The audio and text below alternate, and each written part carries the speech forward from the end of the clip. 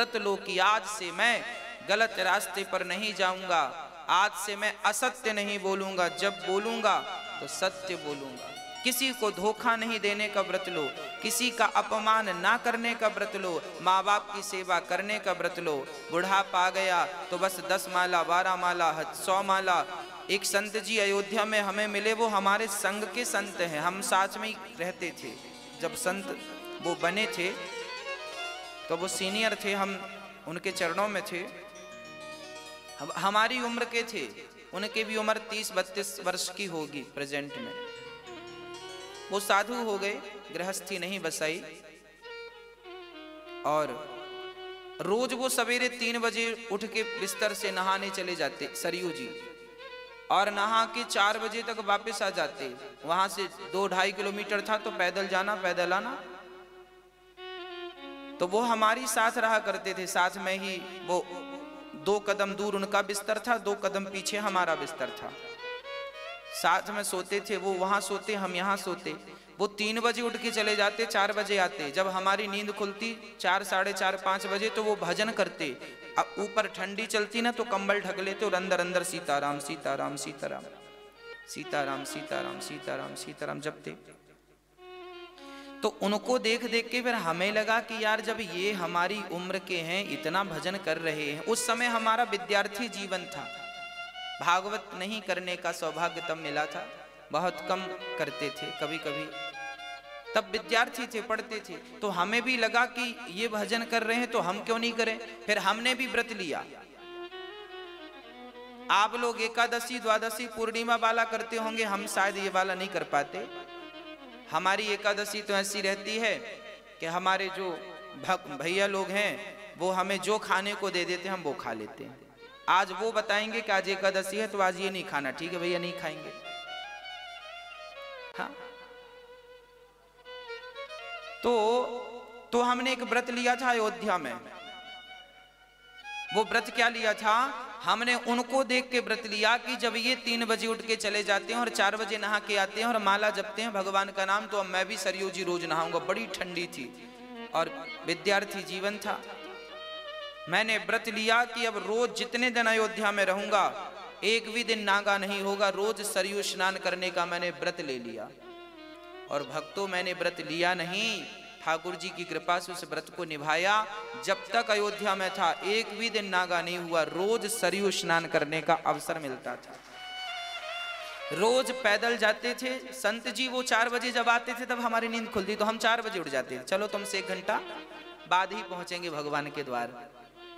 हम्म? तो चार बजे उठते थे, हम फिर जाते थे तो साढ़े चार बजे तक पहुँच जाते सरयू जी, दौड़ के जाते, यहाँ से दौड़ लगाते तो सीधे ढाई किलोमीटर दूर जाके सरयू जी में रुकते। और वहाँ रुकते तो दौड़ने में शरीर गर्म होता तो थोड़ा सा दो मिनट बैठ जाते। किसी ने कहा कि बैठ जाया करो, डायरेक्ट पानी में नहीं घुस जाया करो, नहीं बीमार पड़ जाओगे। तो हम दो मिनट रुक जाते शरीर नॉर्मल हो जाए। फिर जाके बढ़िया डुबकी लगाते सरयू जी में साढ़े चार बजे। और फिर वहाँ से पैदल दौड़ते हुए आते, और फिर बाद में आकर के थोड़ा सा उनकी देखा देखी, हम भी माला जपते। हम भी भगवान का भजन करते। बस पहले तो देखा देखी थी, बाद में फिर वो आदत हो गई, फिर मुझसे आनंद आने लगा, फिर आपके बीच में बैठा दिया ठाकुर जी ने। अच्छे लोगों को देखोगे तो अच्छा रंग चढ़ेगा, मेरा कहने कर ये। और जब अच्छे लोगों को देखो और अच्छा रंग चढ़े तो उसी रंग का व्रत धारण कर लो कि अब तुम्हें रोज ये व्रत से नियम से करना। रोज सरयू जी स्नान करना है, रोज बिहारी जी का दर्शन करना है, रोज तुम्हें एक कम से कम एक माला जपनी है, कम से कम रोज भगवान एक गरीब व्यक्ति को रोज भोजन दान करना है। कोई एक अच्छा संकल्प, कोई एक अच्छी एक अच्छी बात, एक अच्छा काम रोज के लिए ठान लो। रोज रोज दो आँसू बहाने हैं भगवान की याद में, यही संकल्प ले लो, इससे बड़ा व्रत और क्या हो सकता है? हाँ? तो व्रत होना चाहिए। व्रत का अर्थ है प्रतिज्ञा। रोटी, लड्डू खाने से व्रत नहीं टूटता। आपके भीतर की जो बुराइयाँ हैं, उनसे व्रत टूट जाता है।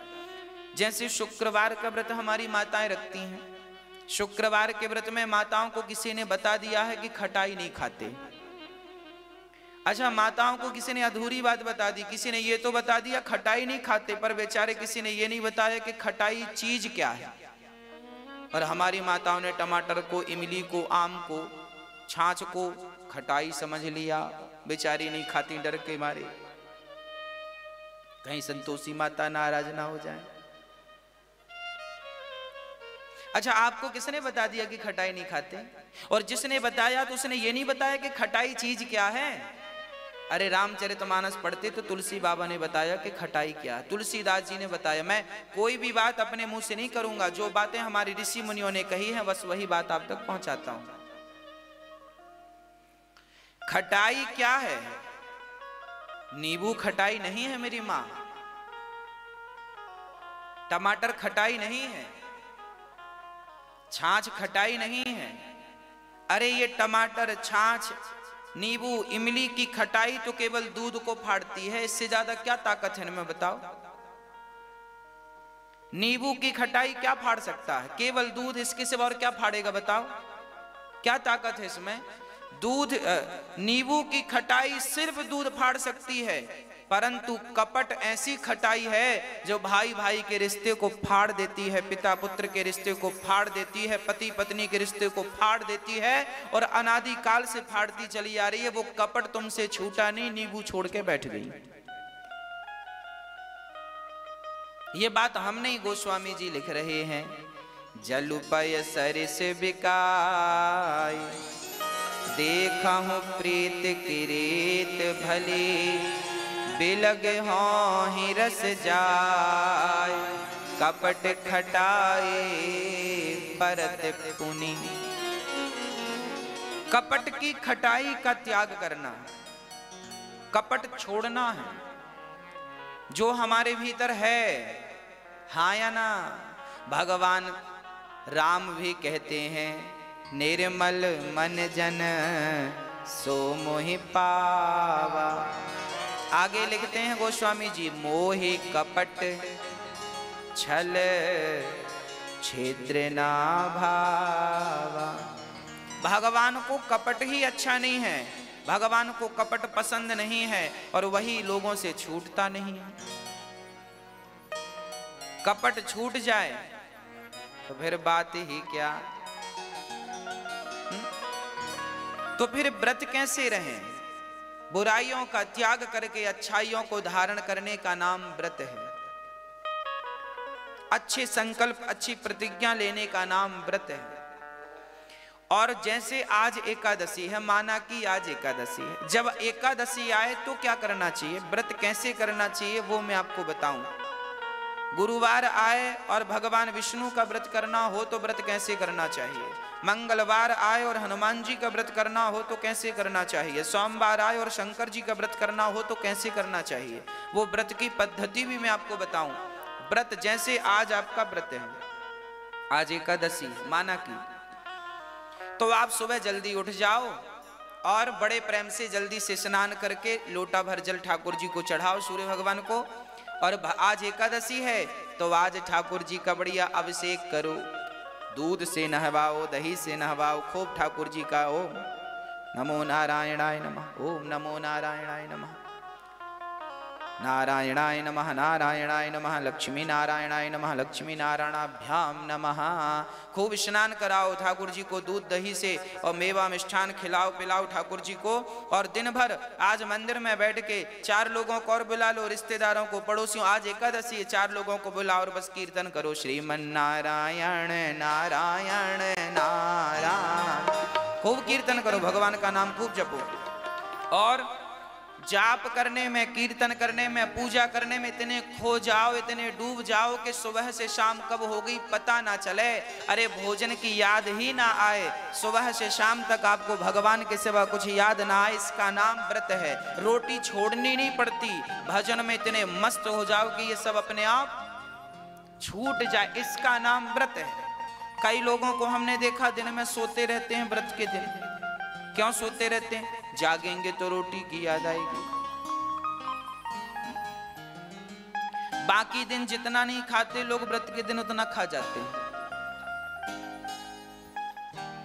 व्रत के नाम पर बड़ा खा लेते हैं लोग वो महँगा महँगा खाते हैं।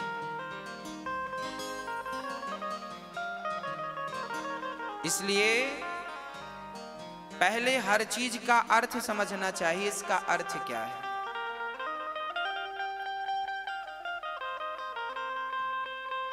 भगवान का चिंतन, भगवान के भजन में इतने डूब जाओ कि कुछ याद ही ना रहे।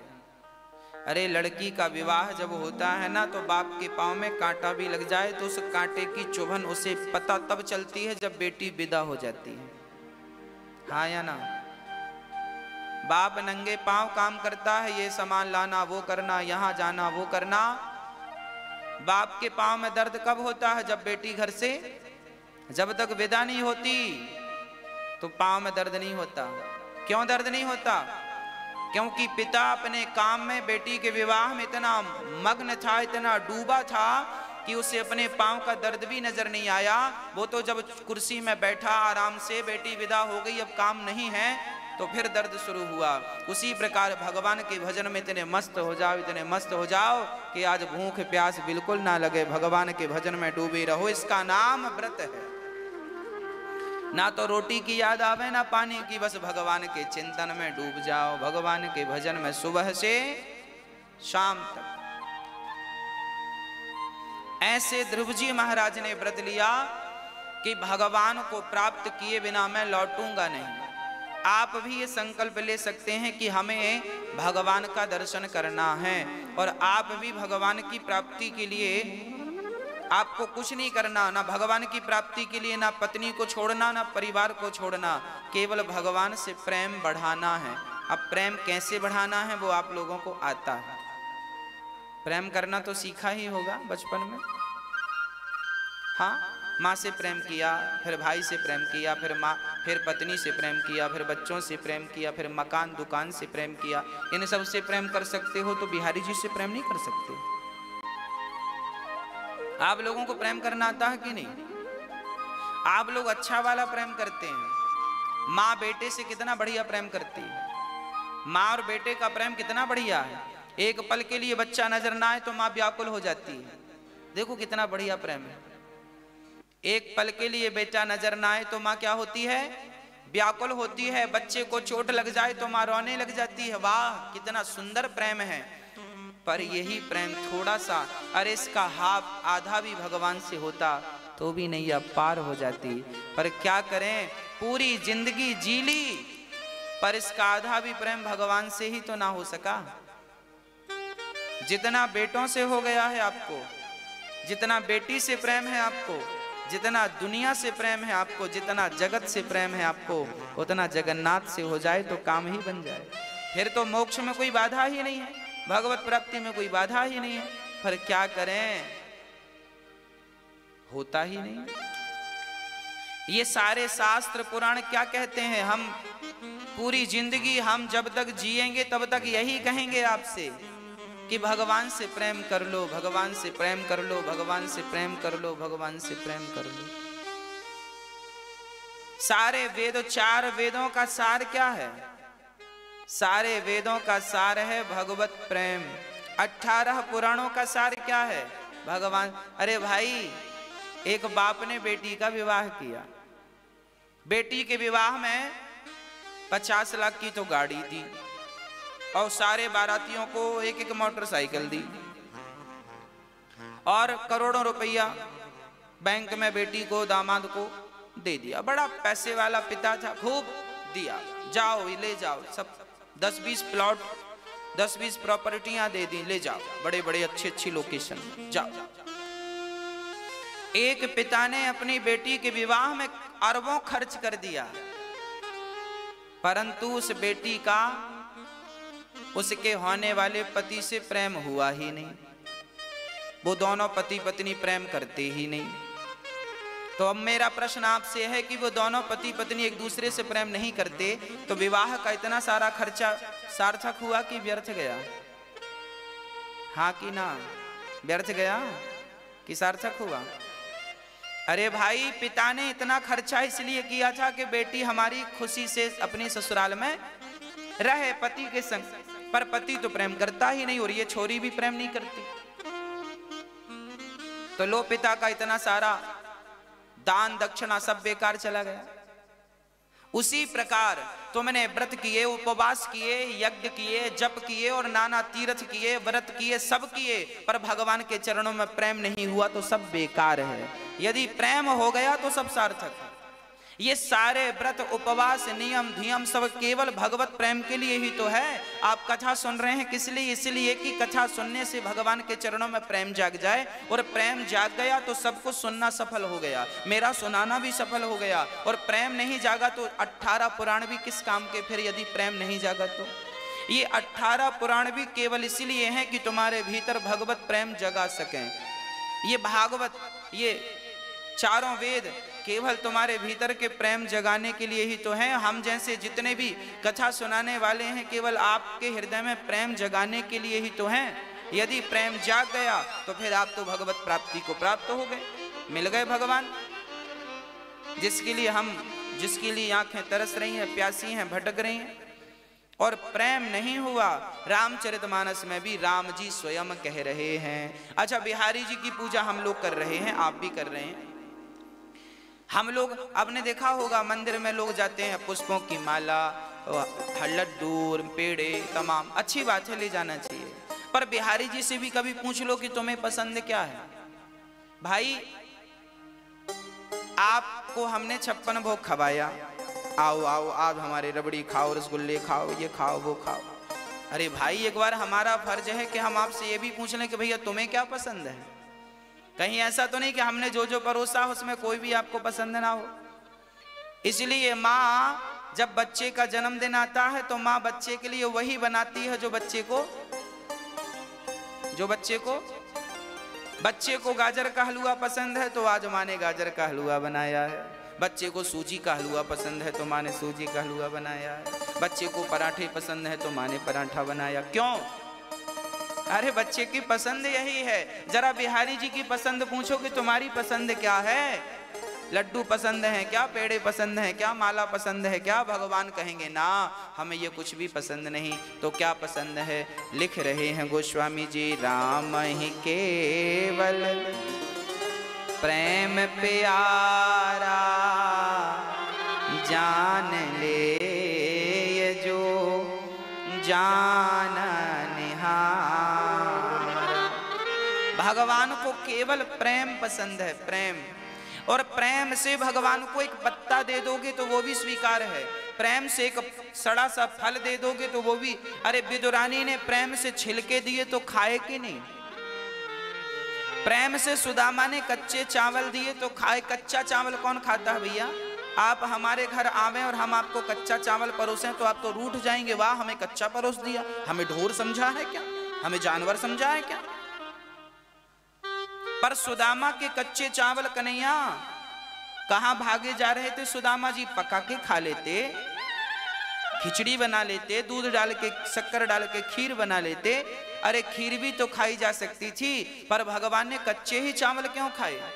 क्योंकि भक्त का प्रेम उन चावलों में था तो भक्त जैसे दिया, भगवान ने वैसे ग्रहण कर लिया। विदुरानी ने जैसे छिलके दिए, भगवान ने वैसे खा लिए। मतलब भगवान वस्तु के भूखे नहीं थे। वस्तु के पीछे जो भक्त का प्रेम था, वो प्रेम भगवान ने स्वीकार कर लिया। भगवान बिहारी जी लड्डू खाएँगे पर लड्डू खाएँगे तब जब खिलाने वाले के भीतर लड्डू से ज़्यादा प्रेम हो। लड्डू में जितनी मिठास है, उससे ज़्यादा प्रेम आपके भीतर होगा तो वो लड्डू भगवान खाएँगे। और प्रेम नहीं है तो फिर वो लड्डू तुम चढ़ा दो। अपनी संतुष्टि कर लो। और प्रेम है तो बासी रोटी भी खाएँगे, छिलका भी खाएँगे। पत्रम पुष्पम फलम तोयम यो में भक्त्या प्रयच्छति। भगवान कहते हैं, कोई भक्त ये पत्ता उठाकर दे दे, कह दे कि प्रभु मेरे पास तो बस इतना है तो भगवान इसे भी चबा लेंगे, इसे भी खा लेंगे। कोई एक पुष्प ही दे दे, भगवान हमारे पास तो ओनली यही है तो भगवान वो भी स्वीकार कर लेंगे, चल तेरे पास है, तेरी श्रद्धा तो है, तेरी भक्ति तो है तो खा ले, स्वीकार कर लेंगे। कोई एक फल दे दो, आप जूठा ही दे दो, चलो। तुम एक और खा लो, उसके बाद तुम्हें याद आए कि भगवान को नहीं खिलाया तो वही दे दो, भगवान वो भी खा लेंगे। पर वो प्रेम तो हो, वो प्रेम कहाँ से लाओगे, वो आप लोग जानो। मनु जी महाराज के दूसरे पुत्र का नाम था प्रियव्रत। प्रियव्रत का विवाह विश्वकर्मा की पुत्री वरहिस्मती से हुआ, जिनके पुत्र हुए हैं आग्निद्र इनके फिर नाभि हुए, फिर अंग हुए, फिर ऋषभदेव जी हुए। ऋषभदेव जी के सौ बेटे हुए। सबसे बड़े पुत्र का नाम था भरत। एक दिन ऋषभदेव जी महाराज अपने सारे पुत्रों को उपदेश कर रहे थे। नायम देहो देह भाजाम्रलोके कष्टान कामान नरहते विड़भुजा तपो दिव्यम पुत्र कायेन सत्वम शुद्ध्यैदस्मात् ब्रह्म सौख्यम त्वनन्तम्। आप भी अपने बच्चों को जरा बिठाकर उपदेश दिया करो। आज श्री ऋषभदेव जी अपने बच्चों को बिठाते हैं, उपदेश देते हैं। क्या उपदेश देते हैं बेटा? नायम देहो देह भाजाम्रलोके। अर्थात ये शरीर संसार के भोगों के लिए नहीं मिला। तपो दिव्यम। शरीर भगवत भक्ति में तपाने के लिए मिला है, जरा तपाओ, तपस्या करो, तपाने का अर्थ। विद्यार्थी जब तपता है, मेहनत करता है, तब उसके परसेंट अच्छे बनते हैं। और तपस्या ना करे, अर्थात तपे ना, अर्थात पढ़े ना, रिज़ल्ट कैसे अच्छा आएगा? आप अच्छी पोस्ट पर चले गए हैं तो सहज में तो चले नहीं गए साहब, कोई मेहनत तो की होगी आपने? अर्थात आपने अपने आप को तपाया होगा। जब तपाए तो आप आईएएस आईपीएस बन गए, बड़ी ऊँची पोस्ट पर चले गए। ऐसी तो सहज में चले नहीं गए होंगे, बड़ा तपाया होगा आपने, तपस्या की होगी। अरे भाई, जब बिना तपस्या के तुम्हें नौकरी नहीं मिलती तो बिना तपस्या के भगवान कैसे मिल जाएगा, ये तो समझो। हाँ? तो तपस्या तो ज़रूरी, तपाना यही तो तपाना है। कोई पैसों के लिए तपा रहा है,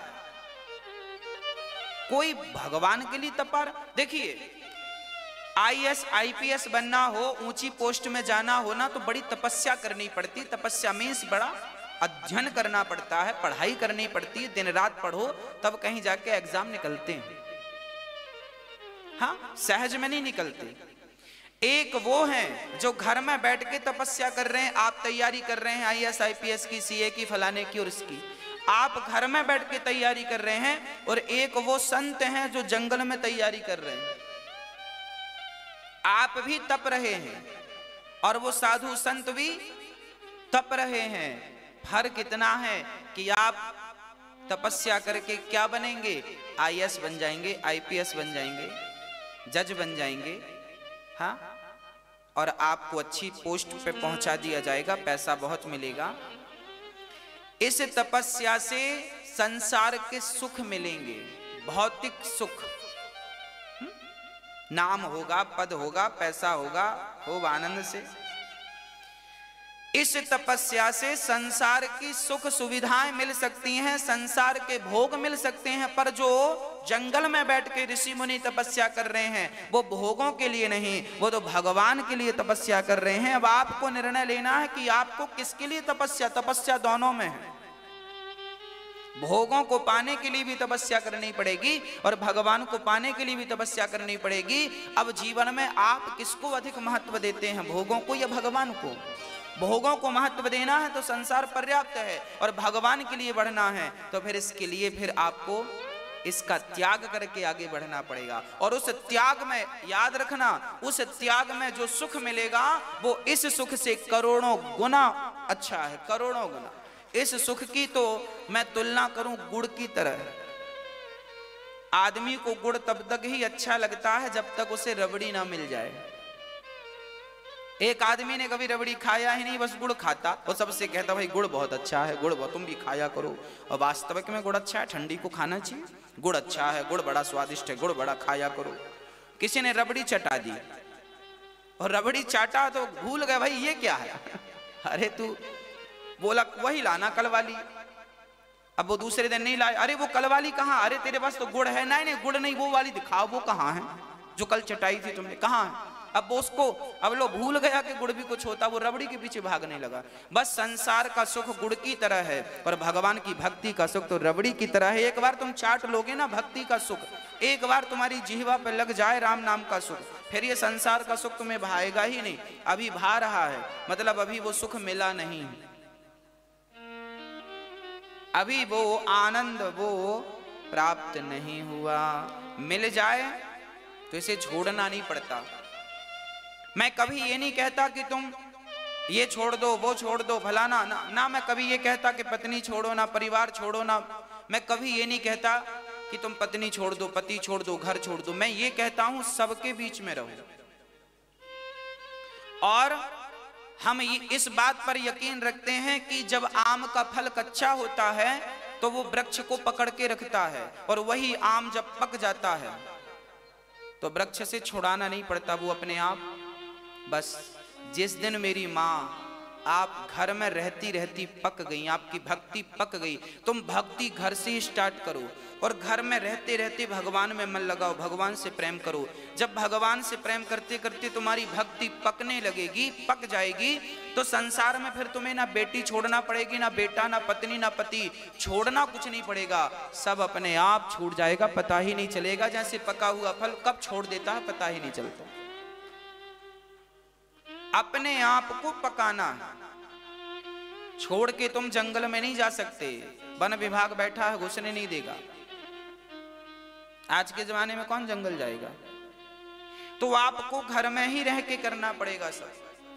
और जंगल में जाएँगे तो फिर वहाँ समस्या ये भी है कि भय है। सांप का भय, सांप ना डसले, शेर ना आ जाए। अब रात को जंगल में कोई सोएगा क्या? डर नहीं लगेगा उसे? मतलब डर के कारण आप भजन नहीं कर सकते। घर में कम से कम डर तो नहीं है किसी बात का, बिस्तर में बड़ी आनंद से सो तो रहे हो। जंगल में जाओगे तो डर के मारे भजन नहीं कर पाओगे। जबकि घर में तो आप भजन कर सकते हैं तो क्यों ना घर को ही चुना जाए भजन के लिए? भागवत प्राप्ति के लिए सबसे बढ़िया घर है। घर से बढ़िया कुछ नहीं है। बढ़िया भगवान का भजन करो। परिवार भगवान को सौंप दो, बेटा भगवान का, बेटी भगवान की, पत्नी भगवान। हे प्रभु, सब आपका है और ये सब आपकी माया है। हम भी आपके हैं और बस उन्हीं के भजन में लग जाओ। कुछ अपना समझो मत। गलती तो तब होती है आपसे जब आप सबके मालिक बन के बैठ जाते हैं। मैं इसका मालिक हूँ, ये मेरा है, ये मेरा है। कुछ भी अपना मत समझो। है सब तुम्हारा, पर मैं का ये जो अहंकार है, ये डिलीट कर दो। मैं इस बच्चे का बाप हूँ, मैं इस बच्चे का पिता हूँ, ये जो मैं का अहंकार है कि तुम ही इसके बाप हो, ये जो अहंकार है बाप वाला, ये डिलीट कर दो और उस बाप की जगह भगवान को बिठा दो, प्रभु जी तुम ही इसके पिता हो, मैं तो कुछ नहीं हूँ, अपने आप को आप हटा दो वहाँ से। फिर देखो, मैं इस घर का मालिक हूँ अपने आप को हटाकर उस जगह पर, उस स्थान पर भगवान को बिठा दो। प्रभु, ये घर आपका है, ये फैक्ट्री आपकी है, ये दुकान आपका है, ये बिज़नेस आपका है, ये व्यापार आपका है, बस आप न्यूट्रल हो जाओ ना। क्यों? गैर में फंसे पड़े हो। गाड़ी तब तक ही तो भागती है जब तक गियर में होती है। न्यूट्रल होती है तो खड़ी हो जाती है। पार्किंग में खड़ी है। ना आगे ना पीछे खड़ी है। तो आप भी जो गियर में फंसे पड़े हैं, एक नंबर, दो नंबर, तीन नंबर, चार नंबर। हाँ? न्यूट्रल पार्किंग मूड में डाल दो अपने आप को। साइलेंट सब बिहारी जी का, मेरा कुछ नहीं। मैं नहीं, मेरा नहीं, यह तन किसी का है दिया। जो भी मेरे पास है, वह धन किसी का है दिया। जब देने वाला वही है तो मैं क्यों डींगे मारूं कि मैं मैं मैं, ये, मैं ना? साइलेंट चुप न्यूट्रल श्री भरत जी महाराज को पिता का उपदेश चढ़ गया और भरत जी महाराज घर से उनके ऋषभ देव जी तो भगवत भजन करते हुए चले गए नौ बच्चे योगेश्वर हो गए भरत जी महाराज अपना घर परिवार छोड़ के गंडकी के तट पर चले गए श्री भरत जी महाराज गंडगी के तट पर गए और संसार छोड़ के पत्नी पुत्र का मोह छोड़कर जंगल गए और बस भगवान का ध्यान करने लगे। नारायण नारायण नारायण नारायण। भगवत भजन करने लगे। तभी भरत जी से गलती हो गई कि भरत जी एक दिन नदी में स्नान करने गए तो वहाँ एक मृगी का बच्चा बह रहा था। मृगी ने पानी में ही बच्चे को जन्म दे दिया। तो वो बच्चा पानी में बहता जा रहा था, बस मरने वाला था तो भरत जी की नज़र पड़ गई तो भरत जी उस मृग के बच्चे को बचाकर अपनी कुटिया पर ले आए। देखिए, कुटिया पर ले आए, यहाँ तक तो बढ़िया था, पर अब भरत जी से गलती ये हो गई कि भरत जी उस मृग के बच्चे से प्रेम करने लग गए। मेरा मृग मेरा मृग, उसी के संग बैठे हैं, उसी को खिला रहे हैं। अब भजन वज़न सब छूट गया। मृग मृग मृग को चराते हैं, मृग को घुमाते हैं, मृग के संग बैठते हैं, मृग से बातें का जंगल में कोई था नहीं। मृग से नेह कर लिया। अंत में जब मृत्यु का समय आया तो भरत जी उस मृग को देखते देखते देखते देखते मर गए। प्राण निकल गए और जब प्राण निकले तो यमराज ने कहा कि आप मृग को देखते देखते आए हैं, इसलिए अब आपको मृग की योनि में जाना पड़ेगा। अंत्य यामती सागती। आप लोगों से प्रार्थना है कि आप लोग भी मरने के पहले मन ना लगा लेना किसी में, क्योंकि जहाँ मन लगाओगे, वही दुर्गति होनी है आपकी। मरते समय मन स्त्री में लगेगा तो आपको स्त्री बनना पड़ेगा। मरते समय मन पुरुष में लगेगा तो पुरुष बनना पड़ेगा। मरते समय मन कुत्ते में लगेगा, कुत्ता बनना पड़ेगा। मन जहाँ लगेगा, वहाँ जाना पड़ेगा। इसलिए मरते समय बिल्कुल बिल्कुल बिल्कुल मन को हटा देना। अच्छा बहुत सारे एडवांस जो लैपटॉप कंप्यूटर है ना, आजकल जहाँ से, जैसे आप काम कर रहे हैं, कोई भी, काम करते करते वो बंद हो गया कंप्यूटर लैपटॉप कोई भी मोबाइल फ़ोन में भी ये सिस्टम आ गया है। काम करते करते बंद हो गया बैटरी के कारण बंद हो गया तो उसके बाद जब आप चार्ज में लगाएँगे तो वो वहीं से स्टार्ट होगा। हाँ या ना? एडवांस टेक्नोलॉजी है। पहले ऐसा नहीं था। पहले शुरू से स्टार्ट होते थे। अब क्या हो गया है कि लैपटॉप में आप काम कर रहे हैं और वो बंद हो जाएगा तो आप चार्जर, बैटरी चली गई आप ध्यान ना दे पाए, बंद हो गया। अब क्या हुआ? अब आप चार्ज में लगाएँगे तो वो वहीं से स्टार्ट होगा। हाँ कि ना? हाँ बस। आपका मरते समय मन जहाँ लगा है तो दूसरा जन्म वहीं से स्टार्ट होगा जहाँ इस जन्म में आखिरी बार मन लगा था। कंप्यूटर वहीं से चालू हुआ जहाँ से बंद हुआ था। बस ईश्वर भी यही है। आपका मनी राम, मन आखिरी समय जहाँ है। गति वही है अंत्यामति सा गति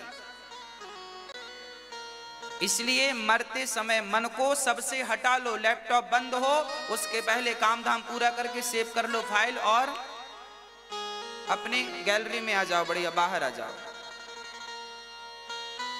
हाँ ताकि वहाँ से आप फिर किसी भी फ़ंक्शन में जा सकते हैं। आप भी मरने के पहले सब वापसी कर लीजिएगा, पत्नी से मन हटा लीजिएगा, पुत्रों से मन हटा सबसे बिल्कुल अपने वापसी आ जाइएगा, ताकि आपका मोक्ष हो जाए। और यदि मन बेटे में लगा रहा तो लो भैया, बेटे के ऊपर मन लगा रहा आप फिर तुम किसी के बेटे बन के आओ। फिर तुम झंझट में पड़ो। इसलिए बिल्कुल साइलेंट, मन कहीं ना लगे। बस मरते समय भगवान में मन लगाओ। इसलिए मरते हुए आदमी को गीता सुनवाई जाती है। इसलिए सुनवाई जाती है ताकि गीता के शब्द सुने और उसका यहाँ वहाँ मन लगा हो तो हट जाए। पर आजकल उल्टा जब मर जाता है तब गीता सुनवाते हैं। अब कैसे सुनवा रहे हो भैया? मरने के पहले गीता इसलिए सुनवाई जाती है कि यहाँ वहाँ से मन हट जाए। भरत जैसे ज्ञानी का मन लगा तो भरत जैसे ज्ञानी को मृग बन के आना पड़ा। जंगल में लगी आग तो भरत जी मृग बन के आए थे। अब वो मृग बने थे, आग लगी तो उसमें जल गए, फिर तीसरा शरीर मिला उन्हें मनुष्य का। भगवान ने कहा कि तुम्हें एक मौका और देंगे मनुष्य बनाने का। अब तुम गलती ना करना, नहीं तो गति बिगड़ जाएगी। अब भरत जी मृग बन के गए, उसके बाद मनुष्य बनकर आए। अब भरत जी बिल्कुल चुप रहते हैं। किसी ने गाली दी तो कोई उत्तर नहीं, किसी ने स्तुति की तो कोई उत्तर नहीं, बड़े चुप रहते हैं, गुमसुम गुमसुम रहते हैं। ना पढ़ते हैं, ना लिखते हैं। कुछ भी काम भरत जी नहीं करते। भारत जी को पता है कि पिछले जन्म में मृग के चक्कर में गति बिगड़ गई थी, इस जन्म में भी गति ना बिगड़ जाए, इसलिए तब के खाए। तब खाई तो खाई, अब खाए तो राम दोहाई, अब नहीं करेंगे गलती। दूध से जली हुई बिल्ली भी छाछ को फूक फूक के हाँ पीती है। तो आपसे ये गलती, ये अपराध ना हो जाए कि आप भी मन कहीं यहाँ वहाँ लगाएँ। मन भगवान के श्री चरणों में अब भरत जी ने पूर्ण रूप से समर्पित कर दिया। पिता ने कहा, गीता पढ़ लो। पिता ने कहा, ये पढ़ लो, वो पढ़ लो। पर भरत जी ने कुछ नहीं पढ़ा। भरत जी को पता था कि मैं पढ़ लूँगा और कहीं पढ़ाई का ही घमंड आ गया तो भी मैं उलझ जाऊँगा। शादी कर लूँगा तो कहीं सुंदर पत्नी का, सुंदर बच्चों का अहंकार ना आ जाए आजकल माँ बाप को भी बड़ा अहंकार होता है, मेरा बेटा तो ये है, मेरा बेटा तो वो है, बेटे के अहंकार करे घूम रहे हैं हम्म? बेटा कोई अच्छी पोस्ट में चला जाए, फिर देखो पिता को ऐसे चलता हम्म? अहंकार पग पग में बैठा है और वो ये समझते नहीं है कि भाई यही तुम्हारे सबसे बड़ा दुश्मन है। रावण जैसों का अहंकार टिका नहीं, तुम्हारा क्या टिकेगा? और याद रखना, भगवान को अहंकार बिल्कुल पसंद नहीं बिल्कुल रत्ती भर पसंद नहीं दुर्योधन के घर भगवान ने भोजन क्यों नहीं किया? क्योंकि अहंकार था। विदुरानी के घर भोजन क्यों किया? क्योंकि अहंकार नहीं था। क्यों नहीं समझते लोग इन बातों को? और याद रखना, अहंकार केवल भगवान को नहीं, हमें भी अच्छा नहीं लगता और आप लोगों को भी अहंकार अच्छा नहीं लगता। आपका कोई दोस्त आपसे अहंकार में बात करे, आपका पड़ोसी आपसे बड़ा एटीट्यूड में बात करे तो आपको अच्छा लगता है? बोलो। आपका भाई ही आपके सामने बड़ा ईगो में बात करे आपसे, आपको अच्छा लगेगा? अरे भाई, जब आपको अहंकार अच्छा नहीं लगता तो भगवान को अहंकार कैसे अच्छा लगेगा? जो व्यक्ति अहंकारी है, वो भगवान के मतलब का नहीं। आप ये अपराध ना करिएगा। भारत जी बिल्कुल चुप हैं। कोई उत्तर ना शादी करते हैं, ना गृहस्थी, ना है ज्ञानी, पर बोलते कुछ नहीं है। क्योंकि उनको पता है कि बोलने में कहीं ना उलझ जाए। भारत जी बस उनकी भौजाइयाँ, बासी रोटी दे देती हैं तो नमक के साथ खा लेते हैं। एक बार भाभियों को वो भी महँगी पड़ने लगी तो भाभियों ने अपने अपने पतियों से कहा, ये निठल्ला घर में ही बैठा बैठा खाता है, कुछ काम धाम तो करता नहीं। तो भाइयों ने, खेत भेज दिया, जाओ, धान बो दी है, चिड़ियों को उड़ाना। पर भरत जी तो भरत जी बाजा बजा बजा के चिड़ियों से कहने लगे, कि चिड़िया, खेत भी राम जी का और तुम भी राम जी की हो, खाओ। राम जी की चिड़िया, राम जी का खेत खाओ, री चिड़िया भर भर पीट हम बैठे हैं। चिड़ियों से खवा दिया। भाइयों ने आके दो लाठियाँ जमाई। निकम्मा किसी काम का नहीं है। खेत में भी चिड़ियों को धान खवा दिया। घर से निकाल दिया भरत जी। घर से निकाल दिया। भरत जी को लगा, अब भगवान की कृपा हो गई। अब मैं बिल्कुल संसार से बिल्कुल मुक्त हो गया। अब भाइयों ने, भौजाइयों ने घर से निकाल दिया। पिताजी तुम चले गए थे भगवान के घर। अब भरत जी बिल्कुल जंगल में भगवान के भरोसे विचरण करते हैं। वो कहीं भी बैठ जाते हैं, सांप के बाजू में बैठ जाते हैं। उनको ये विश्वास है कि भगवान ने जितनी श्वासें दी हैं, वो पूरी लेनी है, ये सांप डसेगा भी तो हम मरेंगे नहीं, क्योंकि उनको सांप से ज़्यादा भगवान पे भरोसा था। ये क्या डसेगा हमें? क्या अर्थ है इनका? इनका अर्थ ये है कि जब भगवान के बनकर घर से निकलना तो बिल्कुल निडर होके निकलना। याद रखना, जीवन में डर वही, डरते वही हैं जिनको भगवान पे विश्वास नहीं होता। जिनको भगवान पर पूर्ण विश्वास है, वो ये जानते हैं कि मारने वाला भगवान है तो बचाने वाला भी क्या मारेगी मृत्यु? भारत जी बिल्कुल स्वच्छंद विचरण करते हैं। जंगल में कोई भय नहीं, कोई डर नहीं, कोई बाधा नहीं। एक बार जंगल के भीलों ने भरत जी को पकड़ लिया तुम्हारी नरबली चढ़ाएँगे। भरत जी बोले, ठीक है। भरत जी को खाया, फिर खिलाया, पिलाया, बढ़िया लड्डू खिलाए पकवान खिलाए। भरत जी बोले, वाह, बढ़िया खिला रहे हो, खिला रहे भरत जी खूब खाए। अरे भरत जी तो बिल्कुल साइलेंट थे, जो मिल जाए खा लेते हैं। खाया और माला पहनाया गले में। भारत जी को कोई ने खिलाया तो खा लिया, माला पहनाया तो माला पहन लिया। अब उन्होंने कहा, चलो सिर झुकाओ, तुम्हारी बलि चढ़ाएँगे। तो भारत जी ने सिर भी झुका दिया। ये नहीं नहीं नहीं नहीं, हमें मत मारो, काहे नहीं मारो? मारेंगे। भारत जी ने बिल्कुल खुशी से सिर झुका दिया। मार दो। अरे भाई, देखो, जीवन में ना भयभीत नहीं होना चाहिए। तुम अपना सिर झुका दो। मौत होगी तो नहीं झुकाओगे तो भी मारे जाओगे। और मौत नहीं होगी तो झुका दिया है तो भी नहीं मारे जाओगे। कई बार एक्सीडेंट होता, हम सुनते हैं कि एक प्लेन क्रैश हो गया, गिर गया। प्लेन के सारे यात्री मारे गए, पर कुछ रह गए। क्यों रह गए? जब सारे मारे गए थे तो ये भी नहीं पड़ जाते। क्यों रह गए? मतलब मारने वाला भी भगवान है और बचाने वाला भी भगवान है। मैंने पढ़ा था, एक शिप के बारे में समुद्र में डूबी थी, सबसे बड़ी थी, कोई नाम था? 1914 की बात थी। हम्म हाँ टाइटैनिक नाम था उसका। उसमें 1500 लोग, लगभग 1500 लोग मारे गए थे, पर कुछ उसमें भी बच गए थे। हाँ जी टाइटैनिक जहाज़ था, पानी में डूबा था, लगभग 1914 की बात है लगभग कंफर्म नहीं कह सकते। लगभग 1914 की बात है ये टाइटैनिक में बहुत सारे यात्री सवार थे, बड़ा सुरक्षित जहाज़ बनाया था, बनाने वाले ने। लोग यात्रा पर थे, पानी बर्फ़ की चट्टान से टकरा गया। एक्सीडेंट हुआ।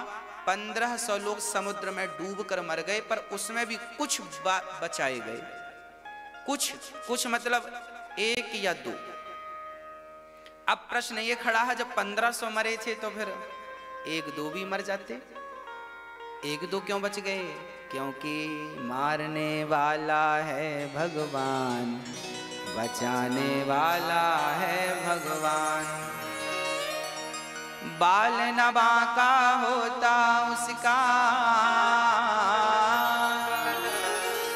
बाल नबा का होता उसका जिसका रक्षक दया निधान। मारने वाला है भगवान, बचाने वाला है इसलिए भरोसा भगवान पर किया करो। भगवान बाल विवाह का नहीं होने देंगे आपका। हाँ? भक्तो, अब क्या हुआ? श्री भरत जी ने सिर झुका लिया और उन्होंने तलवार मारनी चाहिए तो भद्रकाली जो खड़ी थी वो प्रकट हो गई। मेरे भक्त को मार रहे हो? भद्रकाली ने प्रकट होके उन्हीं दुष्टों को मार दिया और भरत जी के जीवन की रक्षा कर ली। जीवन में जब आपके प्राणों की कोई रक्षा करता है तो आप ये ना सोचा करो कि फला व्यक्ति ने मेरी रक्षा की। आप ये कहा करो कि परमात्मा ने ही इस रूप में मेरी रक्षा की है। परमात्मा ही जीवन दाता है। वही किसी ना किसी रूप में आकर हमारे जीवन को बचाते हैं। इसलिए सबसे अधिक भरोसा भगवान पे करना सीखो।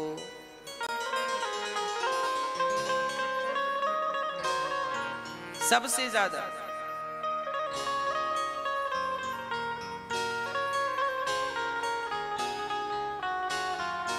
भगवान ही सब कुछ कर रहे हैं। रचा है सृष्टि को जिस प्रभु ने, वही ये सृष्टि चला रहे हैं। जो पेड़ हमने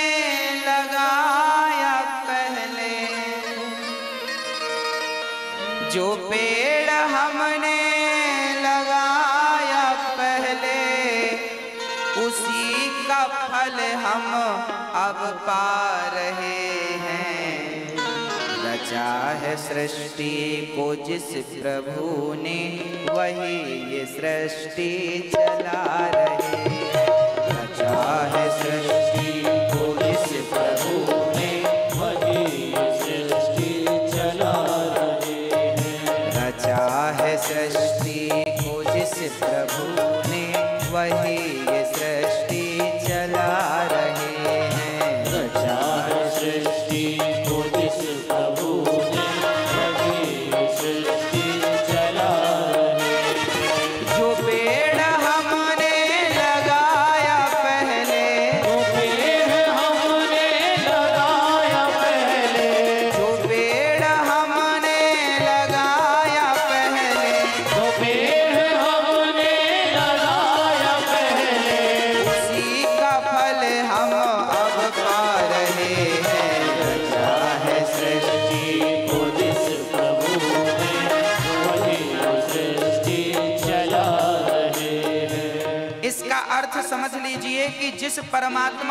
सृष्टि रची है, वही इसे चला रहे। तुम और हम तो केवल कठपुतली की तरह नाच रहे। और जो पेड़ कल लगाया था, पिछले जन्म में जो पेड़ अच्छे और बुरे कर्मों का लगाया था, उसी का फल तुम अब पा रहे हो। जरा भाव के संग, मस्ती के संग।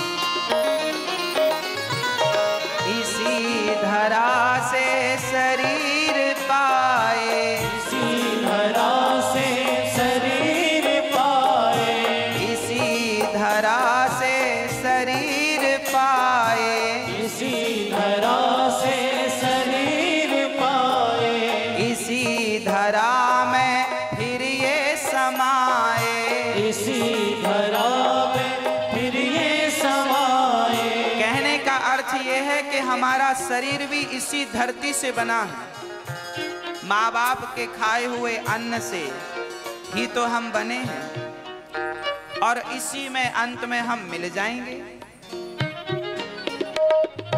इसी धरा से शरीर पाए। इसी धरा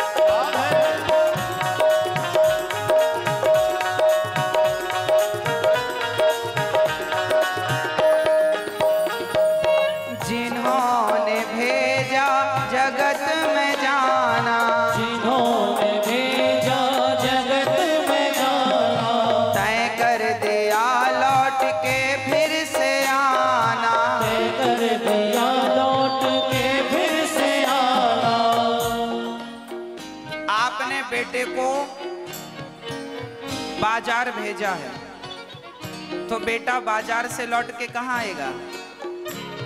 बोलो, घर ही तो आएगा।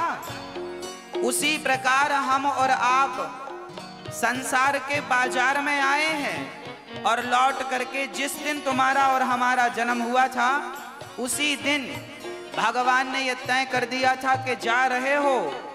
वापस भी आना है, पर यहाँ आकर लोग भूल जाते हैं कि वापस भी जाना है।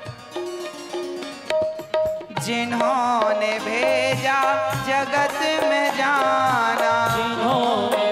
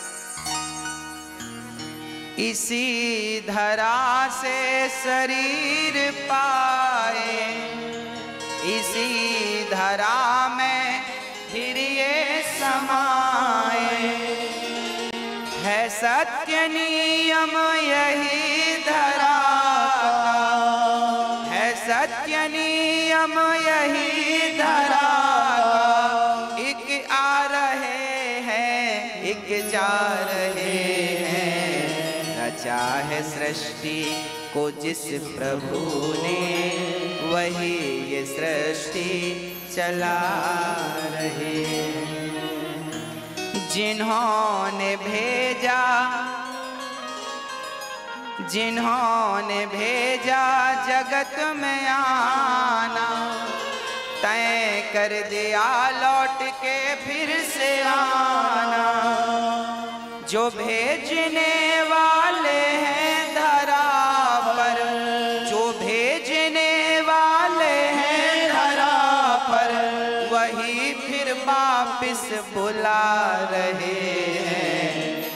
रचा है सृष्टि को जिस प्रभु ने, वही सृष्टि चला बैठे हैं जो धान की बालियों में समाए मेहंदी की लालियों में। बैठे हैं जो धान की बालियों में समाए मेहंदी की लालियों में। हर डाल, हर पत्ते में समा कर हर डाल, हर पत्ते में समा कर गुल रंग बिरंगे खिला रहे हैं। रचा है सृष्टि को जिस प्रभु ने, वही ये सृष्टि चला इसलिए हम किस बात का अहंकार करें? जो रचे हैं, वही चला रहे और हम तो यात्रीगण हैं। आज इस स्टेशन में हैं। कल उस स्टेशन में रहेंगे। है ना? परमात्मा ट्रेन की तरह है। ट्रेन तो परमानेंट चलेगी। अपने अपने रास्ते से। अब यात्री जो कल बैठा था, वो आज नहीं बैठेगा। जो आज बैठा है, वो यात्री बदलते रहते हैं। ट्रेन कहाँ बदलती है? ट्रेन तो वही है। ईश्वर तो ट्रेन है, और हम उसमें सवार यात्रीगण हैं। तो आज हैं, कल रहेंगे नहीं, इसका भरोसा नहीं है तो अहंकार किस बात का करें? जब हमारा ही भरोसा नहीं तो अहंकार किस बात का? इसलिए श्री भरत जी महाराज। अब कोई प्रत्युत्तर नहीं। तभी वहाँ से सिंधु सौवीर देश का राजा पालकी पर चढ़ के चला और एक कहार बीमार पड़ गया। तो भरत जी को कहार बनाकर लगा लिया। अब भरत जी कहार बन के चल रहे हैं। रास्ते में चीटी थी भरत जी को लगा, पाँव रख दूँगा, मर जाएगी तो भरत जी छलांग लगाते हैं। अच्छा भरत जी के कंधे पर रहुगण की पालकी सिंधु सौवीर देश का एक राजा था, बड़ा अहंकारी था, कपिल देव जी के पास जा रहा था। आज कपिल भगवान के आश्रम में पहुँचे, उसके पहले भरत जी से भेंट हो गई और भरत जी को पालकी कंधे पे रख के चलनी पड़ी। ये राजा रहुगण वही है, पिछले जन्म का मृग, इस जन्म में राजा बन के आया, क्योंकि उस मृग को संत की संगत मिल गई ना। देखिए क्या हुआ। भारत का मन एक मृग में लगा था कि नहीं? तो भारत जी का मन लगा था उस मृग में तो भारत जी तो बन गए मृग। और उस मृग का मन लग गया था भारत जी में तो वो मृग बन गया राजा रहुगण जो सत्संग करने जा रहा है। आपका मन जिसमें लगा है, आपको वो बनना पड़ेगा। तो श्री भरत जी महाराज, रहुगण को राजा रहुगण जब चीटियों पे पाँव ना रख के भरत जी ने छलांग लगाई तो राजा रहुगण के पालकी सिर पे टकराई। राजा रहुगण ने कहा, क्यों रे, कौन है? ठीक ठीक नहीं चल रहे, उछल कूद कर रहे हो? कहारों ने कहा, महाराज, ये भर्ती हुआ है, यही उछल कूद कर रहा। तब भरत जी को उनके कहारों ने डांटा, ए भाई, ठीक ठीक चलना। गलती ना करना, नहीं दंड मिलेगा। अब की बार भरत जी ने देखा, फिर चीटियाँ हैं तो भरत जी ने फिर छलांग लगाई। और ऐसी छलांग लगी कि राजा रहुगण के मस्तक से रक्त गिरने लगा। रक्त की धार। अब तो पर्दा हटाकर राजा रहुगण आग बबूला हो गया। मूर्खो, जानते नहीं मैं कौन हूँ? कौन है? कहारों ने कहा, महाराज, ये है। अब रहुगण का पूरा गुस्सा भरत जी पर फूट पड़ा। बहुत डांट लगाई। बड़ा दुबला पतला है। मेरा भार नहीं उठा सकता। राजा हूँ मैं। अभी तुझे मौत के घाट उतार दूँगा, मृत्यु दंड दूँगा। भरत जी चुपचाप उसकी सारी डांट सुन रहे थे। मैया जी, दुष्टों के मुँह नहीं लगना चाहिए। गाली जो आपको दे, उनके मुँह लगोगे? भारत जी संत थे, चाहते तो श्राप दे के भस्म कर सकते थे, मुझे गाली देता? तपस्या का बल था इनके पास, पर नहीं। कुत्ता आपको काटता है तो आप तो कुत्ते को नहीं काट लेते। आप तो इंजेक्शन लगा के अपना इलाज करते हैं। और आपने भी उसे काट दिया तो फिर उसमें और तुम में अंदर क्या रहा? श्री भरत जी महाराज आज चुपचाप हैं और आज भरत जी ने राजा रहुगण से कहा, त्वयोदितं व्यक्तमविप्रलब्धम्।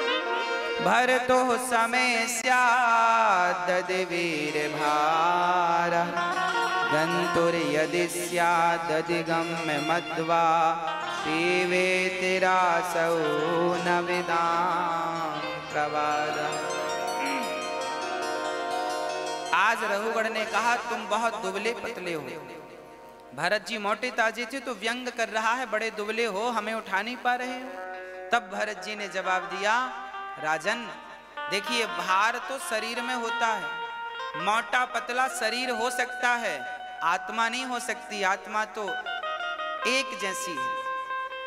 इसलिए आप जानते नहीं हैं, आप शरीर को आत्मा समझ बैठे हैं। आप डांट किसे रहे हैं? अच्छा आप किसी को डांटते हैं तो किसे डांटते हैं? फलाने व्यक्ति को? फलाने व्यक्ति को आप डांट रहे हैं? तो भाई, ये तो बताओ कि वो है कौन? तुम जिसे डांट रहे, तुम शरीर को डांट रहे हो कि आत्मा को? सर, देखिए, शरीर अलग है, आत्मा बिल्कुल अलग है। शरीर और आत्मा वैसे ही अलग अलग हैं, जैसे मोबाइल और सिम दोनों अलग अलग हैं। मोबाइल अलग, सिम अलग, पर दोनों एक दूसरे के पूरक हैं। जब तक सिम मोबाइल में ना पड़े तो मोबाइल किसी काम का नहीं। और सिम को मोबाइल ना मिले तो सिम भी अकेली किसी काम की नहीं। दोनों हैं अलग, पर हैं एक दूसरे के पूरक। उसी तरह, आत्मा सिम जैसी है, शरीर मोबाइल सेट जैसा है। मोबाइल है ये। मोबाइल तब तक काम नहीं करेगा जब तक इसमें सिम नहीं पड़ेगी। नेटवर्क नहीं होगा, वाईफाई नहीं होगा, नहीं तब तक कोई काम नहीं करेगा। उसी प्रकार आत्मा तो वाईफाई जैसी है। आत्मा सिम जैसी है। ये शरीर तभी काम करता है जब आत्मा होती है। आत्मा निकल जाए अच्छा जब आदमी मरता है आपकी भाषा में तो आत्मा ही तो निकलती है। शरीर तो ज्यों का त्यों पड़ा है। आदमी के मरने के बाद क्या बिगड़ता है ये बताओ। आत्मा ही तो नहीं रहती, बाकी तो सब है। आँख कहीं नहीं गई, नाक कहीं नहीं गई। हाँ? मरने के बाद तो बाल भी बढ़ते हैं, नाखून भी बढ़ते रहते हैं। तो फिर आप रखते क्यों नहीं हो आदमी को? ये तो हमारा अपना था, आप रखो फ्रिज में संभाल के। क्यों जला देते हो? आप ही तो भेजते हो, ले जाओ। क्यों जलवा देते हो? क्यों दफना देते हो?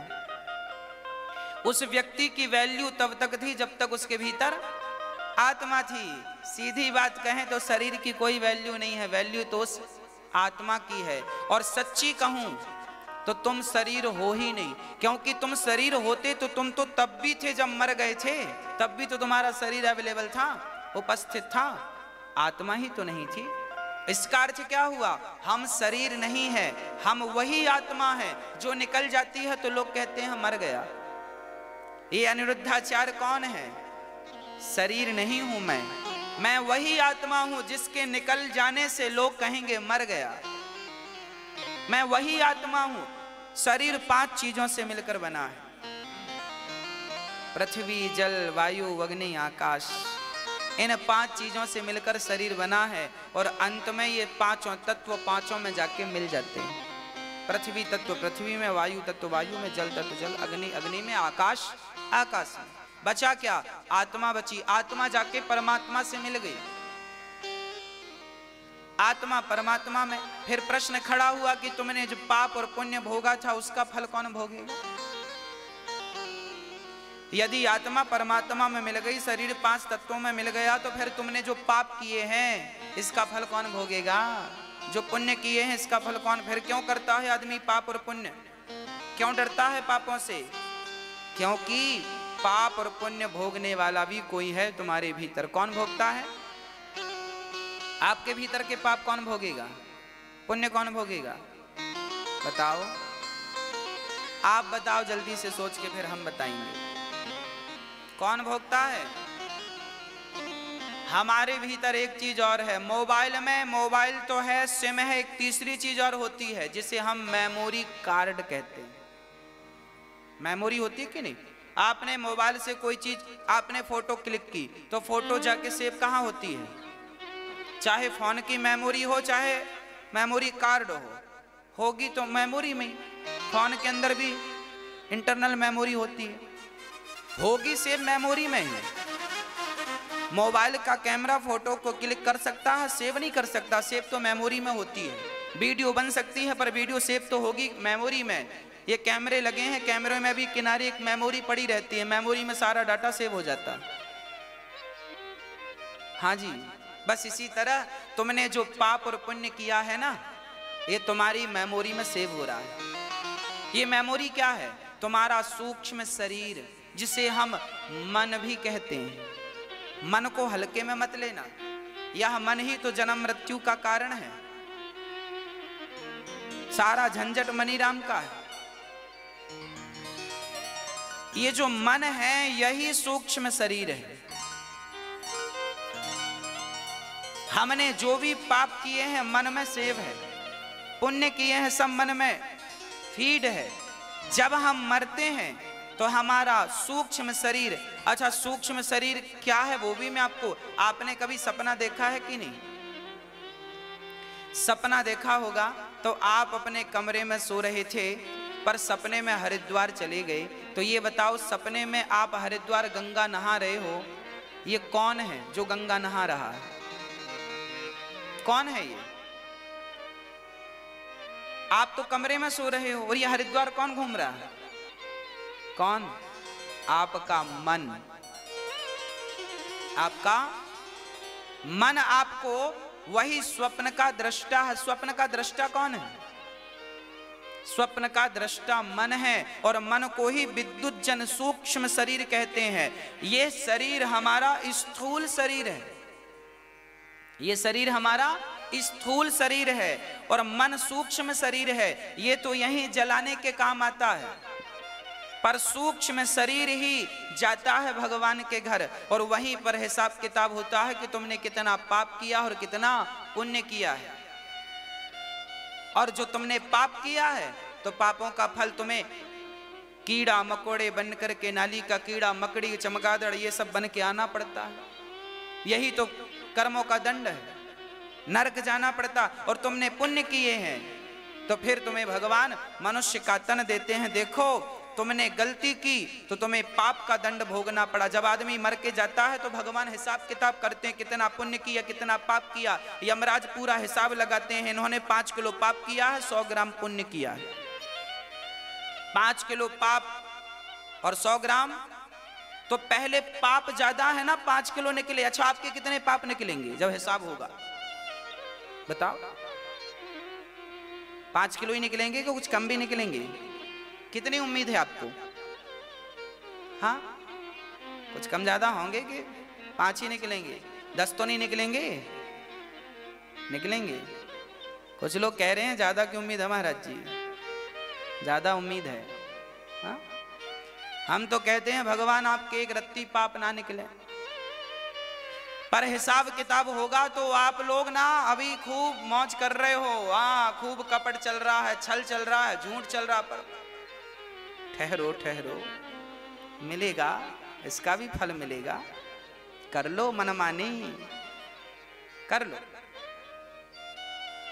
हाँ जी।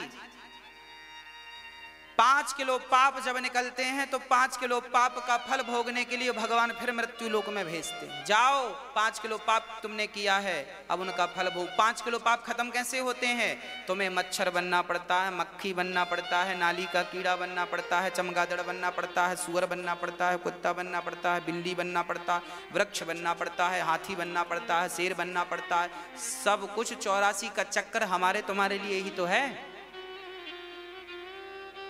जैसा पाप तुमने पाप किया ना, पाँच किलो पाप में, तुम्हें सब बनाएँगे भगवान एक एक चक्कर।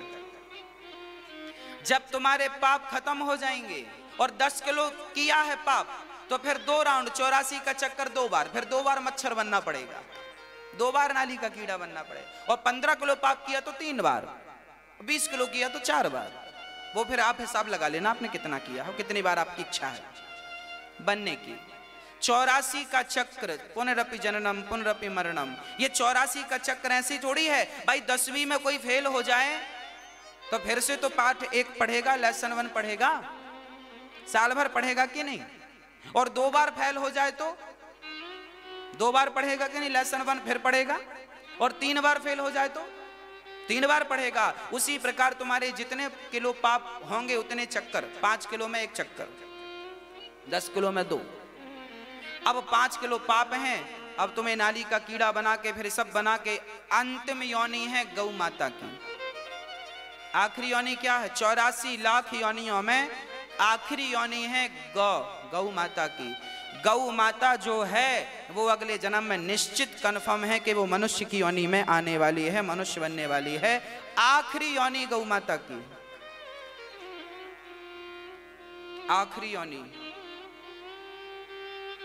तो चौरासी का चक्कर घूमने के बाद आखिरी में, गौ माता, तुम सबको बनना पड़ा, हमें भी बनना पड़ा होगा, आपको भी बनना पड़ा, अब बने हैं मनुष्य, अब भैया बच के चलना, पाँच किलो कहीं फिर से ना हो जाए, नहीं, फिर चौरासी का चक्कर।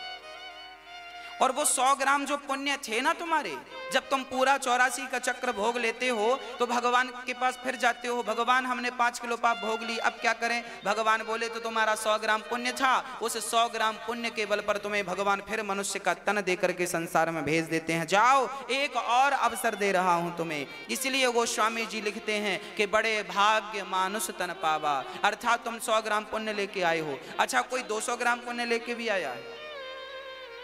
जिनके पुण्य केवल दस ग्राम है। जो लोग कहते हैं, मैं भगवान को नहीं मानता, भगवान को नहीं मानता। ये कौन दस ग्राम पुण्य वाले हैं, ये भगवान को नहीं मानते। जिनके 200 ग्राम पुण्य हैं जिनके पुण्य अधिक होते हैं, वही भगवान पर विश्वास रखते हैं, वही सत्संग करते हैं, वही भगवान का भजन करते हैं। अरे, जिनके थोड़े से पुण्य थे, उन्होंने भगवान के कृपा से मनुष्य का तन पातो लिया, पर थोड़े से पुण्य होने के कारण भगवान का मनुष्य का तन तो पा लिया, पर भगवान में मन नहीं लगा, अभी भी भोगों में मन लगा हुआ जिनका मन भोगों में लगा हुआ है स्त्री सुख में लगा हुआ है, पुरुष सुख में लगा हुआ है, पैसों के सुख में लगा हुआ है। इसका अर्थ यही है कि इनके पुण्य केवल दस ग्राम थे। इनके इतने पुण्य थे कि भगवान ने इन्हें मनुष्य का तन तो दे दिया। और मनुष्य का तन मिला तो पिछले जन्म में कुकर सुकर बने थे तो भोग भोग रहे थे तो इस जन्म में भी इनका मन भोग में तुरंत लग गया, बिना सिखाए सीख गए। जिनका पुण्य अधिक होता है, याद रखना, आप जितने लोग यहाँ बैठे हैं, आप ज़रूर अधिक पुण्य पुण्यात्मा होंगे। तभी तो कार्तिक के महीने में श्रीधाम वृंदावन का वास आपको मिला और बिहारी जी के दर्शन मिले और कथा मिली और जो कथा सुन रहे हैं, वो बड़भागी हैं। आपका मन भगवान में लगा है, आप अधिक पुण्यात्मा है। जो भोगी व्यक्ति है, उससे ज़्यादा पुण्य उसके हैं, जो भगवान में मन लगाए। जिसका पुण्य अधिक होगा उसका मन भगवान में ज़्यादा लगेगा। जिसका पुण्य कम होगा उसका मन स्त्री में, पुरुष में, संसार में ज़्यादा लगेगा। अब आप देख लो कि आपका मन कहाँ लगता है। जहाँ लगता होगा, उस हिसाब से पुण्य होंगे आपके। श्री भरत जी महाराज।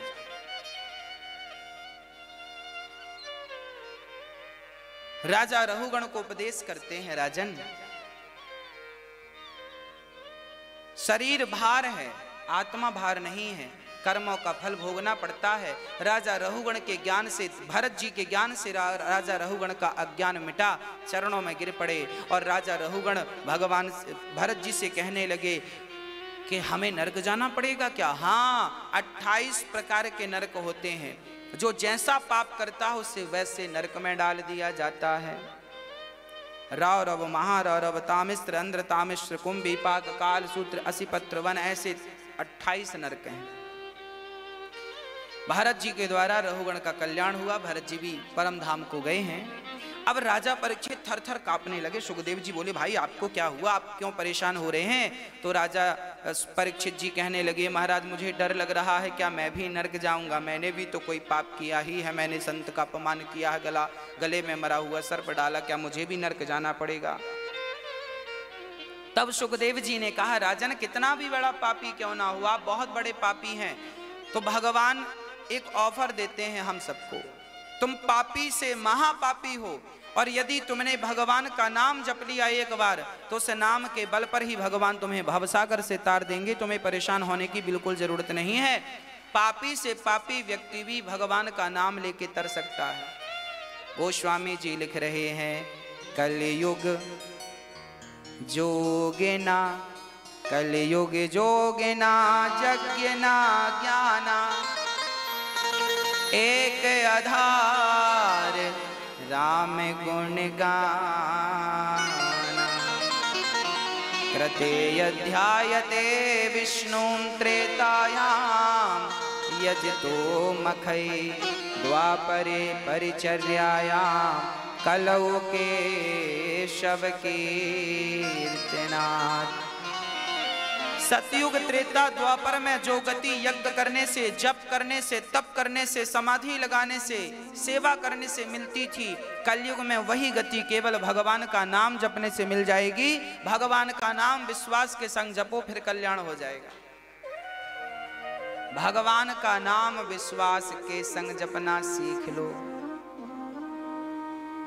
कलयुग केवल नाम अधारा सुमरि सुमर नर उतर पारा। कल योग केवल नाम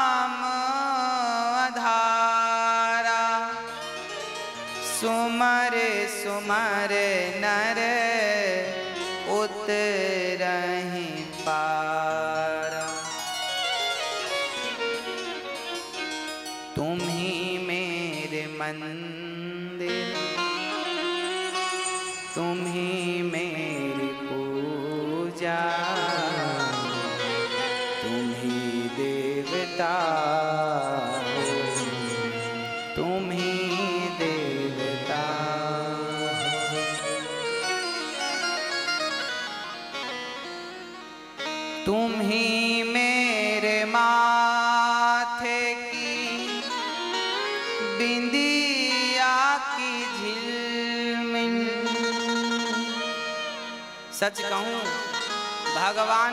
माथे की बिंदिया है। जैसे नारी की शोभा बिंदिया के बिना नहीं है। नारी कितनी भी सुंदर हो, पर सुहागन स्त्री को तो बिंदी लगाने की बड़ी बात कही जाती। जैसे नारी का मस्तक बिंदिया के बिना अधूरा है, उसी प्रकार हम, हमारा जीवन भी भगवान की भक्ति के बिना अधूरा है। जैसे नारी की शोभा माथे की बिंदिया बढ़ाती है, ऐसे जीवात्मा की शोभा उसकी भक्ति बढ़ाता है। भक्ति बढ़ाती है तो भगवान की भक्ति तो हमारे माथे की बिंदिया है। श्री अजामिल जैसा पापी, अजामिल बहुत बड़े पापी थे। केवल पाप करते थे, पत्नी थी तो भोग भोगते थे, बस कोई काम नहीं था, इसके सिवा। पर वो पापी से पापी अजामिल भी उनके घर एक संत आए और संतों ने उनके बच्चे का नाम कह दिया कि इसका नाम नारायण रख देना। बस अजामिल तो कभी जपा नहीं, कभी पूजा करी नहीं, केवल पाप करता है। जुआ खेलता है, शराब पीता है, सारे गंदे गंदे गलत गलत काम करता है, वैश्याओं से संपर्क बना है, इसका संबंध बना है, इसका ऐसे घिनौने और गलत काम श्री अजामिल करता है। पर वो अजामिल जब मरता है तो मरते समय उसके मुँह से धोखे से अपने बेटे का नाम निकल जाता है, जो कि उसके बेटे का नाम था नारायण। बुलाया था अपने बेटे को। बेटे ने तो नहीं सुना, परम पिता परमात्मा ने सुन लिया और उस परमात्मा ने अपने पार्षदों को भेज दिया, जाओ, इस भगत को लेकर आओ, बड़ा अच्छा है, मुझे पुकार रहा है मरते समय। इसलिए हम आपसे कह रहे हैं इसलिए हम आपसे कह रहे हैं कि मरते समय भगवान का ज़रूर स्मरण करिएगा। हे नाथ, इतना तो करना स्वामी। इतना इतना तो करना स्वामी। जब प्राण तन से निकले गोविंद नाम लेकर मेरे प्राण तन से निकले। इतना तो करना स्वामी, जब प्राण तन से निकले। गोविंद नाम लेकर मेरे प्राण निकले। उस वक्त जल्दी आना, नहीं श्याम भूल जाना, मुरली मधुर बजाना। जब प्राण तन से निकले, इतना तो करना स्वामी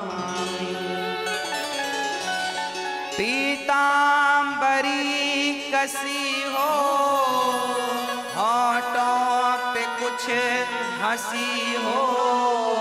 छवि मन में ये बसी हो। जब प्राण तन से निकले, श्री गंगा जी का तट हो।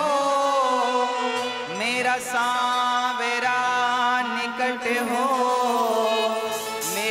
मुख में तुलसी दल हो जब प्राण तन से निकले। इतना तो करना स्वामी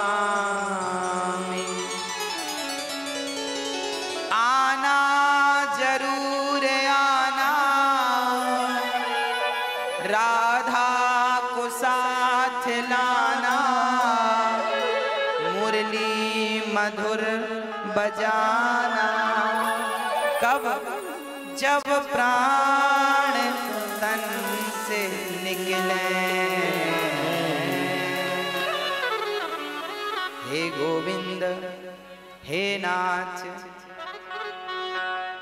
बस इतनी कृपा करना गोविंद, कि बस जब मरूं तो आपका नाम मेरी जिहवा पर हो।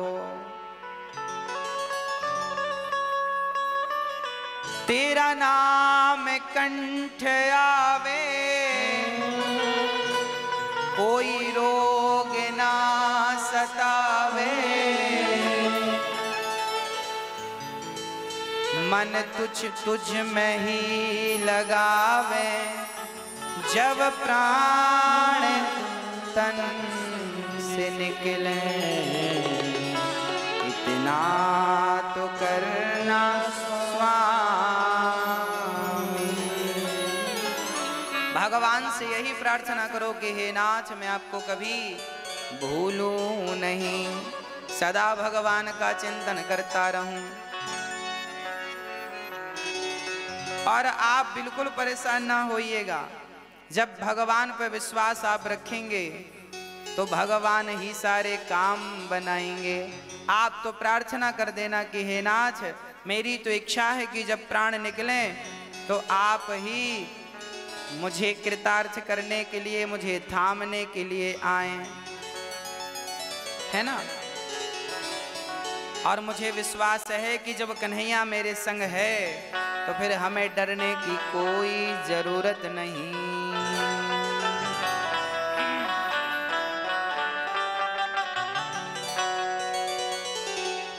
सावेरा जब मेरे साथ है, बोलो डरने की क्या बात इसके रहते कोई कुछ कहे। बोलो किसकी ये औकात है। आओ जरा गोविंद को अपने संग रखते हैं और जब आप हो तो डरने की क्या बात है?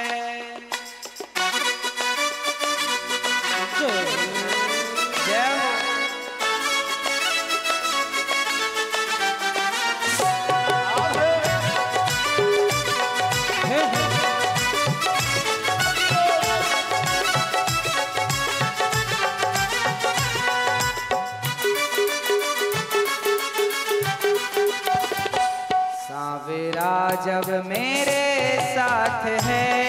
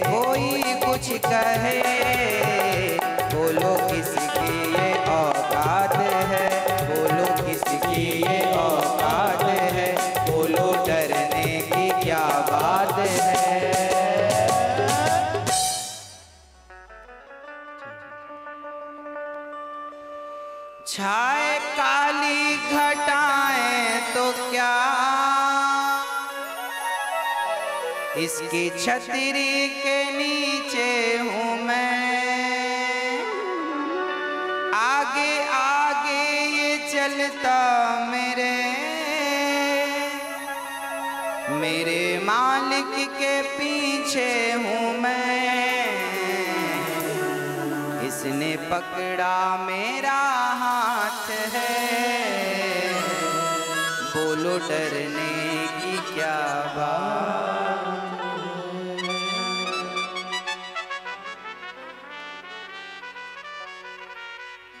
भगवान का नाम जपोगे। तो फिर आप कितने भी पापी क्यों ना हो? गोस्वामी जी लिख रहे हैं, सन्मुख हों ही जीव मोहि जवही। जन्म कोटि अघ ना सही तवही। कितना भी बड़ा पापी हो, भगवान की शरण में आ जाए तो भगवान उसे भव सागर से पार लगा ही देते हैं। धुंधकारी का उद्धार हुआ, चित्रकेतु का उद्धार हुआ चित्रकेतु वृत्तासुर का उद्धार हुआ। वृत्तासुर के पुत्र चित्र वृत्तासुर पिछले जन्म में चित्रकेतु थे। इनके बेटे मैं इनका मन लग गया था। चित्रकेतु राजा का जब बेटा मरा तो राजा रोने लगे कि हमारा बेटा मर गया, भगवान तुमने गलत किया। कई बार जब आपके अपने कोई मर जाते हैं तो आप भी रोते हैं, भगवान आपने गलत किया। उस समय लगता है कि गलत किया। कई लोग भगवान की भक्ति छोड़ देते हैं, इसलिए कि भगवान आपने हमारे संग गलत कर दिया। इसको कई अच्छा ये बताओ, आपके, आप भक्ति करते हो तो क्या इसलिए करते हो कि आपके घर में कोई मरे ना? मैं भक्ति करता हूँ तो क्या इसलिए कि मैं मरू ना? अरे भाई, तुम भक्ति करो, कुछ भी करो, पर मरना तो पड़ेगा। इस सत्यता से भागो मत। इस सत्यता को स्वीकार करो। और कोई मर गया तो चलिए दुख की बात तो है पर उस दुख में कब तक डूबे रहोगे?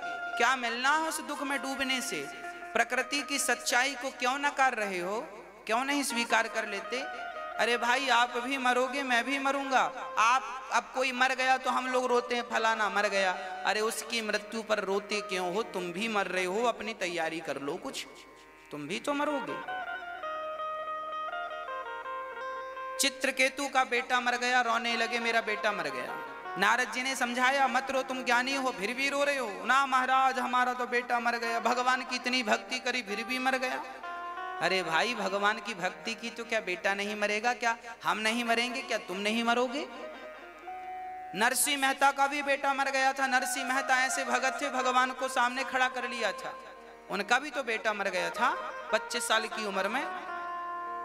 उन्होंने तो ये नहीं कहा कि मैं तेरी भक्ति करता हूँ, तूने बेटे को अरे भाई, देखो, बेटा मेरा हो या तुम्हारा हो, जिसकी उम्र जितनी परमात्मा ने फिक्स की है, वो उतना रहेगा। परेशान ना हुआ करो। जिसके जीवन में जितना सुख मिला है, लिखा है, जिसके जीवन में जितना सुख है मिल के रहेगा, और जितना दुख है, सो मिल के रहेगा। तुम ना सुख देने वाले कोई हो, ना तुम दुख देने वाले कोई हो। अपने अपने कर्मों का फल इंसान भोगता है। को ना काहू को सुख दुख कर दाता, निज कृत कर्म भोग सब भ्राता लिखा तो है सब शास्त्रों में। कोई माने ना तो क्या करे?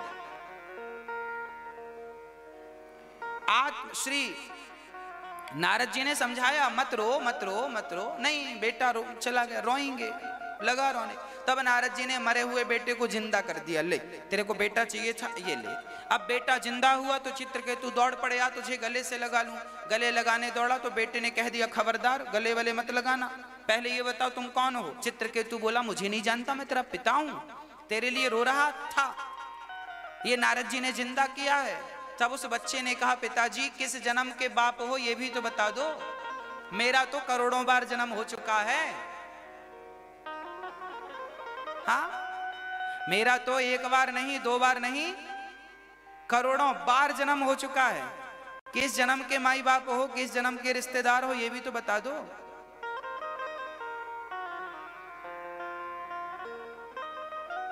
जैसे सौ का नोट, दो हज़ार का नोट, जो आज आपके पास है, आपके पहले, ये किसी और के हाथ में था। उसके पहले ये किसी और के हाथ में था। जब आपके पास है तो नोट को आप अपना कहते हैं। जब आपसे निकल के किसी और के हाथ में जाएगा तो वो भी कहेगा, ये नोट मेरा है। हा कि ना? बोलो। दो हज़ार का नोट आपके पास है तो आप कहेंगे, मेरा है, मेरे पास आएगा। मैं कहूँगा, मेरा है, मेरे से आगे जाएगा। तो मैं कहूँगा, मेरा है, उसके आगे। अब बताओ वो किसका है? बताओ। किसका हा? वो नोट किसका है? उसी में लिखा है। भारतीय रिज़र्व बैंक लिखा होता है कि नहीं? वो नोट उसका है। जब चाहे बंद कर दे, जब चाहे आपसे ले ले, आप कुछ नहीं कर पाएँगे। वो नोट सरकार का है। तुम्हारे पास है काम चलाने के लिए, चलाओ। उसके बाप मत बनो कि मैं इसका मालिक हूँ। उसी प्रकार बेटा, बेटी, पति, पत्नी सब भगवान की बैंक से आए हैं। सब भगवान के हैं। जब चाहेगा बुला लेगा। तुम्हारे पास हैं तो अपना कर्तव्य करो संग रहो खाओ, पियो, मौज करो। जब बुलाएगा तो चले जाना। जिसका बुलावा है, भेज देना, रोना मत कि इसका बुलावा। भाई, कभी भी नोट बंद हो सकते हैं, दो दो हज़ार के और पाँच सौ के, हो गए। हज़ार पाँच सौ के तुमने क्या कर लिया? हमने क्या कर लिया? और दो हज़ार के भी बंद हो जाएँगे तो तुम और हम क्या कर लोगे? तो जिसको बंद होना था, बेचारे दो हज़ार और पाँच सौ के तो बंद हो गए, पर सौ का बंद नहीं हुआ। तो जिसको जब बंद होना होगा, हो जाएगा, नहीं होना होगा, नहीं होगा। जिसकी जब मृत्यु आएगी, सो आएगी, अभी तुम्हारी नहीं आई, तुम मौज करो। बस किसी के जीने मरने से तुम्हारा कोई लेना देना नहीं, फिर भी ज़बरदस्ती रो रहे हो, परेशान हो रहे हो।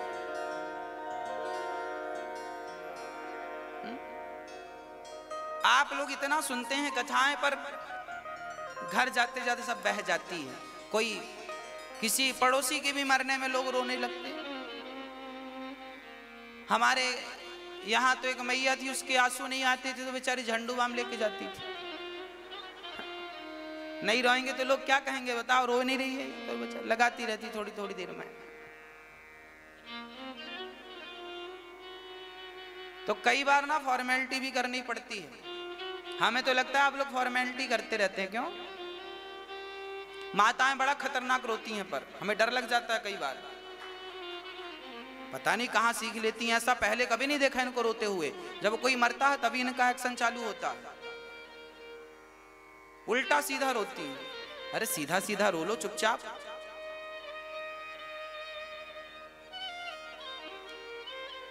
कहीं क्या क्या कह के आदमी को हँसी आ जाए। ऐसा ऐसा माता रोती हैं। कई बार लगता ही नहीं कि मरे में आए, लगता कॉमेडी देखने आए। कॉमेडी शो चल रहा। है तो ऐसे रोया करो कि रोने टाइप का लगे। और ज़्यादा भी मत रोया करो, दो चार बहा लिए बस, बाकी भगवान के लिए बचा के रखो, भगवान के लिए एक नहीं हो, जमाने के लिए लाख आँसू बहा दिए। बताओ। भगवान के लिए आँसू नहीं बहते। बिहारी जी का दर्शन करके आ जाते हैं, आँसू नहीं बहते। प्रेम के दो आँसू वहाँ नहीं बहाए, और कोई मर बस जाए तो बस बाल्टियों से आँसू। अरे जमाने के लिए आँसू बहाए हो, उन आंसुओं की वैल्यू क्या है? कुछ नहीं वैल्यू है। भगवान के चरणों में दो आँसू बहे होते तो वो बड़े महत्वपूर्ण थे। बड़ा महत्व रखते हैं, वो आँसू जो भगवान के लिए बहते हैं और वो आंसुओं की कोई कीमत नहीं है, जो संसार के लिए बहते हैं। इसलिए अब निर्णय आपका है, मैंने तो भाई आपको दर्पण दिखा दिया। आप संसार के लिए भी रो सकते हैं, भगवान के लिए भी रो सकते हैं, कहाँ रोना है, मर्ज़ी आपकी है।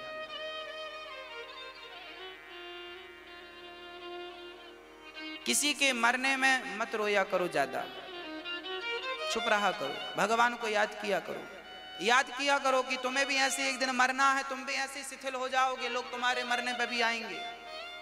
जब तुम किसी की अर्थी देखा करो तो अपने आप को इमेजिन किया करो कि एक दिन तुम भी ऐसे ही लेटोगे और लोग तुम्हें चार लोग ले जा रहे होंगे तुम्हारा ही भविष्य है। जो आज तुम देख रहे हो, ये तुम्हारा ही भविष्य है। ये घटना तुम्हारे संग भी घटेगी, मेरे संग भी घटेगी, बचेगा कोई नहीं। क्यों रोती हो? जब मैं किसी को चिता में जलता हुआ देखता हूँ तो मुझे अपनी याद आ जाती है। देखो, राम जी अपने को भी चलना इसलिए ज़्यादा चक्कर में ना पड़ो। ऐसे ही जलना, ऐसी अपनी भी चमड़ी जल के गिर जाएगी। हाँ जी, मैं तो जब भी चिताओं को देखता हूँ तो अपनी याद कर लेता हूँ। आप लोग करते हो कि नहीं? मैं तो अपने आप को इमेजन कर लेता हूँ कि मैं भी ऐसे ही जलूँगा। आप लोग तो बहुत डरते हैं। नहीं नहीं नहीं, मरे ना। अरे, कब तक नहीं मरोगे? सत्य यही है कि मरोगे। तो क्यों भागना उस चीज़ से जो सत्य है? जो सत्य है, उससे भागोगे कब तक? भागने से होगा क्या? तुम्हारे बाप दादे भी तो भाग रहे थे, क्या बचे? और तुम भी भाग रहे हो तो क्या बचोगे? इसीलिए स्वीकार करो स्वीकार करो।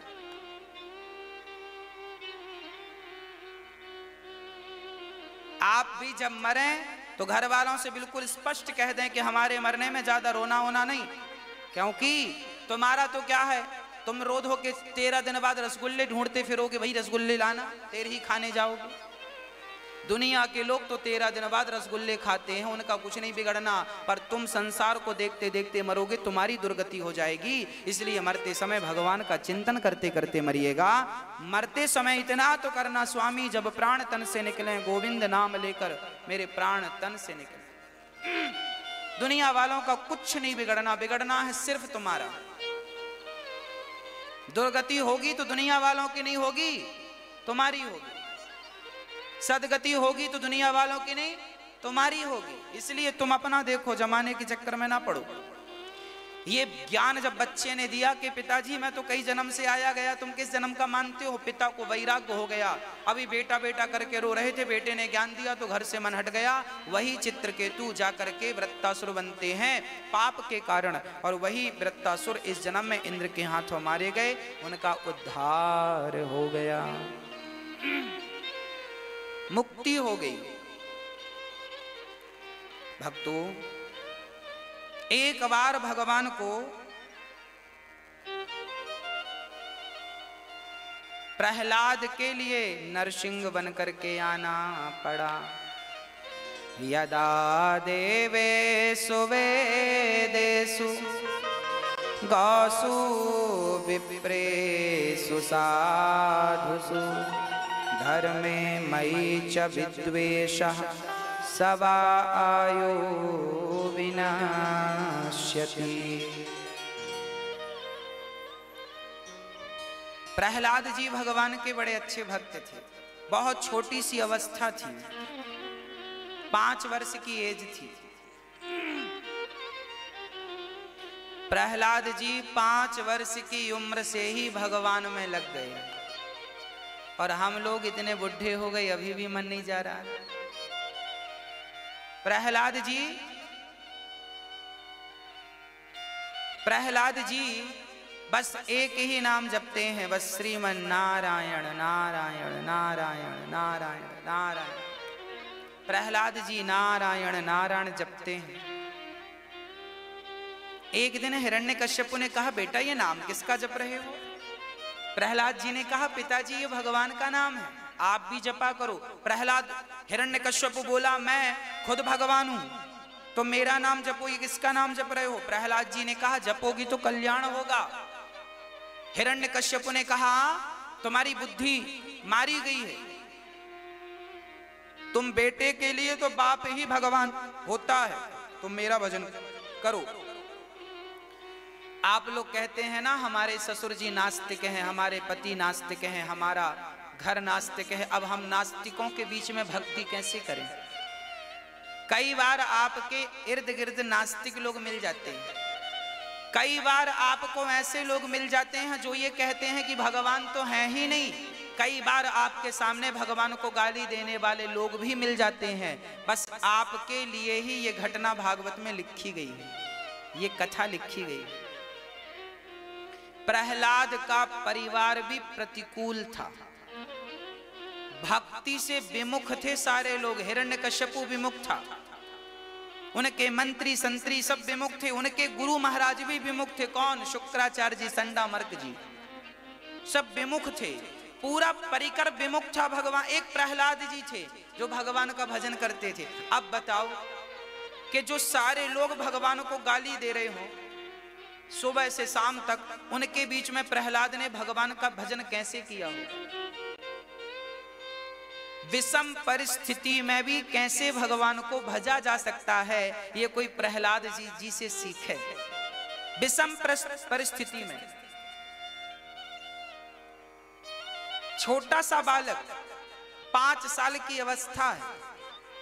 और प्रहलाद जी बस नारायण नारायण नारायण जपते कोई और नहीं, केवल नारायण नारायण। नाम जपते हैं। भक्तों, प्रहलाद जी के पिता ने बहुत गुस्से में कहा कि आखिरी बार समझा रहा हूँ, अब भगवान का नाम तूने लिया तो तुझे मार डालूँगा। प्रहलाद जी ने कहा, मार डालूँगा क्या? मार दो। देखो, कई लोग आपको कोई गले में तलवार रख के कहे कि भगवान का नाम मत लेना, मार दूँगा तो कई लोग डर के मारे, छोड़ देंगे। ठीक है ठीक है ठीक है, तुम क्या कह रहे हो? पर प्रहलाद जी के तो गले में तलवार लटक रही थी। उस विषम परिस्थिति में भी भगवान का भजन उन्होंने, इसका अर्थ यही है कि प्रहलाद को भगवान कब मिले? भगवान तब मिले, उसके पहले प्रहलाद को पीने को जहर मिला। हिरण्य कश्यप ने प्रहलाद को क्या पिलाया? जहर पिला के मारना चाहा। मर जा, जहर पी के। पर प्रहलाद ने जहर तो पी लिया, पर भगवान बचाने वाले हैं तो जहर क्या मारेगा? प्रहलाद ने जहर पी लिया, बाल विवाह का नहीं हुआ। तब हिरण्य कश्यप ने अपनी बहन को बुलाया, होलिका, आजा बहन। तुझे अग्नि ने वरदान दिया है, ब्रह्मा जी ने वरदान दिया, तू आग में कभी जलेगी ही नहीं। प्रहलाद को पकड़ के बैठ गई और होलिका ने आग लगा ली।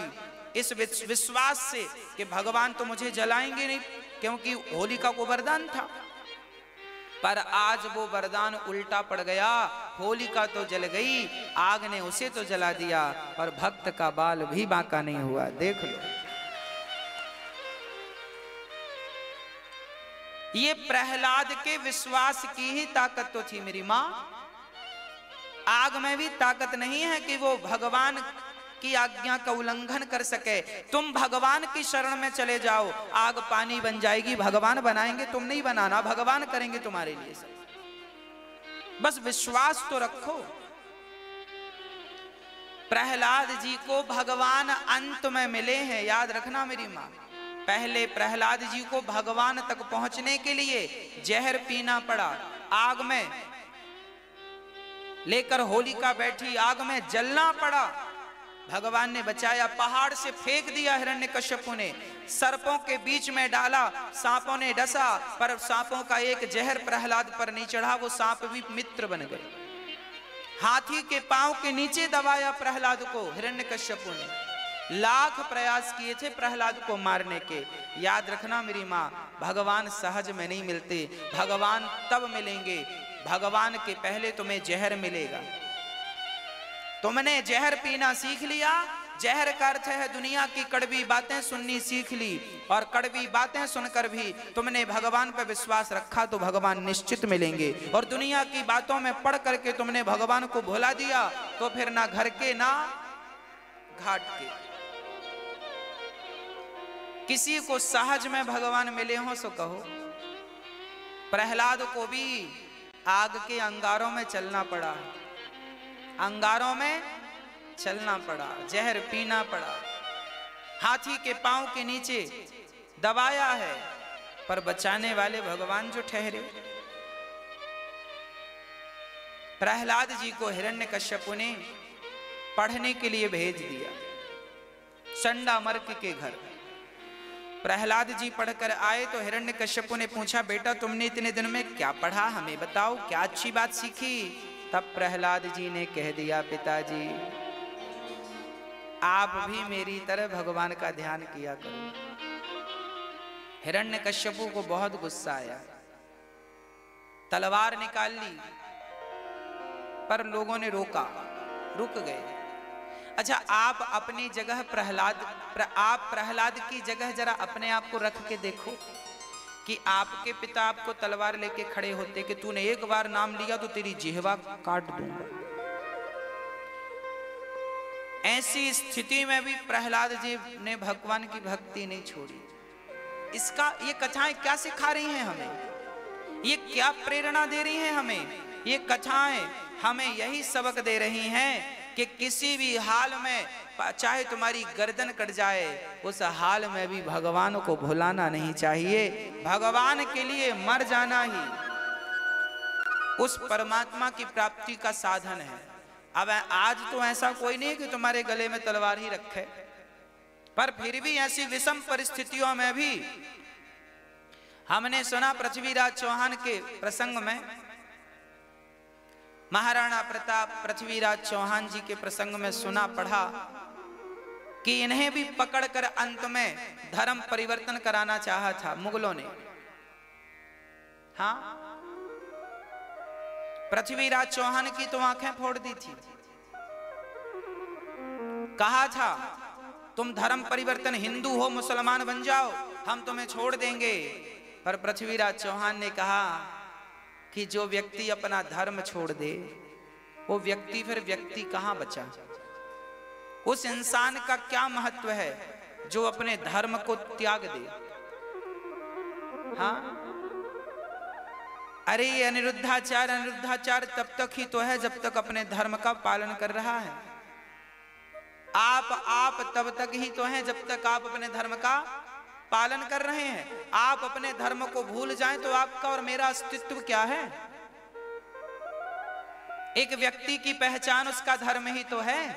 आज राजा हरिश्चंद्र को हम याद क्यों करते हैं? क्योंकि वो धर्मात्मा थे। कर्ण को याद क्यों करते हैं? क्योंकि वो धर्मात्मा थे। वीर शिवाजी को याद क्यों करते हैं? वो धर्मात्मा थे। ये पृथ्वीराज चौहान जी की कथा में क्यों सुना रहा हूँ? क्योंकि वो धर्मात्मा थे, मर गए। आँख फोड़ दी, मुगलों ने तो फोड़ दी। आँख फोड़वा ली। अब सोचो कि गरम सरिया तुम्हारी आँखों में कोई ठूसे और कहे कि धर्म परिवर्तन कर लो, नहीं ठूस दूँगा। तो आदमी तो डर के मारे कहे, ठीक है भैया, तू क्या कहता है, मैं वो कर लेता हूँ। पर धन्य है ये महापुरुष कह के गए हैं कि मर जाना ठीक है, पर अपने धर्म का त्याग करना ठीक नहीं है। अपने ईश्वर का, अपने आराध्य का त्याग करना ठीक नहीं है। विभीषण लंका में रहते थे। रावण हर दो चार दिन में दो चार लात जमा देता था। विभीषण, ये क्या जप रहा है? राम राम राम राम राम राम। पागल, तेरी बुद्धि खराब हो गई? विभीषण को लात पड़ते रहते थे। रावण मारता रहता था। लंका में रहते थे विभीषण जी। रावण की लातें बातें सब खाते थे। उस हाल में भी, जबकि वहाँ तो सुख सुविधाएँ बहुत थी। रावण के पास कौन से सुख की कमी थी? और विभीषण को क्या सुख की कमी थी? क्या रहने को घर नहीं था, कि पत्नी नहीं थी, कि भोग नहीं थे? सब कुछ तो था। फिर भी उस लंका में रहकर विभीषण ने भगवान को याद किया। और भाई ने लात मार के घर से निकाला तो निकल गया, अपना संसार का सुख त्याग दिया, पर राम को नहीं त्यागा विभीषण ने, राम को नहीं त्यागा विभीषण ने। भगवान को नहीं त्यागा विभीषण ने। और आज तुम्हें संसार के कोई लोग कह दें, अभी मैंने कुछ दिन पहले देखा, कुछ दिन नहीं, कुछ वर्षों पहले मैंने देखा, कि लोगों ने भगवान शंकर जी को अपने घर से निकाल दिया था। एक बाबा जी ने कहना शुरू कर दिया था, हमारी फ़ोटो रखो, कृपा आएगी। लोगों ने अपने, लोगों ने भगवान को घर से निकाल दिया। अब आप बताओ कि कोई ये कहे कि तुम, अब कोई आपका पड़ोसी कहे कि भैया तुम हमारे वाले भगवान को पूज लो, राम जी को छोड़ दो, कृष्ण जी को छोड़ दो, नारायण को छोड़ दो, शंकर जी को छोड़ दो, हमारे वाले भगवान को पूजो, तुम्हारी ऊपर लक्ष्मी बरसेगी तो शायद शायद कोई छोड़ भी दे। शायद कोई छोड़ भी दे। पर याद रखना, जो अपने धर्म पर अडिग है। कोई हमसे कहे कि अनिरुद्ध, अनिरुद्धाचार्य जी, आपको हम पूरी संसार की संपत्ति दे रहे हैं। आप राम को भूल जाइए, कृष्ण को भूल जाइए। तो सारी दौलत भैया और हमारे पास है, वो भी तुम ले लो। पर हम तो अपने राम को नहीं, अपने कृष्ण को नहीं भूल सकते। उनको भूल कर फिर हमारे पास बचेगा क्या? क्या बचेगा? हम दौलत का करेंगे क्या? बाँध के ले जाएँगे? भैया, हमारे राम जी तो हमें भूखा रखें, हमारे कृष्ण जी तो हमें चार चार दिन भूखा रखें और हमारे को मरना भी पड़े तो मर जाएँ। उस हाल में भी मुख से राम नाम नहीं जाएगा, कृष्ण नाम नहीं जाएगा। हम कोई दौलत के लिए थोड़ी भगवान की भक्ति करते हैं। नहीं दे वो, चूल्हा ना जले चार दिन, कोई फ़र्क नहीं, भूखे मरेंगे और ज़्यादा क्या होगा? गेहूँ को पीसोगे तो आटा बनेगा, आटा को पीसोगे, मैदा बनेगा, मैदा को पीस के क्या बनाओगे?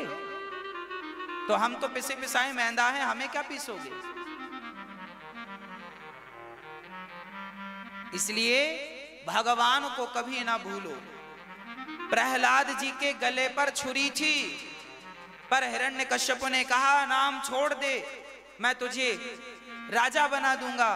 प्रहलाद जी ने कहा, पिताजी, आप बने तो हैं राजा। मैं आप जैसा राजा बन के क्या करूँगा? भगवान का द्रोही राजा बन जाए तो क्या करूँगा? द्रोही बन के। जिस परमात्मा ने, अरे हम वो लोग हैं कि जो हमें एक गिलास पानी पिलाता है, हम उसका भी धन्यवाद देना नहीं भूलते, उसके भी शुक्रगुजार होते हैं। अब बताओ कि हम एक गिलास पानी कोई पिलाए तो हम उसका भी धन्यवाद देते हैं। तो जिस परमात्मा ने ये शरीर दिया है, क्या वो हम उसके शुक्रगुजार नहीं है? क्या हम उसे धन्यवाद ना दें? क्या हम उसे ही भूल जाएँ जिसने हमें ये तन दिया? प्रहलाद ने समझाया, पिताजी, बुद्धि मारी गई है आपकी तो उठा के पटक दिया। प्रहलाद ने नवधा भक्ति का उपदेश कर दिया, पिताश्री, पहली भक्ति है सत्संग करना, सीखो। दूसरी भक्ति है कीर्तन करना, सीखो। सत्संग रोज किया करो, कथा रोज सुना करो।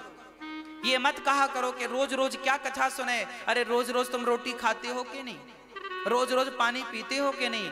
पानी पीने से, रोटी खाने से शरीर पुष्ट होता है, भजन करने से तो आत्मा पुष्ट हो जाती है।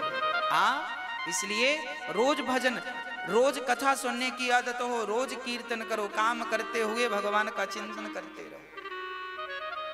काम करते रहो, नाम जपते रहो। श्रवणम, कीर्तनम, विष्णु स्मरणम। तीसरी भक्ति है भगवान का स्मरण। भगवान का क्या करना चाहिए? काम करते हुए स्मरण भगवान का स्मरण कैसे? जैसे एक माँ अपने बेटे का स्मरण करती है, काम करती हुई अपने बेटे को ध्यान में रखती है, क्या कर रहा होगा मेरा बेटा? अरे किसी माँ का बेटा अमेरिका चला जाए तो माँ काम करती है, पर काम करते हुए बेटे को याद करती है, बेटे ने खाया होगा कि नहीं? सोया होगा कि नहीं? नाश्ता किया होगा कि नहीं? चाय पियो। काम करती जाती है, माँ और बेटे को याद करती जाती है। जैसे एक स्त्री काम करती जाती है और अपने पति को याद करती जाती है, उसी प्रकार भक्त को चाहिए कि काम करता जाए और भगवान को याद करता जाए। बस यही तो स्मरण है। श्रवणम, स्मरणम, श्रवणम, कीर्तनम, स्मरणम, पाद सेवनम। पाँव दबाया करो। अपनी माँ के। हाँ? अच्छा बताओ, आपने आखिरी बार अपनी माँ के पाँव कब दबाए थे? कुछ याद है? याद है? नहीं याद। जिस माँ ने तुम्हें जन्म दिया है, उस माँ को भूल गए। माँ के बदौलत तुम इस धरती पर सांस ले रहे हो।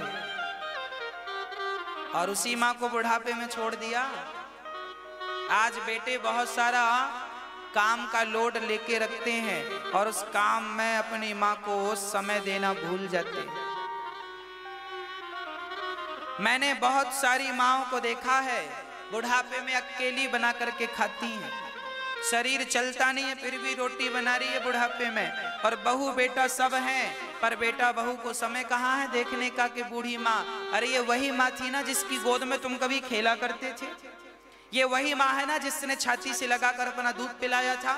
ये वही माँ है ना जो कभी भूखी रहकर भी तुम्हें खिलाया करती थी? आज वही माँ बुढ़ी हो गई तो तुमने अपनी माँ को रोटी देना भी उचित नहीं समझा? उसका हालचाल पूछना भी उचित नहीं समझा? तुम इंसान हो कि क्या हो? अरे, अपने माँ का दर्द तो देख ना पाए, माँ की पीड़ा तो दूर कर ना पाए। तुम किसकी पीड़ा दूर करोगे? तुम अपनी माँ पर तो दया कर ना पाए, बूढ़ी माँ पर, बूढ़ी सास पर दया ना कर पाई बहुएँ। जो बहुएँ नहीं की दया मैं उनसे कह रहा हूँ। जो सेवा करती हैं अपने सास ससुर की मैं उन्हें प्रणाम करता हूँ। और जो नहीं करती, सो प्रार्थना करता हूँ। अरे तुम सास और बहू के नाते से नहीं, एक इंसानियत के नाते से तो बुढ़ापे बूढ़े आदमी को दो रोटी देते रहो। हाँ? बूढ़े माँ को रोटी देते रहो। कहा तुम्हारी माँ किस हाल में पड़ी है? तुम्हें कोई खबर भी है कि नहीं? कैसी संतान हो तुम? कल को तुम्हारे बेटे तुम्हारे साथ यही व्यवहार करेंगे, तब पता चलेगा कि तुमने क्या गलत किया था अपनी माँ के साथ। कितना कष्ट हुआ होगा उस माँ को जब बेटे ने माँ बाप को घर से निकाल दिया। खाने को रोटी नहीं दी, रहने को झोपड़ी नहीं दी। क्या गुजरती होगी उस माँ पर? किससे कहने जाए वो माँ? अरे माँ तो ऐसी होती है कि बेटा अत्याचार करता है, फिर भी वो माँ बेटे की शिकायत नहीं करती। फिर भी वो माँ यही कहती है कि मेरा बेटा बहुत अच्छा है, बहुत अच्छा है। तुम उसको रोटी नहीं देते और वो तुम्हारी तारीफ़ करते, थकती नहीं है।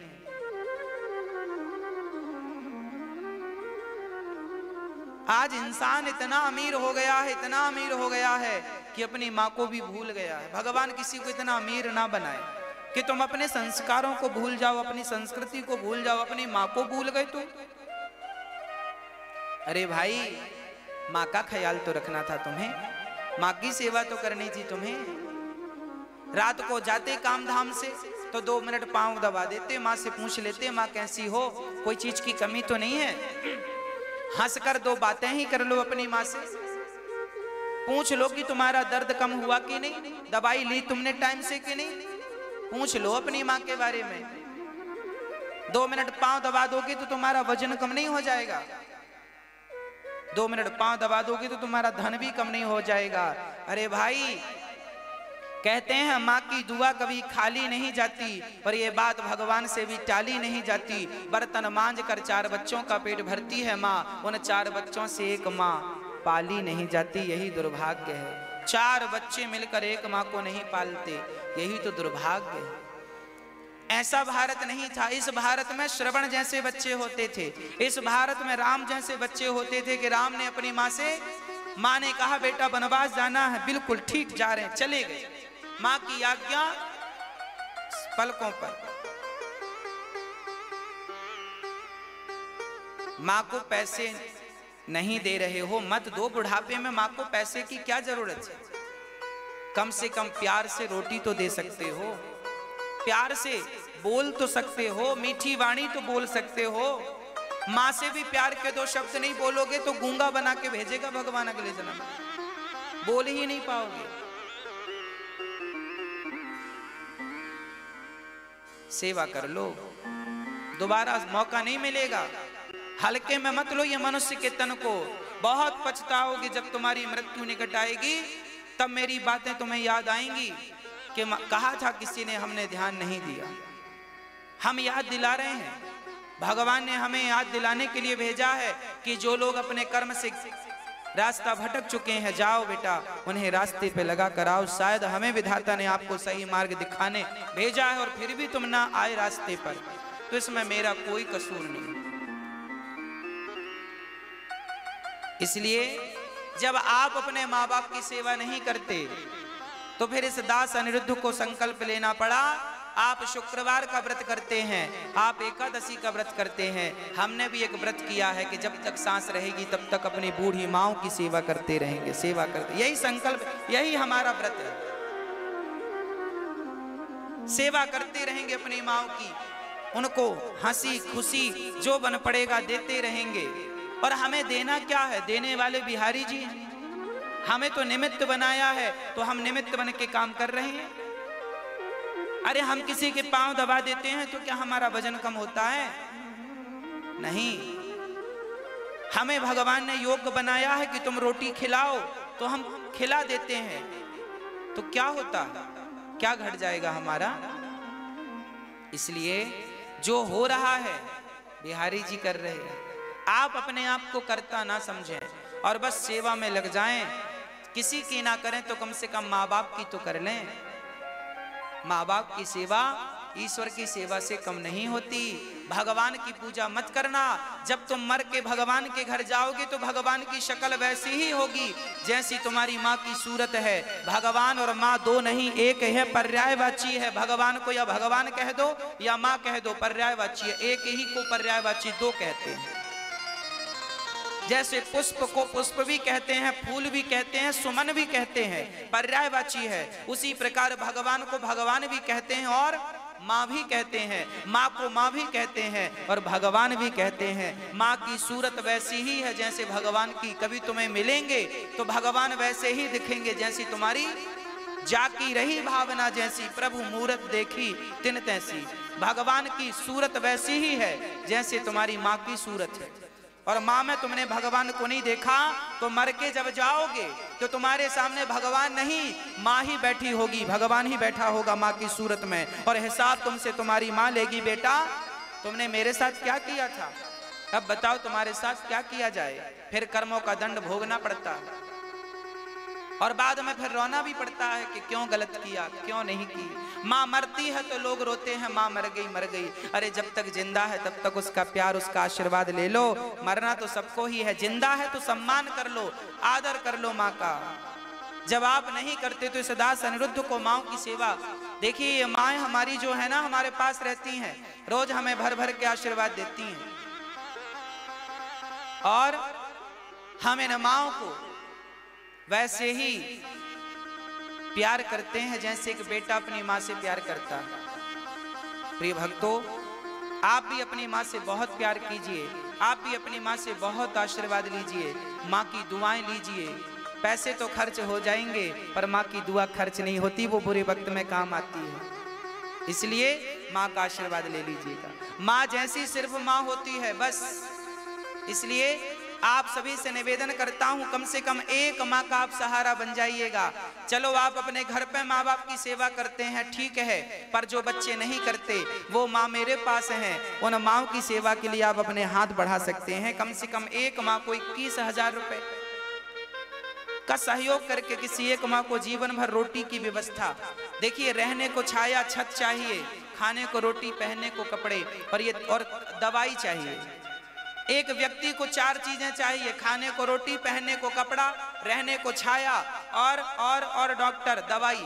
और ये चारों चीज़ ठाकुर जी की कृपा से इस दास अनिरुद्ध ने अपनी माओ के चरणों में समर्पित कर दिया। है माँ, चारों चीज़ आपके लिए, सब कुछ। यहाँ आप घर की तरह रहो और माए रहती हैं घर की तरह। बस आपसे प्रार्थना करता हूँ कि आप सभी भी अपनी अपनी माओ की सेवा करो। आप हमें यहाँ के लिए सहयोग भेजें या ना भेजें, आपके पास है तो भेज दीजिएगा, नहीं है तो मत मत भेजिएगा, पर प्रार्थना हाथ जोड़ के है कि अपने अपने माँ बाप की खूब सेवा कीजिएगा। यही सबसे बड़ा पुण्य है इस धरा का, इस धरती का, बस। कुछ भक्तों ने अपने हाथ भेज बढ़ाए हैं सहयोग के लिए, माओ की सेवा के लिए। यहाँ अन्न क्षेत्र चलता है, रोज भोजन करते हैं लोग।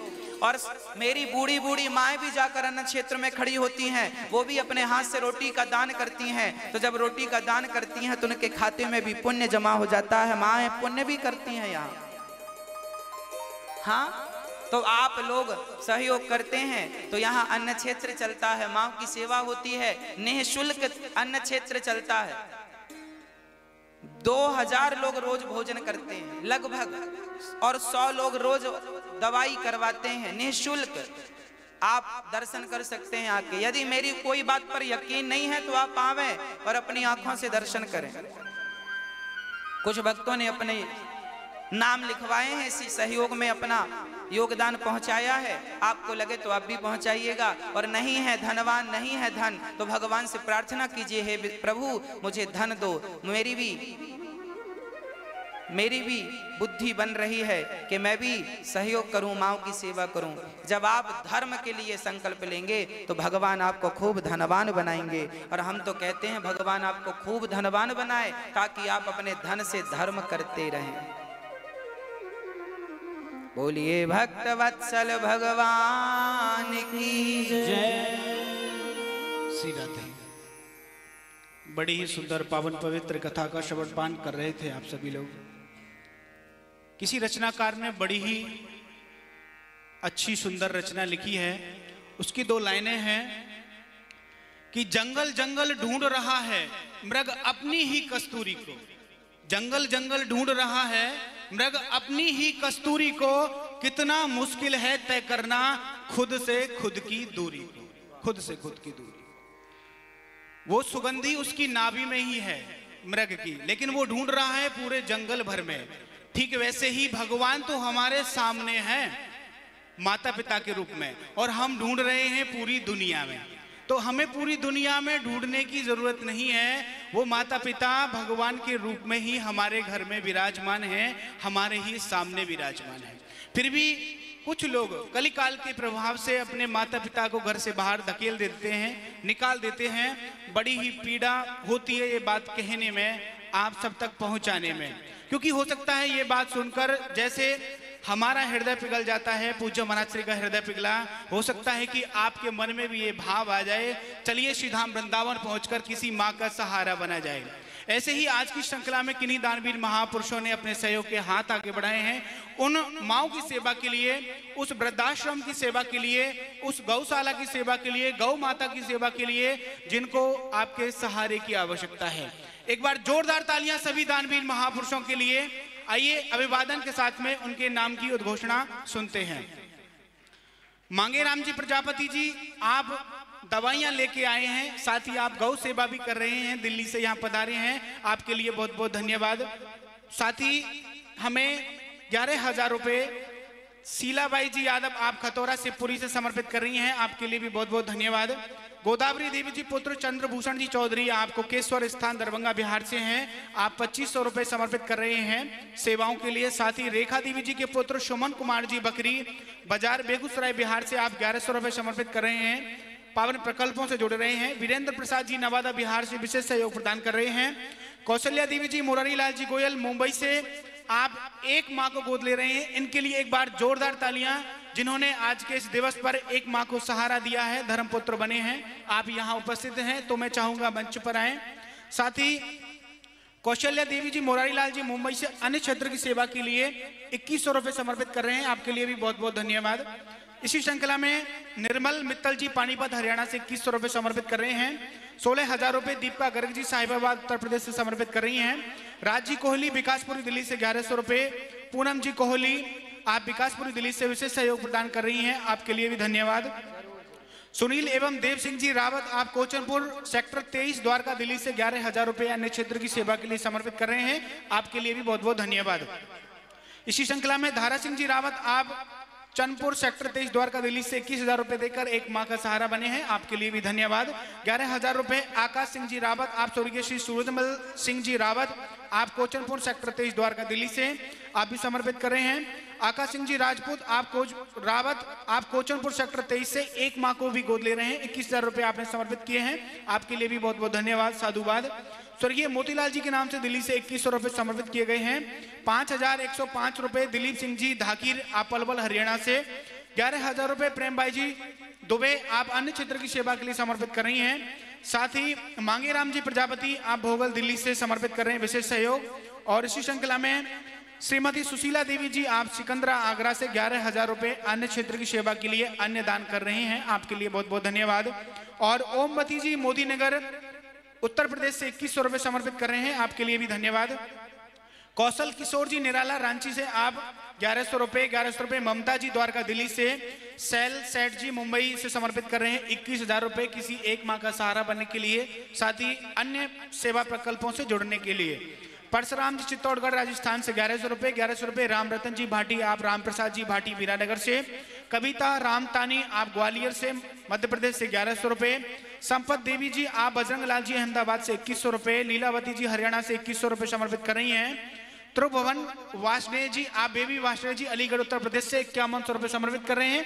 आपके लिए भी बहुत बहुत धन्यवाद। इसी श्रृंखला में अस्तुना देवी जी भोजपुर बिहार से ग्यारह सौ रुपए, ग्यारह सौ ग्यारह रुपए, कन्हैया लाल जी बिंद, आप मालती देवी जी, गाजियाबाद से। विमल चंद्र जी अग्रवाल, इंदौर, मध्य प्रदेश से ग्यारह हज़ार रुपए समर्पित कर रहे हैं। आपके लिए भी बहुत बहुत धन्यवाद। एक हज़ार एक सौ एक रुपए दीप चंद्र जी कुशवाहा, आप भोपाल, मध्य प्रदेश से। रेखा कुमारी जी बिहार से एक हज़ार एक रुपए। लता वर्मा, गणेश वर्मा, आप बिलासपुर, छत्तीसगढ़ से ग्यारह सौ रुपए। दस हज़ार पाँच सौ एक रुपए। ऊषा देवी जी, आप प्रयागराज, उत्तर प्रदेश से समर्पित कर रही हैं। अन्य क्षेत्र की सेवा के लिए। नागेंद्र गुप्ता जी ग्वालियर से बाईस सौ रुपए, ग्यारह सौ रुपए प्रेम आधार सैनी दिल्ली से। अमिता तिवारी, प्रमोद तिवारी, संजलि तिवारी लखनऊ, उत्तर प्रदेश से। स्वर्गीय कैलाश साल जी मुनि देवी जी, आप मधेपुरा, बिहार से सोलह हज़ार रुपए समर्पित कर रहे हैं। राम केवल गुप्ता, आप गोंडा से इक्यावन सौ रुपए। निर्मल ओरी जी, चंडीगढ़ से आप बाईस सौ रुपए समर्पित कर रहे हैं। पच्चीस सौ एक रुपए, ऊषा शर्मा जी, आप मेरठ, उत्तर प्रदेश से। कमला शर्मा जी, मांगेराम शर्मा जी, आप हिसार हरियाणा से ग्यारह सौ रुपये समर्पित कर रहे हैं। इसी श्रृंखला में सुषपाल सिंह जी, आप मथुरा से इक्यावन सौ रुपए सुनीता देवी जी, पंचकुला से ग्यारह सौ रुपए बनवारी लाल जी, कटारिया कुणा जी, कटारिया, आप इक्कीस सौ रुपए समर्पित कर रहे हैं। स्वर्गीय भरत जी, देवांगन, आप दुलारी बाई जी, धमतरी, छत्तीसगढ़ से ग्यारह सौ रुपए समर्पित कर रही हैं। चाँद देवी जी, श्यामल जी, चमोली, आप अजमेर, राजस्थान से ग्यारह सौ रुपए समर्पित कर रहे हैं। पाँच हज़ार रुपए गुरुदेव यादव जी, आप खगड़िया से समर्पित कर रहे हैं।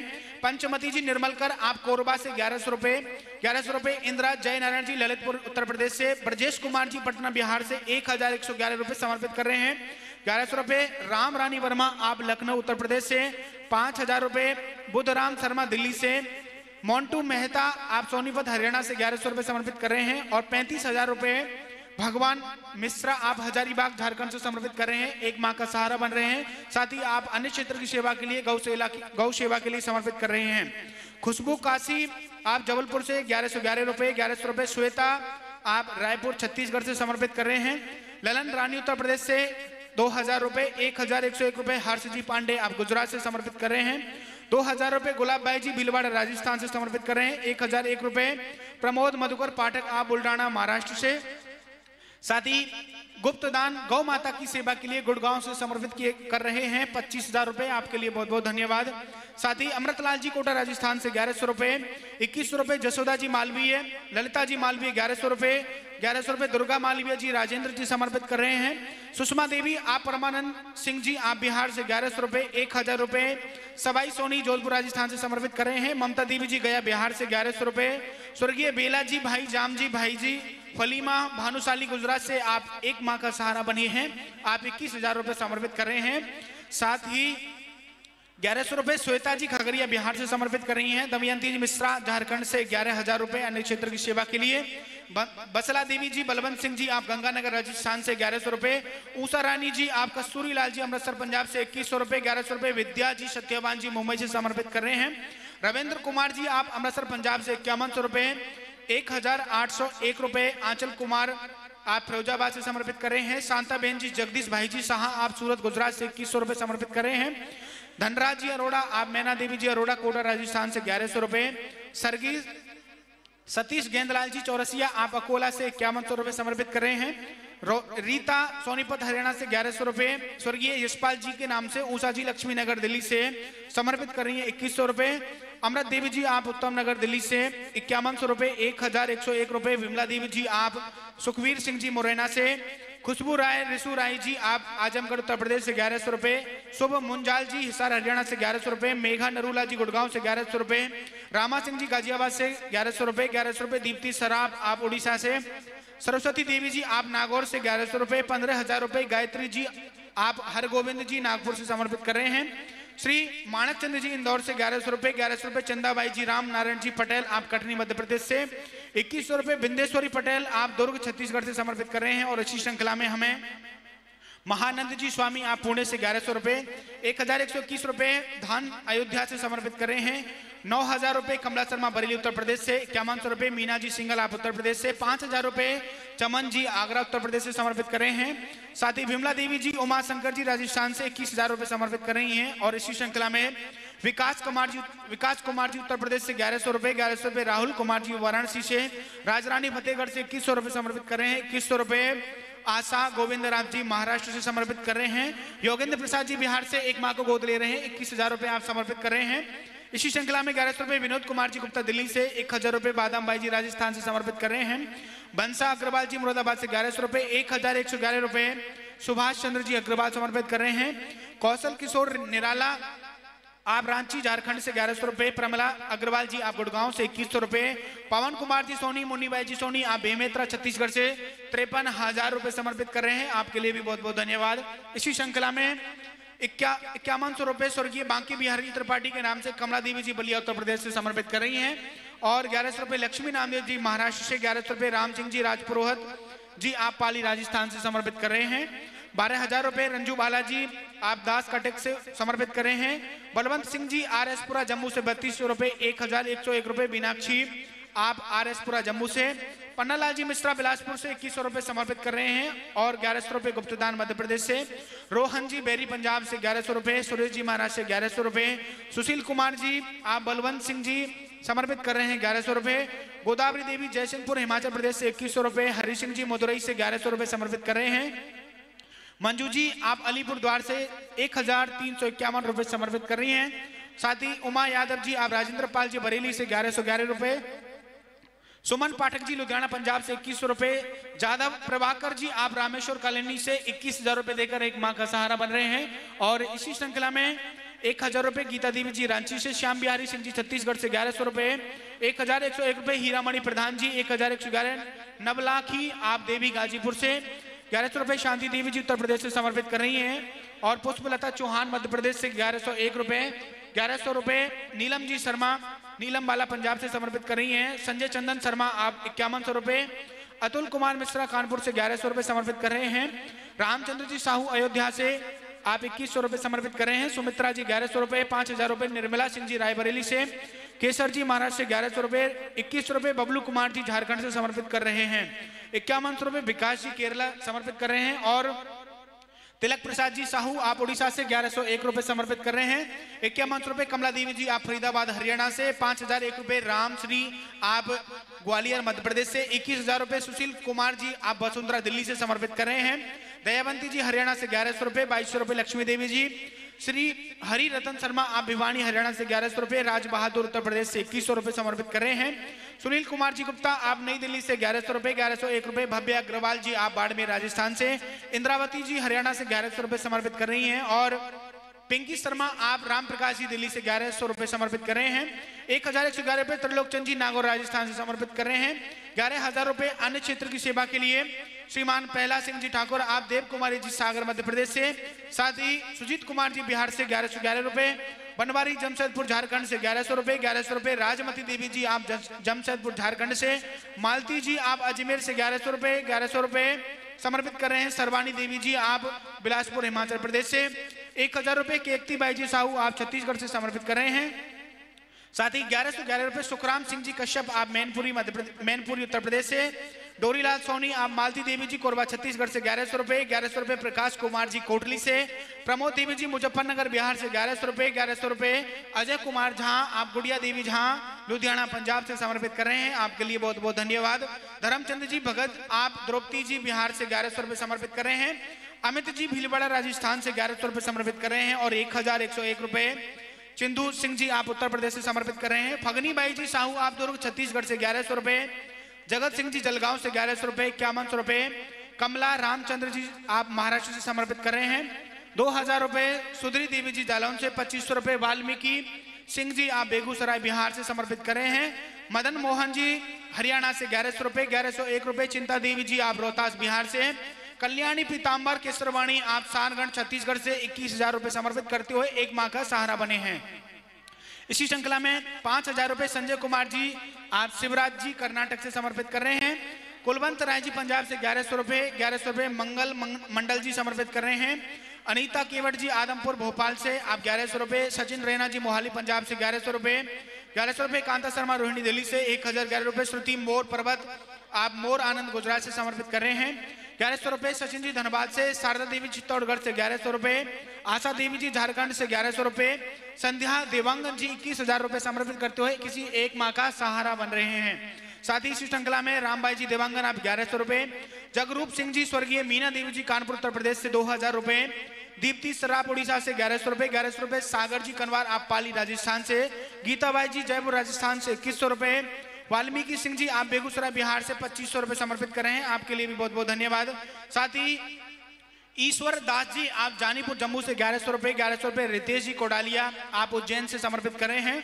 विमला मिश्रा, आप बिलासपुर से इक्कीस सौ रुपए तीन हज़ार एक सौ ग्यारह रुपए गुप्त दान अहमदाबाद से हमें प्राप्त हुआ है और इसी श्रृंखला में अनीता जी पाटकर झांसी से आप ग्यारह सौ रुपए एक हज़ार एक रुपए विभा देवी जी सुपौल से, मुकेश जी ममता अग्रवाल, आप ग्यारह सौ रुपए विजय बबीता अग्रवाल ग्यारह सौ रुपए साथ ही एक हज़ार एक सौ एक रुपए निर्मला साहू आप रायपुर, छत्तीसगढ़ से साथ ही पंद्रह सौ रुपए प्रतिभा धनुकाट जी अकोला से समर्पित कर रहे हैं।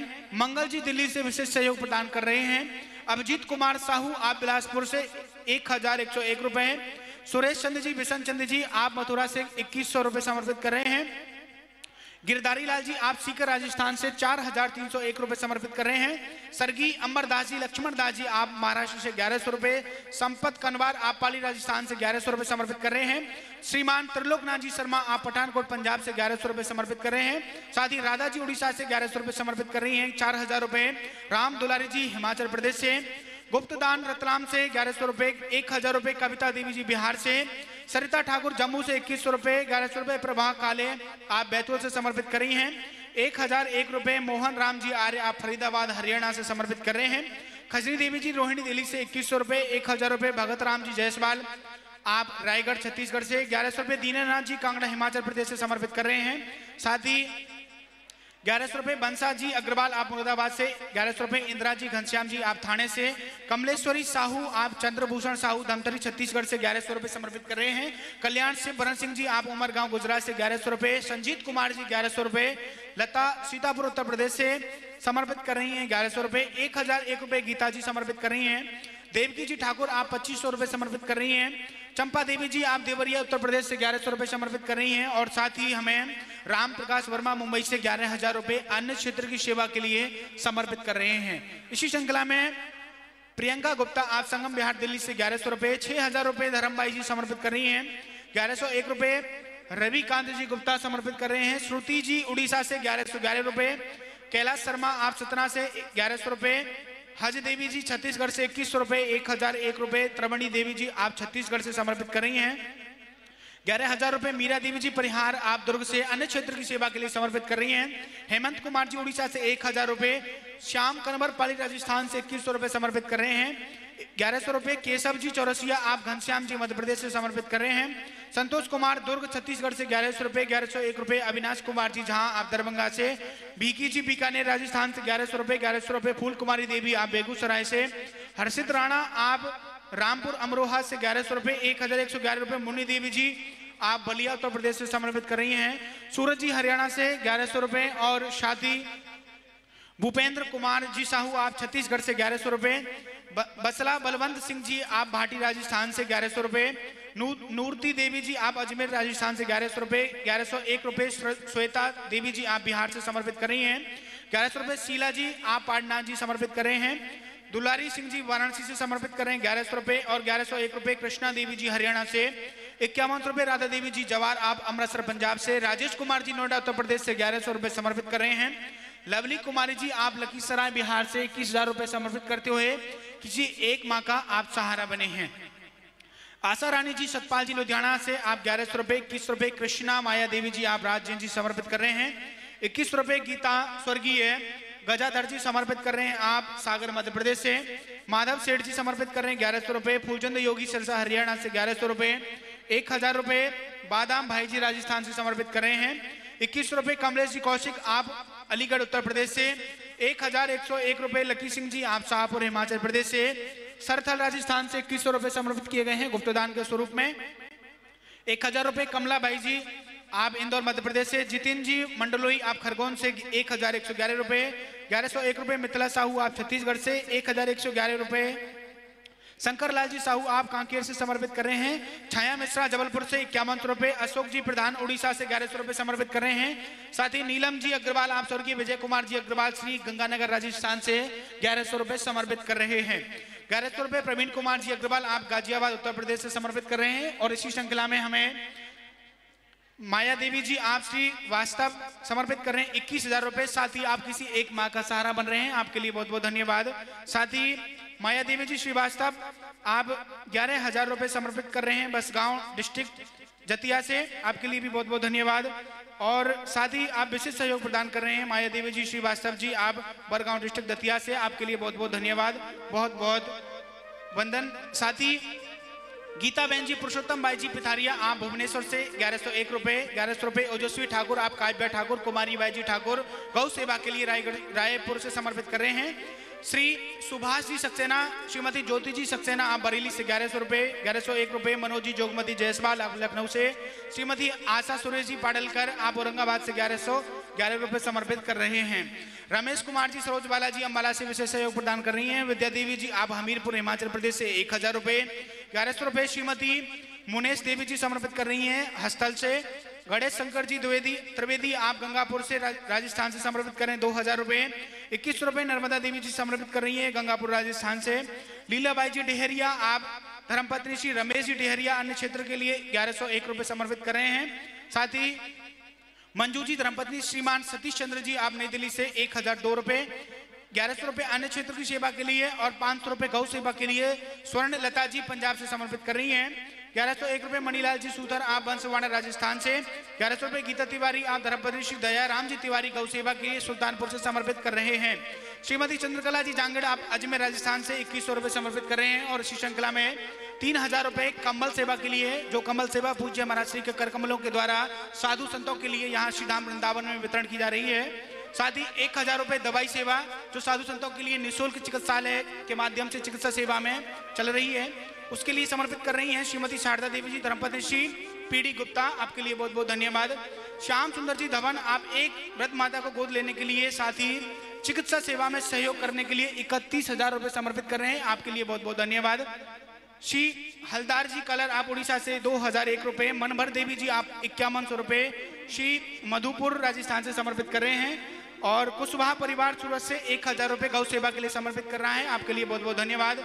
श्री प्रजा देवी जी ग्यारह हज़ार रुपए अन्य क्षेत्र की सेवा के लिए समर्पित कर रहे हैं। लखीसराय बिहार से आपके लिए भी धन्यवाद। इक्कीस सौ रुपए अशोक जी, सुषमा मयूर जी, महाजन, आप चंडीगढ़ से समर्पित कर रहे हैं। अन्नपूर्णा देवी जी, धर्मपत्नी स्वर्गीय वशिष्ठ मिश्रा जी बिहार से ग्यारह सौ रुपए समर्पित कर रहे हैं। विद्या जी जसवान, आप गुरुवाणी महाराज से इक्यावन सौ रुपए समर्पित कर रहे हैं। श्रीमती नंदू देवी जी कोहली आप धर्मपत्नी स्वर्गीय सत्यनारायण जी कोहली बीरबड़ा राजस्थान से ग्यारह सौ एक रुपए। रघुवंश जी, दुबे आप सिरसा, हरियाणा से ग्यारह सौ समर्पित कर रहे हैं।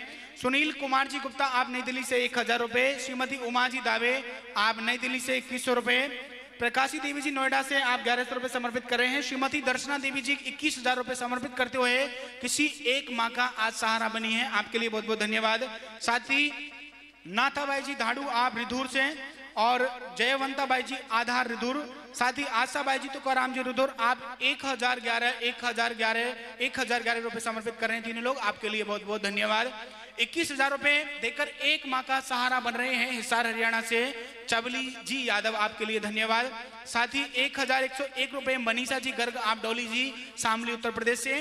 कांता शर्मा जी, आप, रोहिणी, दिल्ली से ग्यारह सौ रुपए। रेखा जी, कश्यप जी, आप, होशंगाबाद, मध्य प्रदेश से ग्यारह सौ रुपए। ग्यारह सौ रुपए मीना जी गुप्ता, यशपाल जी गुप्ता, आप, खन्ना, पंजाब से समर्पित कर रहे हैं। और श्री मनोरमा जी सेठिया, आप, छिंदवाड़ा से दो हज़ार रुपए समर्पित कर रहे हैं। साथ ही ग्यारह सौ रुपए श्रीमती सरोज सिंह जी, आप छत्तीसगढ़ से आज उनके बेटे का जन्म दिवस है। इसके उपलक्ष्य में ये धनराशि गौ माताओं से आशीर्वाद लेने के लिए समर्पित कर रही हैं। साथ ही एक हज़ार रुपए सुनीता वर्मा जी, आप झारखंड से समर्पित कर रही हैं। छब्बीस सौ रुपए श्रीमती उर्मिला जी अग्रवाल, आप श्री विजय कुमार जी अग्रवाल उत्तराखंड से श्रीमती राजरानी शर्मा, आप स्वर्गीय ओम प्रकाश जी शर्मा, स्वर्गीय राम प्यारी जी शर्मा के नाम से राजरानी जी समर्पित कर रही हैं।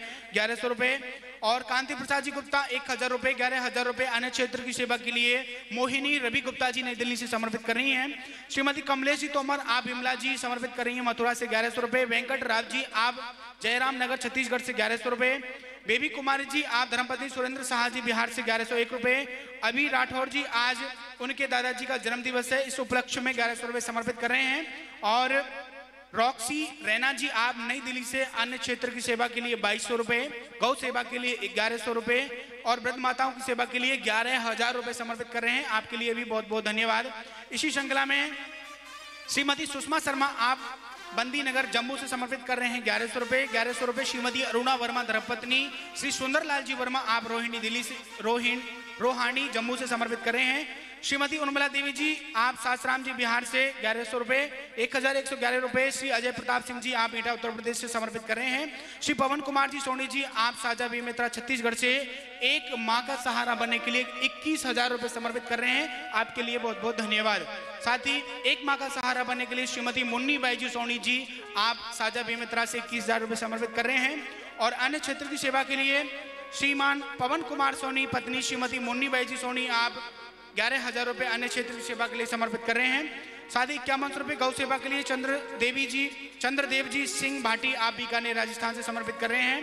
कौशल्या रानी जी, आप ग्यारह सौ रुपए समर्पित कर रही हैं। विशेष सहयोग के रूप में गौशाला की सेवा के लिए और अन्य क्षेत्र की सेवा के लिए कांता गुप्ता जी, आप उत्तम नगर से, पुरुषोत्तम जी चापा, पुण्यतिथि के उपलक्ष्य में शहडोल से विशेष सहयोग प्रदान कर रहे हैं। ग्यारह सौ श्रीमती दर्शना पंथी, आप पंचकुला, हरियाणा से समर्पित कर रहे हैं। श्री कृष्णा जी गुप्ता, आप रामदेवी जी गुप्ता हरदोई से इक्यावन सौ रुपए समर्पित कर रहे हैं। श्री अशोक कुमार जी, आप जम्मू कश्मीर से अन्य क्षेत्र की सेवा के लिए इक्यावन सौ रुपए। ऊषा गुप्ता जी, आप प्रयागराज से इकतीस सौ रुपए समर्पित कर रहे हैं। साथ ही कैलाश दुबे जी, आप इलाहाबाद से इक्कीस सौ रुपए। इक्कीस हज़ार रुपए देकर एक माँ का सहारा बन रही हैं। श्रीमती कमला देवी जी कोकरे जी, आप सा परिवार देहरादून से एक माँ का आज आप संकल्प ले रही हैं। आपके लिए भी बहुत बहुत धन्यवाद। श्रीमती कमला देवी जी कोकरे जी, आप सपरिवार देहरादून से इक्कीस हज़ार रुपए अन्य क्षेत्र की सेवा के लिए समर्पित कर रही हैं अन्य दान कर रही हैं। आपके लिए भी बहुत बहुत धन्यवाद। और साथ ही प्रिया स्मृता दर्जी, आप बलांगीर उड़ीसा से ग्यारह सौ समर्पित कर रहे हैं, एक हज़ार एक रुपए हमें सुधा गुप्ता जी समर्पित कर रहे हैं गौ सेवा के लिए। और साथ ही वृद्धाश्रम सेवा के लिए ग्यारह सौ समर्पित कर रही हैं, वैशाली गाजियाबाद से। कांता सिंह जी, आप हरियाणा से कुरुक्षेत्र से इक्कीस हज़ार रुपए समर्पित कर रहे हैं ताकि आप भी एक माँ का सहारा बन सके। और आज आपका ये भाव आपने प्रकट किया और आपने एक माँ को गोद लिया है। आपके लिए बहुत बहुत धन्यवाद। साथ ही बाला देवी जी, आप हरियाणा से कुरुक्षेत्र से इक्कीस सौ रुपए समर्पित कर रही हैं। काशीराम जी मीणा, आप हीराबाई जी मीणा, ग्यारह सौ रुपए समर्पित कर रहे हैं। साथ ही जितने भी दानवीर महापुरुषों ने अपने सहयोग के हाथ आगे बढ़ाए हैं, किसी भी प्रकार का सहयोग, वृद्धाश्रम की सेवा के लिए, गौ माताओं की सेवा के लिए अन्य क्षेत्र की सेवा के लिए समर्पित किया है। सभी के लिए इस पावन मंच से बहुत बहुत धन्यवाद, बहुत बहुत साधुवाद। साथ ही जितने भी भक्तगण यहाँ उपस्थित हैं और जो टीवी चैनल के माध्यम से आज की पावन कथा से जुड़े हैं, सभी से एक बार पुण्य है ये निवेदन करना चाहूँगा, आप भी एक बार अपने मन में पावन सा संकल्प का ये भाव लाएँ और आप भी सीधे श्रीधाम वृंदावन से जुड़ जाएँ। पूज्य मरासी के उन पावन प्रकल्पों से जुड़ जाएँ, जहाँ वास्तव में आपको सेवा देखने को भी मिलेगी और सेवा करने को भी मिलेगी।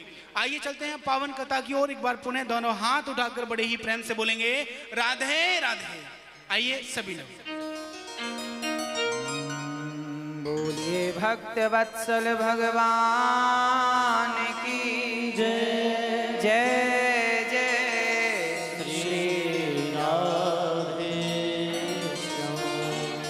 सर्वप्रथम आज कथा में गुरुजन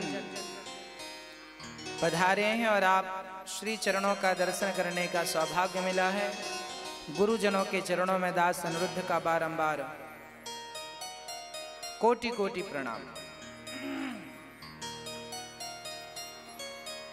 प्रहलाद जी महाराज ने अपने पिता से कहा, पिताजी, या तो भगवान की कथाओं को श्रवण करना शुरू कर दीजिए। या तो कीर्तन करना शुरू कर दीजिए, या स्मरण करना शुरू कीजिए, या चरणों की सेवा पाद सेवना। या तो वर्चनम, वंदनम, दास्यम, सख्य, आत्मनिवेदनम, अर्थात समर्पण सख्यमात्म निवेदनम ये नवधा भक्ति भगवान श्री राम ने माता सबरी से कही, प्रथम भगति संतन कर संगा, दूसर रति मम कथा प्रसंगा। गुरुपद पंकज सेवा, तीसरी भगति अमान। और यहाँ प्रहलाद जी ने अपने पूज्य पिताजी से कहा,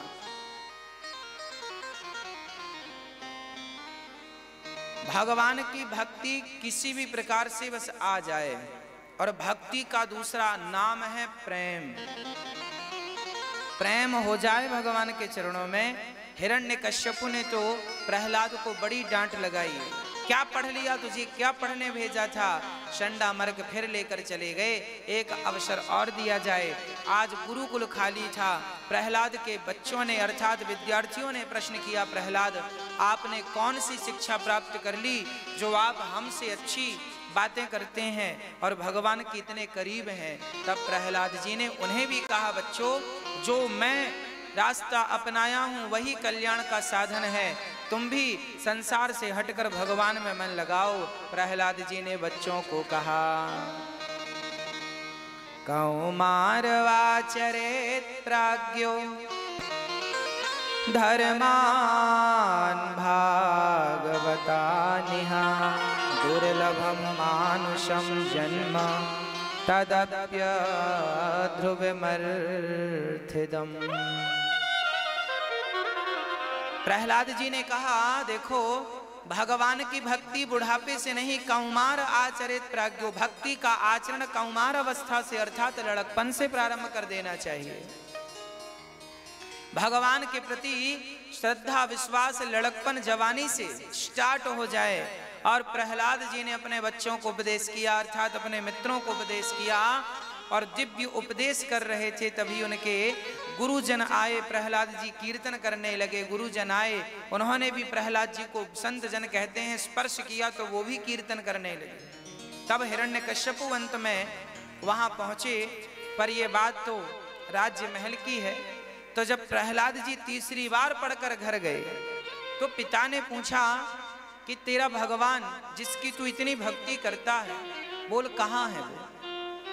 तब प्रहलाद जी ने कहा, पिताजी, न केवलम में भवतश्चराजन सबई बलम बलिनाम चा परेश अरे, जिसके बल से आप बोल रहे हैं, वो बल किसका है? सबई बलम बलिनाम चाप, सबके बल कौन है? निर्बल केवल राम सुनेरी मैंने निर्बल केवल राम। इन्हीं श्लोकों का अर्थ सूरदास जी करते हैं, निर्बल केवल राम। अरे, भगवान ही सबके बल हैं। प्रहलाद जी कहते हैं, कहा नहीं है ये तो बताओ। हिरण्य कश्यपु बोला, क्या इस खंबे पर है? हाँ। अच्छा एक प्रश्न खड़ा हुआ कि हिरण्य कश्यपु ने खंबा ही क्यों तोड़ा? दीवार भी तो तोड़ के देख सकता था, क्या इस दीवार में भगवान है? क्यों, क्योंकि खंबा का एक आकार था, गोल सा, लंबा, और पाषाण का था, पत्थर का खंबा था। तो प्रहलाद जी से पूछा, क्या इस खंबे पर है? प्रहलाद जी ने कह दिया हाँ। और जब खंबे पर प्रहार किया हिरण्य कश्यप ने तो खंबा टूटा और खंबा टूटा तो नरसिंह भगवान प्रकट भये। अब प्रश्न ये खड़ा हुआ कि तब खंबा टूटा था तो नरसिंह भगवान प्रकट भये। आज भी बहुत सारे खंबे टूटते हैं, भगवान क्यों नहीं प्रकट होते? क्या भगवान उसी खंबे में थे? कहाँ थे भगवान? अरे भाई, भगवान खंबे में नहीं थे।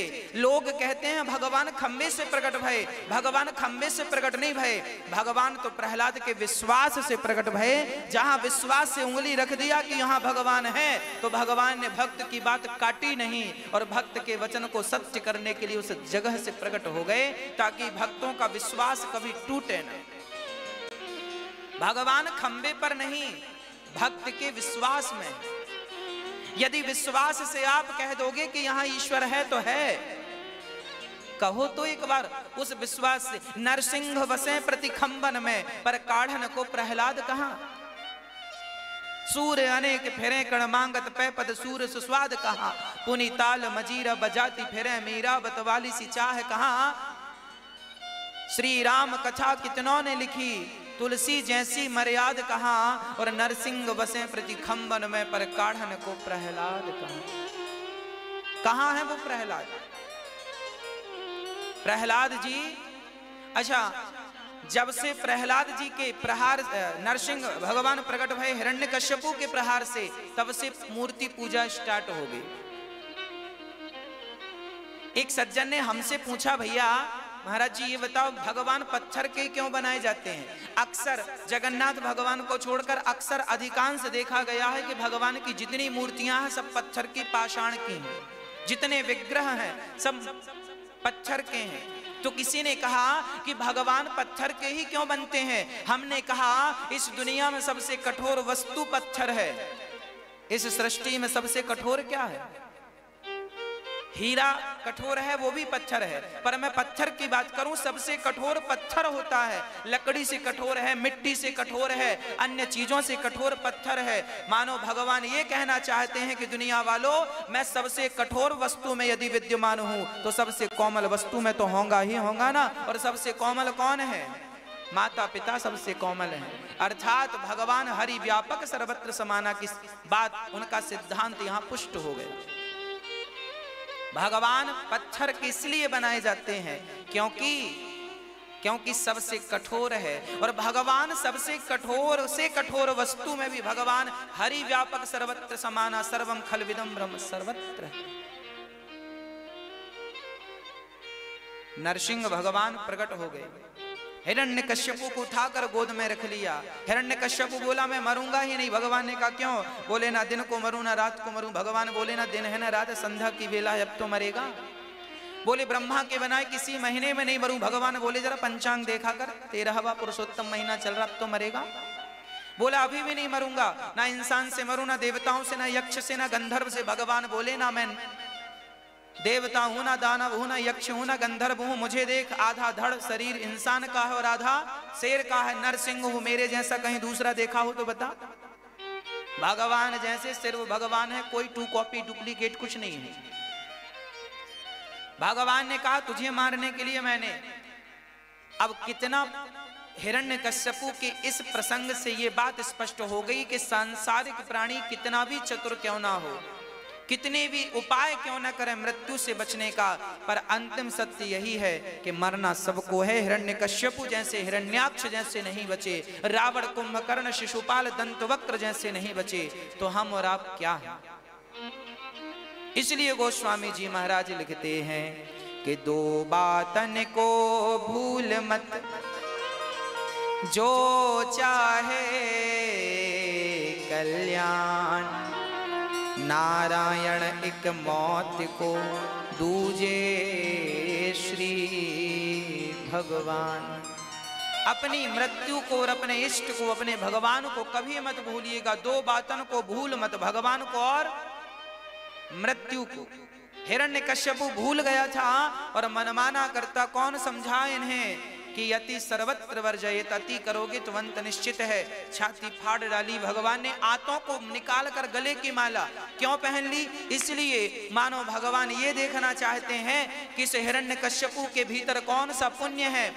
कि जिस पुण्य के कारण प्रहलाद जैसे भक्त का जन्म हो गया, मानो उसके रक्त को देख रहे हैं कि इसके रक्त में ऐसी कौन सी अच्छाई है इसके भीतर जिससे ऐसे भक्त जन्म लेते हैं। इसलिए गले की माला बनाकर उसकी आंतों को पहन लिया और भगवान ने हिरण्य का उद्धार किया।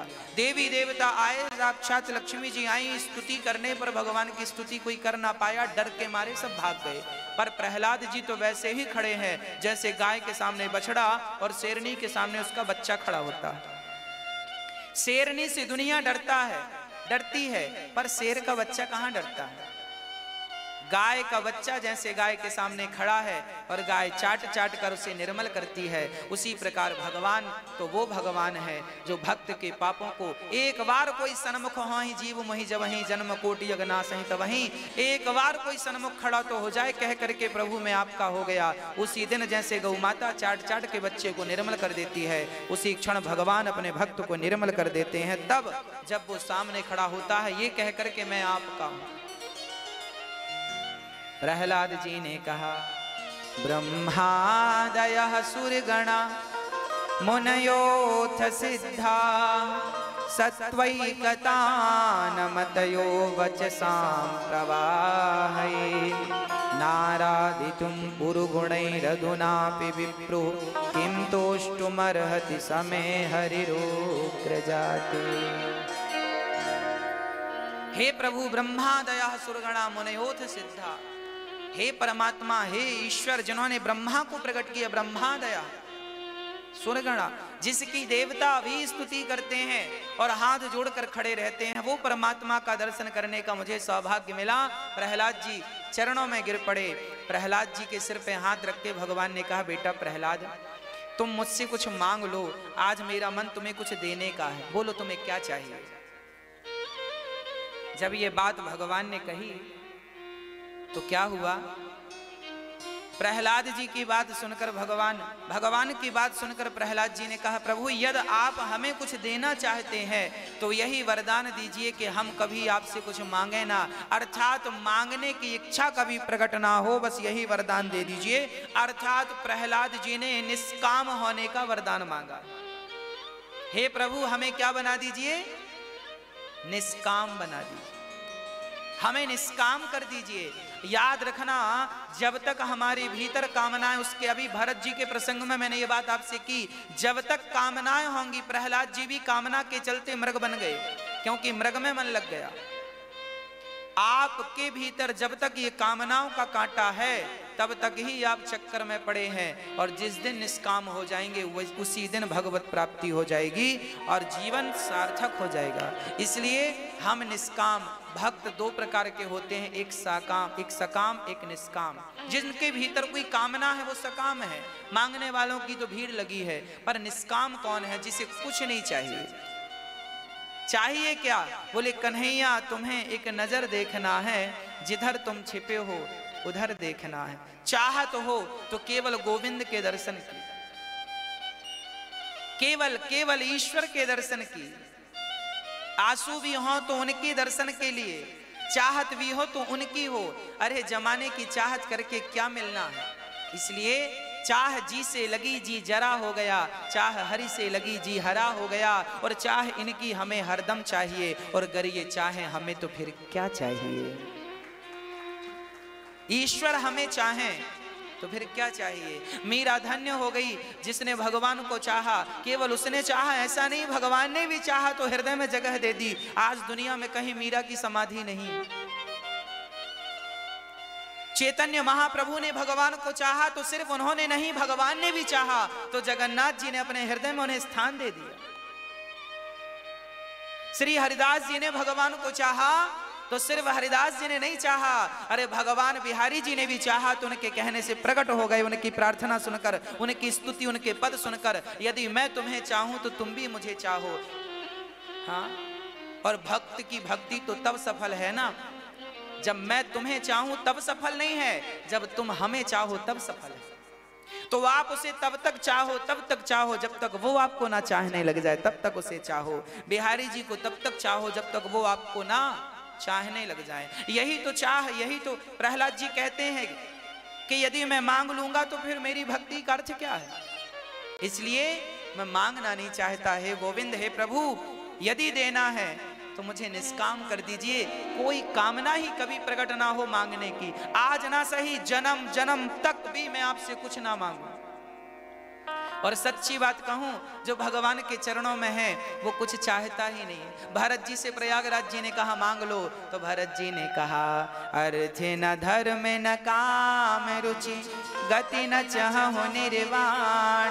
जन्म जन्म रति राम पद, यह वरदान नयान केवल आपके चरणों में प्रीति हो, बस यही। बाली से कहा, तुम मांग लो। तो बाली ने क्या कहा?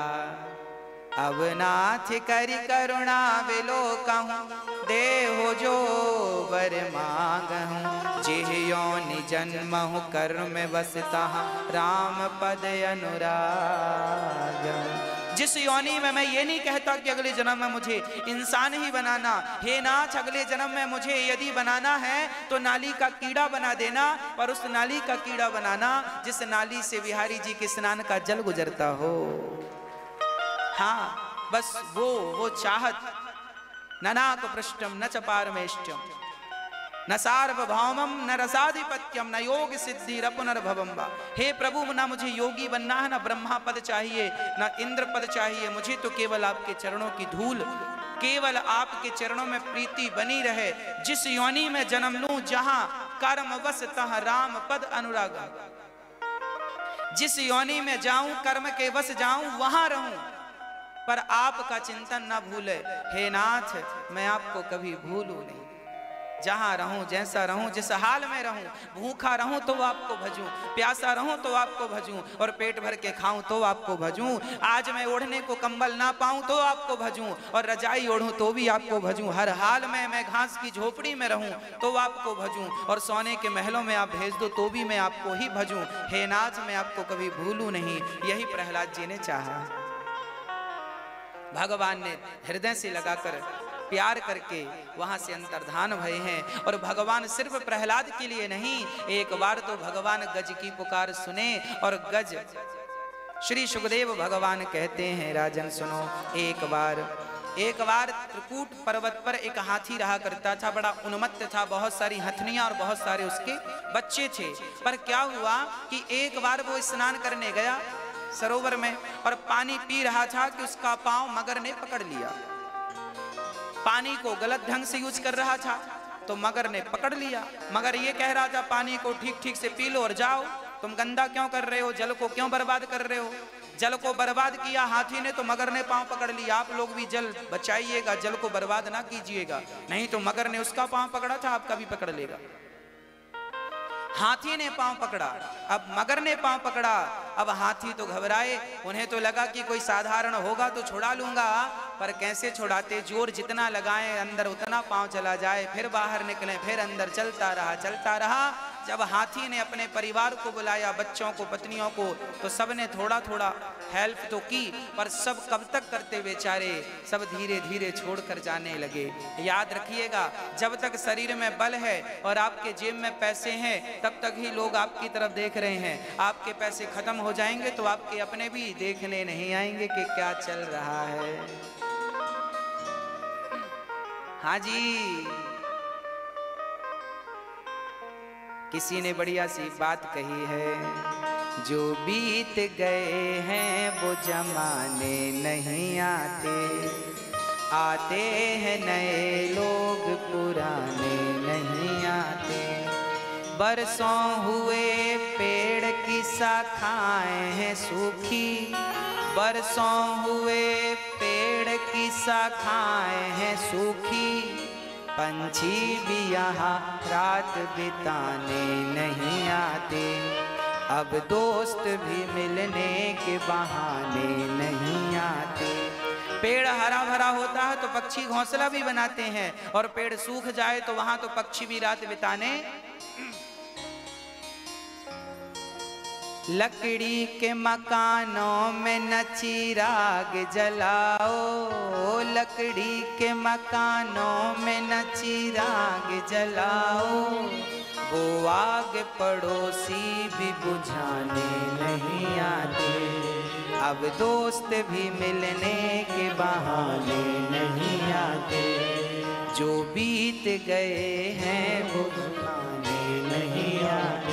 जमाने बीत गए, कभी तुम जवान थे, दौड़ते थे, अपना काम कर लेते थे, अब बुढ़ापा आ गया, पराधीन हो गए। भगवान से यही कहो कि, हे नाथ, मुझे किसी के सहारे की ज़रूरत ना पड़े, मुझे तो केवल आपका सहारा चाहिए और किसी के सहारे की ज़रूरत ना पड़े।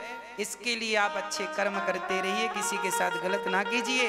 हाथी ने पुकारा, हाथी के प्रसंग में, प्राग जन्मन्य शिक्षितम लिखा है, सुखदेव भगवान ने सुखदेव भगवान कहते हैं, एवं व्यवसितो बुद्धिया समाधाय मनो हृदय जजाप परमं जाप्यम प्राग्जन्मन्यनुशिक्षितम। पुराने जो संस्कार थे उसके, उस संस्कार को याद करता है, जब पत्नी बच्चे छोड़कर चले गए तो वो संस्कार जाग गए। याद रखना, आपका पुण्य कभी ना कभी आपके काम ज़रूर आता है। इस जन्म में किया है, कभी ना कभी अजामिल ने एक नाम लिया, अज्ञानवश तो लो सदगति हो गई। तो पुण्य कभी ना कभी काम आएगा, इसलिए कुछ कुछ करते रहा करो। हाथी के पूर्व जन्म का संस्कार काम आया और उन्होंने स्तुति की। ओम नमो भगवते तस्मै यद एतच्चिदात्मिकम् पुरुषाया परेशाया महे सत्यम परम धीमहि। उस सत्य को श्री भगवान ब्रह्म सूत्र से सत्यम परम धीम ही निकालते हैं जन्माद्यस्य यतोन्वयादि तरतश्चा। चार्थे सुभिज्ञा स्वराट, स्वानैव राजती स्वराट। उस सत्यम परम धीम ही को व्यास जी ने सत्य की प्रार्थना से स्टार्ट किया। भागवत कहाँ से प्रारंभ है? सत्य से। सत्य कौन? ब्रह्म सत्यम जगन मिथ्या। ईश्वर को सत्य माना। उसी बात को यह हाथी दोहरा रहा। गजेंद्र, हे प्रभु परेशाया भी धीमहि। आपका मैं ध्यान करता हूँ, किसका ध्यान? जो सत्यम परम धीमहि। ओम नमो भगवते तस्मय हे नाथ, जिस परमात्मा की बड़े बड़े देवता ब्रह्मा स्तुति करते हैं, मैं उन परमात्मा की शरण ग्रहण करता हूँ। मैं उन परमात्मा की शरण ग्रहण करता हूँ, जिनके यहाँ ब्रह्मा भी हाथ जोड़ के खड़े हैं। मैं उनकी शरण ग्रहण करता हूँ, जिनकी नाभि से ब्रह्मा प्रकट होते हैं। मैं उन परमात्मा की शरण ग्रहण करता हूँ, जो सृष्टि को, प्रपंच को बनाने वाले हैं। मैं उन परमात्मा की शरण ग्रहण करता हूँ, जिनके सामने यक्ष, गंधर्व, देवी, देवता हाथ जोड़कर खड़े हैं। जब हाथी ने स्तुति की, भगवान को आवाहन किया, नाम लेकर नहीं, पर परमात्मा जो नाम किसी का नहीं, वो नाम भगवान का। ईश्वर साकार है तो निराकार भी है। ईश्वर का कुछ नाम है तो कुछ नाम है भी नहीं। ईश्वर तो नाम से परे है, बुद्धि से परे है। त्रिगुणातीत है, तीनों गुणों से परे है, उसका क्या नाम हो सकता है? इसलिए हिंदी के जितने अक्षर हैं काखा गाघा, सब उसी का स्वरूप है। ब्रह्म शब्द ही तो ब्रह्म है। तो हर शब्द ब्रह्मांड में जितने शब्द गूंज रहे हैं, हर शब्द तो ईश्वर का सूचक है। कौन सा शब्द इतर है जो परमात्मा को सूचित ना करे? परमात्मा को बोध परमात्मा का बोध ना कराए, वो कौन सा शब्द है? हर शब्द ईश्वर का बोध कराता। इसलिए आज नाम ना लेकर पुकारा तो भी भगवान हरि बनकर प्रकट हो गए और हरि बनकर जब भगवान आए तो भगवान ने हाथी को सूंड पकड़ के बाहर किया, मगर का सिर खंडित किया और हाथी की आज भगवान ने रक्षा की। प्रश्न ये खड़ा हुआ कि प्रभु आपको बुलाया हाथी ने, पर मगर का सिर काट के आपने उसका उद्धार कर दिया। भगवान ने कहा कि मेरा भक्त यदि मुझे बुलाता है और कोई मेरे भक्त के पाँव पकड़ लेता है तो मैं भक्त का उद्धार दासानुदासो भवितास में भूया मैं भक्त का उद्धार बाद में करता हूँ। भक्त के जो चरण पकड़ लेता है, उसका उद्धार पहले कर देता हूँ। इसलिए भारत में गुरु परंपरा की पद्धति रही है। गुरु ने भगवान को पकड़ा है, तुम गुरु के पाँव पकड़ लो। तो दासानुदासो भवितास में भूया का वाक्य सफल हो जाएगा। चरितार्थ करना है से हम स्वयं भगवान को नहीं पकड़ सकते तो क्या हुआ डायरेक्ट इनडायरेक्ट मीराबाई को भक्ति का उपदेश किसने किया? रैदास भक्त ने। वस्तु अमोलक दी मेरे सतगुरु करी कृपा अपनायो, पायो जी मैंने। राम रतन धन पायो। डायरेक्ट किसे मिले भगवान? किसी को मिल भी गए हो तो वैल्यू बाद में पता चली, एक को मिले थे भगवान गुरु के बिना। नाम था नामदेव भक्त नामदेव पर खेचर बाद में गुरु प्राप्त किए, तब कहीं जाके विठल भगवान उन पर पूर्ण रूप से सहमत हुए और प्रसन्न भये। तो श्री भगवान आज हरि बनकर आए और आज गजेंद्र को बचाया, ग्राह का सिर काटा, भगवान ने उद्धार कर दिया। ये ग्राह पूर्व जन्म में हुहू नाम का गंधर्व था, जिसे देवल नामक ऋषि ने श्राप दिया था और ये हाथी गजेंद्र, द्रवण देश का राजा इंद्रद्युम्न था, जिसे अगस्त मुनि ने श्राप दिया था। हाथी की तरह था, उन्मत्त था, श्राप दे दिया जा, और हु पाँव पकड़ता था, संत तपस्या करते, जंगल में जल में अर्घ देते, सूर्य भगवान को सूर्य प्रणाम करते तो पाँव पकड़ के खींच लेता। भगवान संत ने कहा अच्छा संतों का अपमान करते हो? जाओ तुम मगर की तरह काम कर रहे हो, मगर ही हो जाओ। ये श्राप दे दिया। पर आज भगवत कृपा से दोनों, श्राप से दोनों को मुक्ति मिली। प्रिय भक्तों, आप ये कथा टीवी के बाद यूट्यूब पर, आपके मोबाइल पर आप यूट्यूब पर अनिरुद्धाचार्य जी डालें। आगे जन्मोत्सव की कथा आप अपने मोबाइल पर, यूट्यूब पर सुन पाएँगे। आपसे प्रार्थना है, आप टीवी पर कथा कट जाए तो यूट्यूब पर देखना स्टार्ट कर दीजिएगा। यूट्यूब पर अनिरुद्धाचार्य जी डालेंगे तो आपको आगे की कथा का स्पष्ट दर्शन होगा, श्रवण करने का। परम सौभाग्य आपको प्राप्त होगा। गुरु वचनों पर भी हम, गुरु वचनों पर, गुरु वचनों को भी श्रवण कर पाएँगे। और अब भगवान की एक एक बार भगवान समुद्र मंथन के लिए तीन अवतार लेके आए धनवंतरी पहले अवतार में भगवान कक्षप बने, फिर भगवान धनवंतरी प्रकट भये फिर भगवान मोहिनी बन करके प्रकट भये और समुद्र मंथन का जो अमृत निकला था, वो देवताओं तक भगवान ने किसी प्रकार से मोहिनी बन करके पहुँचाया। समुद्र मंथन में पहले भगवान की कृपा से विष निकला, जिसे भगवान शिव ने ग्रहण किया। फिर उसके बाद कामधेनु निकली जिसे संतों ने लिया। उच्च श्रवा नाम का घोड़ा निकला जिसे इंद्र ने लिया। ऐरावत नाम का उच्च श्रवा नाम का घोड़ा निकला जिसे राजा बलि ने लिया। और ऐरावत नाम का हाथी निक, हाथी निकला जिसे देवराज इंद्र ने लिया। कौस्तु मणि निकली जिसे भगवान ने कल्प वृक्ष निकला देवताओं ने। अंत में अमृत निकला महाभारत हुआ। देवासुर संग्राम हुआ अद्भुत चर्चा है। मोहिनी भगवान को आना पड़ा। बड़ी अद्भुत चर्चा है। और इसके बाद जब देवासुर संग्राम हुआ तो राजा बलि मारे गए। तब गुरु कृपा उन पर हुई। शुक्राचार्य जी ने कृपा की, संजीवनी खिलाकर राजा बलि को ज़िंदा किया, जीवन दान दिया और राजा बलि फिर देवताओं को जीत गए। और जब जीते तो उन्होंने निन्यानवे यज्ञ पूरे किए, माँ नर्मदा के पावन तट पर। और अब सौवा यज्ञ राजा बलि कर रहे थे कि सौवा यज्ञ पूरा हो, तभी तभी देवताओं की माता घबरा गई। तभी माँ अदिति ने पयोव्रत किया इनके पति के कहने पर और श्री माँ अदिति के द्वारा पयोव्रत जब किया फाल्गुन मास की प्रतिपदा से द्वारदशी पर्यंत केवल दूध पी करके इस व्रत को माने किया और इसके प्रभाव से भाद्रपद मास के शुक्ल पक्ष की श्रवण नक्षत्र वाली द्वादशी को आज भगवान स्वयं बामन रूप में प्रकट हो गए। बोलिए, बामन भगवान की बामन भगवान जब प्रकट भये तो भिक्षा लेकर माँ को दिया। माँ ने कहा, ये नहीं। गुरु जी ने कहा, ये नहीं। त्रैलोक्य की भिक्षा लाइए और वो भगवान है। चल पड़े बामन भगवान। देखिए, भगवान चाहते तो राजा बलि से युद्ध करके सब जीत लेते।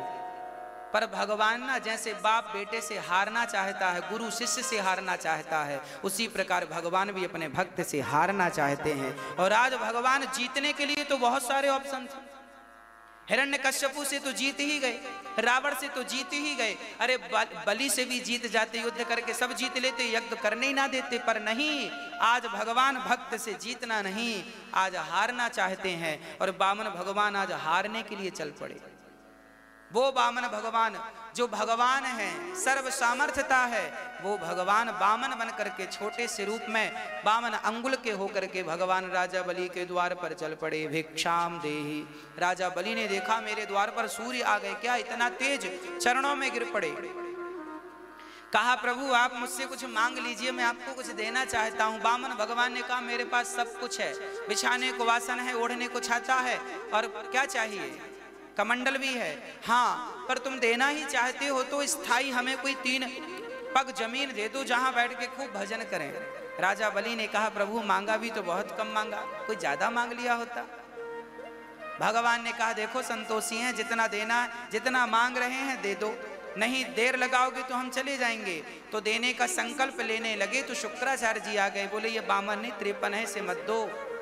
सब कुछ ठग लेंगे, ये भगवान है। तब राजा बलि ने कहा, प्रभु, तब तो अच्छी बात हो गई। यदि ये सामान्य प्राणी है तो तीन पग भूमि में मेरा कुछ नहीं घटेगा। और यदि ये भगवान है तो सारी दुनिया जिनसे मांगती है, आज वो मेरे घर मांगने आया है तो मैं खाली हाथ कैसे लौटा दूँ? आज कैसे ना दूँ? आज वामन आज बलि अपने आप को धन्य धन्य समझ रहे हैं। शुक्राचार्य जी की आँख फोड़ दी, भगवान ने बोले, तुम्हारी आँख किसी काम की नहीं है, दान देने से रोकते हो? हाँ जी। और मैं आपको बताऊँ, भगवान के रास्ते में यदि गुरु बाधा बनता है तो गुरु का भी त्याग राजा बलि ने कर दिया। भगवान की प्राप्ति में यदि पिता बाधा है तो प्रहलाद जी ने त्याग दिया। भगवान की प्राप्ति में माता बाधा है तो भरत जी ने त्याग दिया। और भगवान की प्राप्ति में भाई बाधा है तो विभीषण ने त्याग दिया रावण को। और भगवान की प्राप्ति में यदि पति बाधा है तो गोपियों ने त्याग दिया। अर्थात भगवान की भक्ति आप कर रहे हैं और कोई रोके तो आप उसके कहने से रुकिएगा मत। हाँ वो कहता है, प्रत्यक्ष मत करो। कोई कहे, आप लड्डू गोपाल जी की पूजा करती हो और आपका पति कहे कि नहीं करो, फेंक दे भगवान को उठाकर तो आप क्या करोगी? कोई बात नहीं, पति से झगड़ा नहीं करना। भगवान को उसने फेंक दिया तो कोई बात नहीं। आप भगवान को अपने हृदय में बसा लो और जैसे दुष्टों के बीच में प्रहलाद ने और विभीषण ने भजन किया, ऐसे आप भी विषम परिस्थिति में भगवान को भीतर से ध्यान करो, अंतकरण से उनको जपो, भूलो मत। यदि विषम परिस्थिति भी उत्पन्न हो जाए तो उस हाल में भी भगवान को छोड़ना नहीं है। आज भगवान प्रहलाद जी, आज भगवान राजा बलि के द्वार पर पहुँच गए और तीन बग भूमि का संकल्प किया।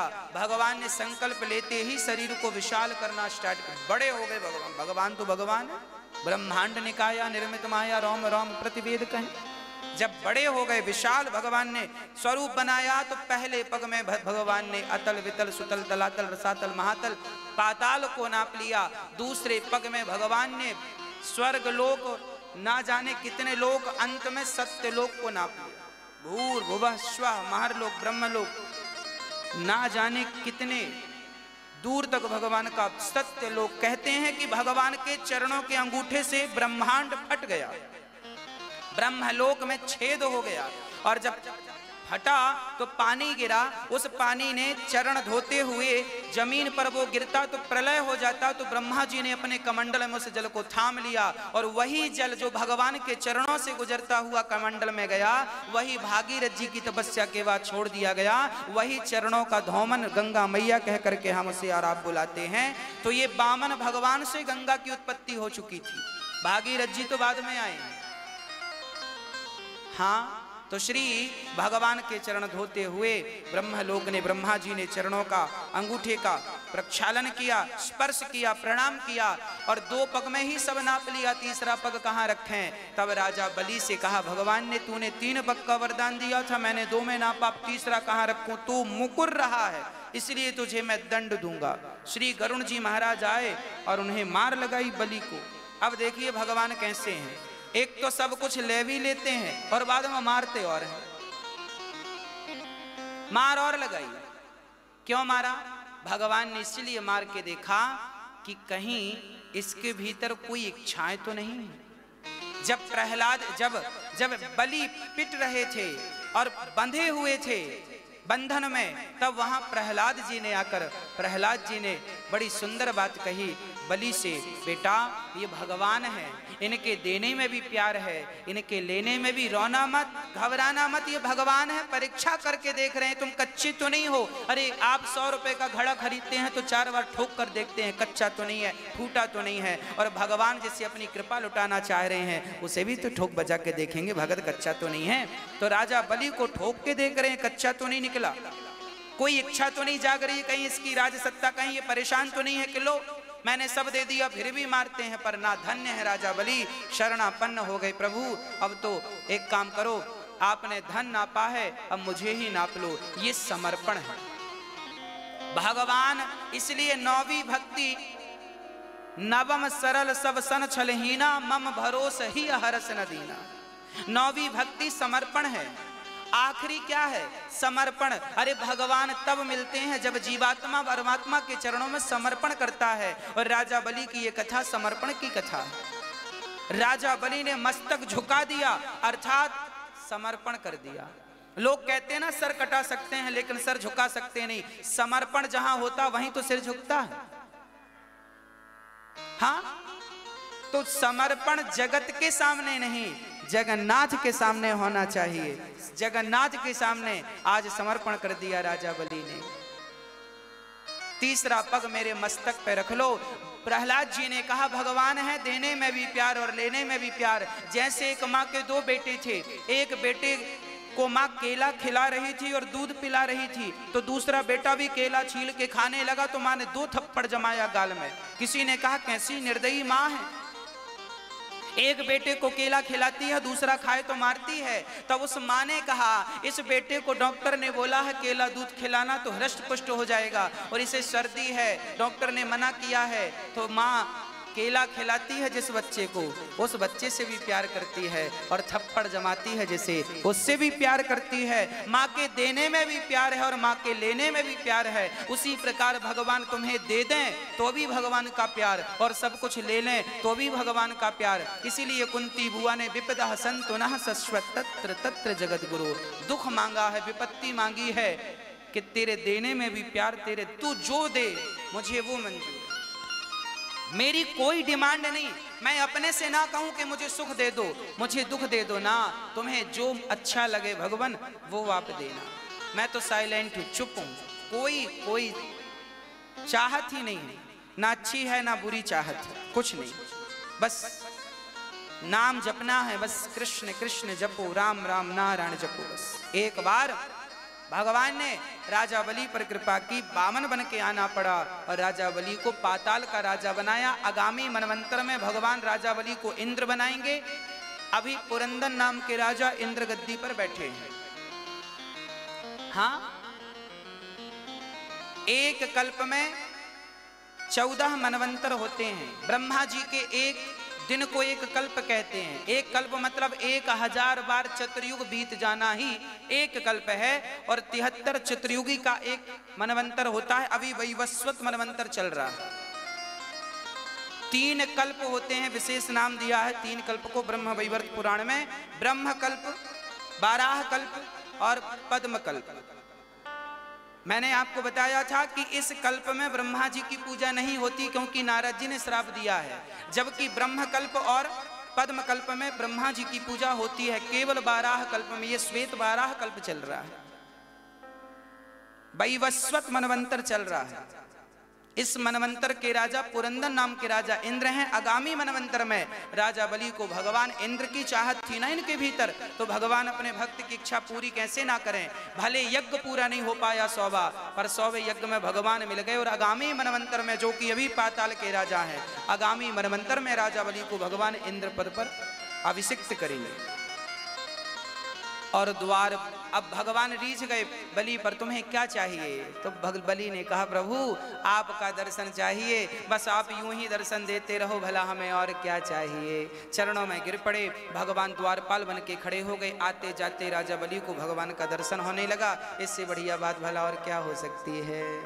अब राजा बलि के यहाँ भगवान खड़े हैं, पर लक्ष्मी जी आई। राजा बलि को राखी बाँध कर गई और भैया तुम हमारे पति को लौटा दो, कहकर के माँ लक्ष्मी नारायण को लेकर गई बोलिए लक्ष्मी नारायण भगवान की भगवान अपने स्थान पर सुसज्जित हैं। अब हमारे मध्य गुरुजन पधारे हैं तो दो दो मिनट गुरुजनों की सुंदर सी वाणी सुनते हैं, और पुनः फिर जन्मोत्सव में, लाला राम के जन्म में और लाला कृष्ण के जन्मोत्सव में तुरंत प्रवेश करेंगे। गुरुजनों के सुंदर चरणों में दास का कोटि कोटि नमन और आइए गुरुवाणी को श्रवण करते हैं।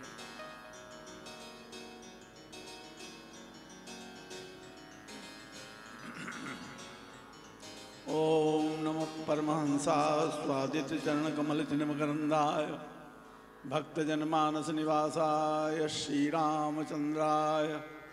विश्वसर्ग विसर्गादि नवलक्षण लक्षितम श्रीकृष्णाख्यम परम धाम जगद्धाम नमाम तत्। यस्य वदने लक्ष्मी यस्य च वक्षसि हृदये संवित्तं नृसिंहमहं भजे। योऽन्तप्रविश्य मम वाचमिमां प्रसुप्तां सञ्जीवयत्यखिलशक्तिधरस्तधाम्ना अन्यांश्च हस्तचरणश्रवणत्वगादीन्। प्राणान् नमो भगवते पुरुषाय तुभ्यं। सभी लोग अपनी वाणी को पवित्र करने के लिए श्री भगवान नाम का उच्चारण करेंगे। सबसे बढ़िया नाम श्री राम, जय राम, जय जय राम है। इसकी महिमा है। आनंद रामायण में श्री शब्द पूर्वम, जय शब्द मध्यम और जय द्वयाभ्याम च पुनः प्रयुक्तम। त्रिशब्द कृत्वा रघुनाथ नाम जप्वा निहन्यात द्विजगोटि हत्याम। कहते हैं श्री शब्द पूर्वम। श्री शब्द जो है, जिस मंत्र के पहले में है, श्री शब्द श्री राम, जय राम। श्री शब्द पूर्वम, जय शब्द मध्यम। और जय मध्य में है। और जय द्वयाभ्याम च पुनः प्रयुक्तम जय जय राम। दो त्रिशब्द कृत्वा रघुनाथ नाम। त्रिशब्द कृत्वा मैंने साथ सातिया इक्कीस बार इसको कोई जब ले तो कोटि कोटि ब्रह्म हत्याओं से मुक्त हो जाता है। इसलिए आप लोग जो है, समझ लेंगे। कोटि कोटि ब्रह्म हत्या जैसे पाप से श्री राम जय राम जय जय राम। श्री राम जय राम जय जय राम। श्री राम जय राम जय जय राम। राम जय राम जय जय राम। धर्म की जय अधर्म का प्राणियों में विश्व का कल्याण गौ माता की गो हत्या। हर हर महादेव। पुरुष को चार पुरुषार्थों को प्राप्त करना चाहिए। पुरुष ही अर्थ थे पुरुषार्थ। धर्म, अर्थ, काम, मोक्ष। भक्तों के कौन से पुरुषार्थ हैं? ये श्रीमद् भागवत महापुराण के ष्ठ स्कंध में है। कुछ लोग षष्ठम कह देते हैं भूल से। षष्ठम नहीं, षष्ठ स्कंद मैंने भी ऐसे षष्ठम का बोल दिया। डोंगरे जी महाराज ने कहा, तुम पढ़े लिखे होकर के षष्ठम कहते हो? मैंने कहा गुरु गलती हो गई। तो ष्ठ स्कंद में जो है वृत्तासुर जी ने जो है, जो कहा है, विश्वरूप से इन्होंने नारायण को प्राप्त कर लिया था। और- देवराज इंद्र ने तो वो वृत्तासुर जो है, वो तो भक्त ही थे पूरे। उनकी मैं आपको बता देता हूँ तो भक्तों का धर्म क्या है? अहम हरे तो पादई मूलो दासानुदासो भवितास्मि भूया मनस्मरेता सुपते गुणास्ते गृणीतवा कर्म करो दुकाय अभी पहले आप व्याख्या सुन ही चुके थे, महाराज श्री के द्वारा श्री मुखार बिंदु से। तो हम हरे तो पादे वृत्तासुर, क्या कहते हैं प्रभु, मुझे आपका दास नहीं बनना है, हम तो पादे का मूलो। हे ब्रजेंद्र नंदन श्याम सुंदर, मदन मोहन आनंद कंद कृष्ण चंद हे यशोदानंद वर्धन, हम हरे तो पादिक मूल, आपके योगिंद्र मुनिंद मंदित पादार बिंद के जो भक्त हैं, उनका हम, उनके हम दास बन जाएँ। हम हरे तो पादिक मूलो, दासानुदास, दास के दास, भूया, दोबारा हमारा जन्म हो तो और वहाँ जाकर कहीं विषय चिंतन में, संसार चिंतन में हमारा मन न लग जाए मनस्मरेता सुपते हे असुपते हे प्राणेश। हे प्राणनाथ भवदायु सामना गोपांगा ने क्या कहा भगवान से, आप ही हमारी आयु हो। हे प्राणेश, हमको आप ही चाहिए। हम हरे तो पादई को मूलो में गोया, मनस्मरेता सुपते गुणांते गणित वाक कर्म करो दुकाया हमारी वाणी आपके मंगल में गुण गणों का वर्ण करे और शरीर से सेवा होती रहे, जैसे महाराज आपके हमारे व्यास भगवान जो इस अनिरुद्ध जिनका नाम ही अनिरुद्ध। अरे नमः नमो तस्मै भगवते वासुदेवाय धीमहि प्रद्युम्नाय अनिरुद्धाय नमः संकर्षणाय च। तो तो ये भक्तों का जो है, धर्म क्या है? भक्तों का धर्म जो है, यही है। हम भगवान के भक्तों के भक्त हो जाएँ, उनके दास हो जाएँ। और अर्थ क्या है? क्या पारमिष्ट पद जाते हो, इंद्र पद जाते हो, ननाक पृष्ठम न च पारमेष्टम न सार्वभौमम न रसाधिपत्यम न योग सिद्धिर पुनर्भवम वा समंजसत्वा विरहय कांक्षे श्रीधर स्वामी जी महाराज ने इसमें समंजस शब्द की व्याख्या में कहा है, हे समंजस, हे अखिल सौभाग्य निधे समंजस माने अखिल सौभाग्य निधे हमें ननाक पृष्ठम, हम स्वर्ग का साम्राज्य नहीं चाहते। अभी सुन लिया है, स्वर्ग के साम्राज्य होने वाले हैं बलि। ननाक पृष्ठम। न तो क्या ब्रह्मा जी बनना चाहते हो? बोले, नहीं। तो अखंड अखंड भूमंडल का चक्रवर्ती सम्राट बनना चाहते हो? वो भी नहीं। ननाक पृष्ठम, न पारमेष्टम न तो अतल, वितल, सुतल आदि में जो है, स्वर्गलोक से भी अधिक वैभव है, सुख है। वहाँ का चाहते हो वैभव?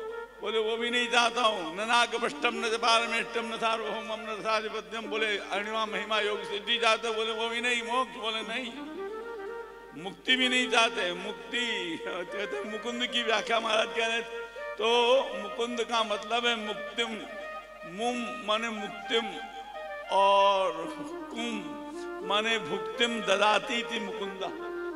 अथवा मुक्तिम ददाती थी मुकुंदा। अथा मुखे कुंदव थातो यशसा अथा मुम मुक्तिम और भूम भुक्तिम च द्यति खंडयति यानी भुक्तिम मुक्तिम च खंडयित्वा नाशयित्वा पराम भक्तिम ददाती थी मुकुंदा जो भुक्ति, मुक्ति सबको छोड़ करके उसका सर्वनाश करके आपके चरणारविंद की परा भक्ति दे दे। भक्तिम पराम भगवती प्रतिलभ्य कामम हृदरोग आतु बहिनोत्यजरेण हृदय हृदरोग नाशिनी परा भक्ति को प्राप्त कर। ननाक पृष्ठम हाँ तो ये हो गया। नयोग सिद्धि, अपना समंजसत्वा विरह ये कांक्षे हम तो केवल आपको चाहते हैं। आपको छोड़ करके कुछ नहीं चाहते। विरह कुछ लोग विरह कहते हैं। ये नाग धर्म अर्थ काम क्या है? अजात पक्षा। काम माने मनोरथ, कमु कांतो, कांति, इच्छा। इच्छा को कहते हैं काम। तो ये तीसरा पुरुषार्थ क्या है? सबसे बढ़िया वो हमारा मनोरथ क्या है?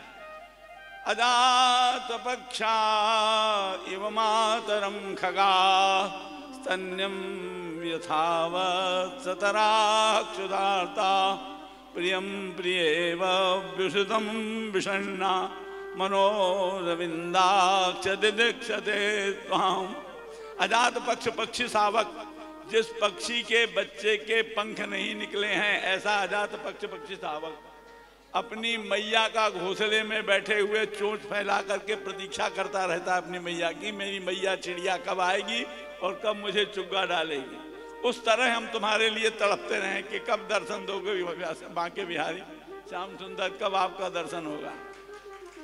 ननाक हाँ अजात एवं मातरम खगा। दूसरा स्तन्यम यथावत सतराक्ष, स्तने भमम स्तन्यम दुग्धम स्तन में होने वाला जो दुग्ध, गाय से प्रेम नहीं होता बछड़े का। बछड़ा जैसे अपनी माँ के, गाय माता के दूध के लिए जो है तड़पता रहता है कि कब मैया गई, गैया चरने गई है, कब आएगी, कब ये गैया छोड़ेगा, कब दूध मिलेगा। तो जैसे अत्रिनाद बक्ष, यानी जो तिनका नहीं खाता, रोटी नहीं खाता, पानी भी नहीं पीता, ऐसा जो अत्रिनाद वत्स है वो अपनी माँ के दूध के लिए तड़पता रहता है। वैसे हम भी तुम्हारी भक्त, तुम्हारे दर्शन के लिए, तुम्हारे लिए तड़पते रहे। ये हमारा मनोरथ है। तीसरा, फिर उन्होंने कहा, ये भी ठीक नहीं। तो तीसरा उदाहरण दिया, जैसे कोई पतिव्रता पतिव्रता नारी अपने परदेश में गए हुए, अपने प्रियतम प्राणधन प्राणेश के लिए तड़पती रहती है। कब आएँगे, कब दर्शन देंगे? तो प्रियम प्रिय विशुद्धम विशुद्धम मने परदेश गतम परदेश में गए हुए अपने प्रियतम प्राणेश के लिए जैसे पतिव्रता तड़पती रहती है वैसे हम भी तुम्हारे लिए तड़पते रहेंगे प्रियम प्रिय विशुद्धम विषन्ना मनोरविंदाक्ष दीक्षते तम। हे न, हे अरविंद नयन कमल नयन हमारा मन भी इसलिए तड़पता रहता तीसरा जो है चौथा पुरुषार्थ क्या है? ममोत्तम श्लोक जने सुसख्यम संसार चक्रे भ्रमत स्वकर्म भी तन्मायात्मात्म जदारगे स्वासक्त चित्त चलना भूया ममोत्तम श्लोक उत्तम। ही श्लोक ही कथ्यते श्लोक्री कथने कथ- कथने उत्तम ही श्लोक ही कथ्यते वर्ण्यते स उत्तम श्लोक अनंत कोट ब्रह्मांड नायक श्री कृष्ण ममो अ- ममोत्तम श्लोक जनिस उनके जो जन हैं भक्त हैं जैसे अनिरुद्धाचार्य जी महाराज हैं और बड़े बड़े ये सब गोस्वामी जी महाराज। ऐसे लोगों से हमारा सख्य भाव सखा किसको कहते हैं? सा खादती खेलती। जो साथ में खावे खेले। वाह भगवान कृष्ण श्री रामानम पराजिता ऐसा है, है ऐसा कोई अनंत कोटि ब्रह्मांड नायक जो अपने सखा से हार हार जाने के बाद घोड़ी घोड़ा बन जाए। तो ऐसा ममोत्तम श्लोक जनी सुसख्यम संसार चक्रे भ्रमतस्व कर्म भी। संसार चक्र है, हमने जो कर्म किए, उसका फल हम भोगने के लिए जहाँ तहाँ जन्म लेते रहे, उसकी चिंता नहीं है। लेकिन संसार चक्र कर्म तन्माय आत्मात्मा जदा रगे है। आपकी माया से प्रभु, प्रभावित जो घर आ, घर में पुत्र में संसार की संपत्ति में आसक्त हैं उनके साथ में मत हमें उनका संग हमको मत देना। आपके भक्तों का ही संग मिले यही मोक्ष है। बोलो वृंदावन बिहारी लाल बस यही हमने जो है यही जो है वृत्तासुर ने जो है मांगा है और हम भी यही मांगते हैं और आप लोगों के लिए भी यही भगवान से प्रार्थना करते हैं कि आप भी इस इन चारों पुरुषार्थों को मांगे। बोलो वृंदावन और भागवत का लब्बो लबाव हरे नम इत्युच्चैर मुच्यते सर्वपातका पतित स्खलित चार क्षुत्वा विषोग्नन हरे नम इत्युच्चैर मुच्यते सर्वपातका हरे नमः उच्च स्वर से बोलने से सब पाप नष्ट हो जाते हैं। चार प्रकार के पाप होते हैं। कायिक, वाचिक, मानसिक, सांसर्गिक। तो चार बार बुलवाएँगे आप लोग, मेरे साथ मिल करके बोलेंगे। हरे एक साथ बोलिए हरे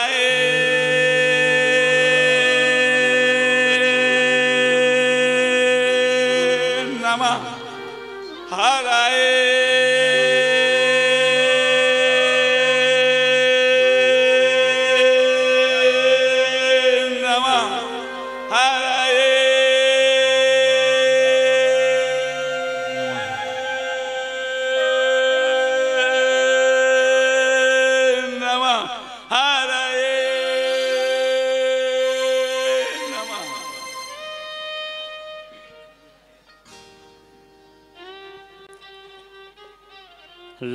लक्ष्मीनाथ समारंभां नाथयामुनमध्यमाम्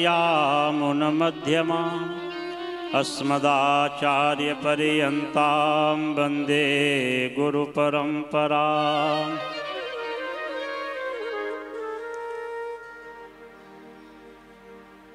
श्री गौरी गोपाल भगवान श्रीमद् भागवत के मंच पर विराजमान विशिष्टाद्वैत संप्रदाय के मतावलंबी आचार्य प्रवर श्री अनिरुद्धाचार्य जी महाराज, भागवत, रत्नाकर ज्ञान वृद्ध वयोवृद्ध, तपोवृद्ध, पूज्य श्री व्यासनंद जी महाराज श्रीमद् भाग भागवत जी के उपासक और बांके बिहारी भगवान के चरणों के समर्चक श्री पद्म बिहारी गोस्वामी जी, हमारे पंडित जी, जिनके आश्रय से हम यहाँ तक आ पाए। हाँ पचौरी जी महाराज, और आप सब श्रीमद् भागवत के अनुरागी तथा वृद्धा माताएँ गौ और रोगी तथा दरिद्र नारायण, गौ माता एवं छात्रों में भगवान का दर्शन करने वाले आप सब भक्तजन, इस कथा के परम पुण्यात्मा यजमान, आप सब बड़े ही सौभाग्य संपन्न हैं। आपका श्रमार्जित एक एक पैसा और आपके उस धर्म में खेत से उत्पन्न एक एक दाना, आचार्य अनिरुद्ध जी उसको सतमार्ग में विनियुक्त कर रहे हैं। सत्कर्म करा रहे हैं। अभी कुछ ही दिन पहले गौशाला का समुद्घाटन हुआ। आप सब जानते हैं, गो माता की सेवा करने से क्या प्राप्त होता है? ष्ठ स्कंध में वर्णन किया गया है, नवेद गोबे प्रगवीश्वराणाम। भवंत्य भद्राणि नरेश्वराण गौ ब्राह्मण और भगवान इनको अपना जो आराध्य मानते उनका कभी अनर्थ नहीं होता। गाय की रक्षा करने से क्या पुण्य होता है, आप सब समझेंगे। एक व्यक्ति था, उसने सत्तर व्यक्तियों की मृत्यु की। एक संत जी के पास में गया, गुरुदेव, मैं बड़ा भारी पापी हूँ, मुझे आश्रय प्रदान करें आप। उन्होंने पूछा, क्या किया है? बोले, महाराज, मैंने सत्तर व्यक्तियों को मारा है। तो उन्होंने कहे, तेरा नाम ही सत्तर रख दिया। बोले, बेटा, सत्तर बोले, जी गुरु जी झाड़ू लगा लो। सत्तर, बेटा, ये कर लो। उन्होंने कहा, गुरुदेव, मुझे दीक्षा कब देंगे? बोले, देख, तुझे दीक्षा देंगे। एक हाथ में दंडा दिया, उसको दंड इसमें जब पत्तियाँ उगे आने और उसमें काला झंडा लगा दिया। ये काला झंडा जब सफ़ेद हो जाए, तब तुम समझ लेना कि मेरे पाप नष्ट हो गए। जाओ तीर्थ यात्रा करके आओ। वह गुरुदेव के आश्रम से थोड़ा दूर चला। एक जंगल था। उसमें उसको कुछ आवाज़ सुनाई पड़ी। उस वीर धीर ने सत्तर व्यक्तियों को मारा था। जीवन में यमराज से भी भयभीत नहीं होता था वह। वो कहता था कि यमराज से भी मैं दो दो हाथ करूँगा। वहाँ जाके देखा तो दस व्यक्ति एक गाय को पकड़ करके मार रहे थे, पीट रहे थे।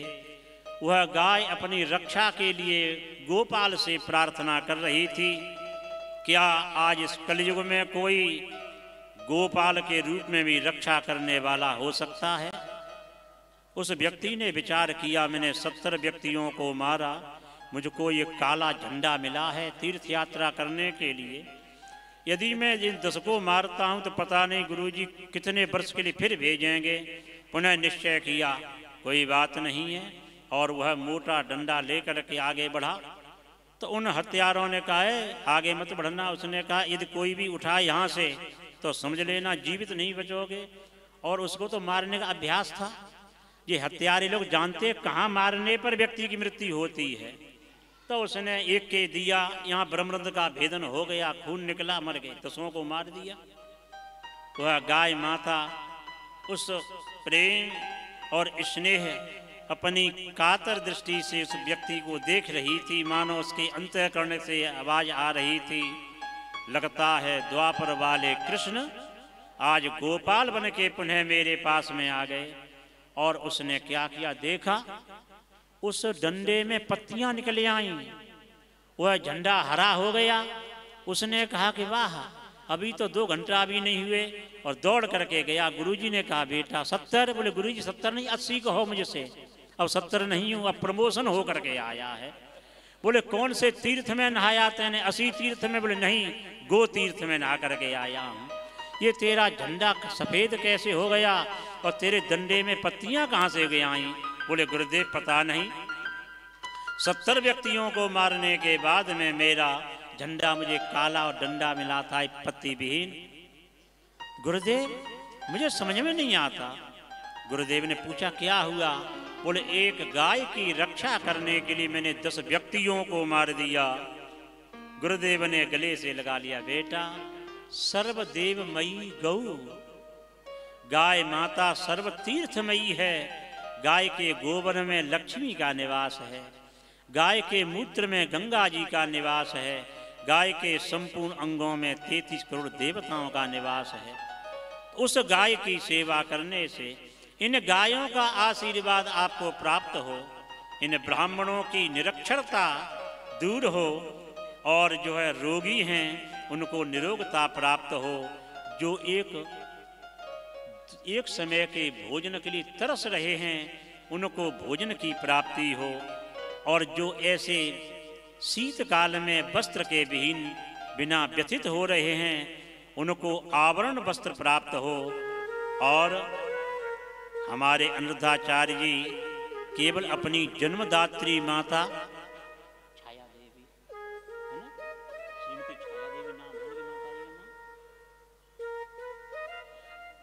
अपनी केवल जन्मदात्री को ही माता नहीं मानते।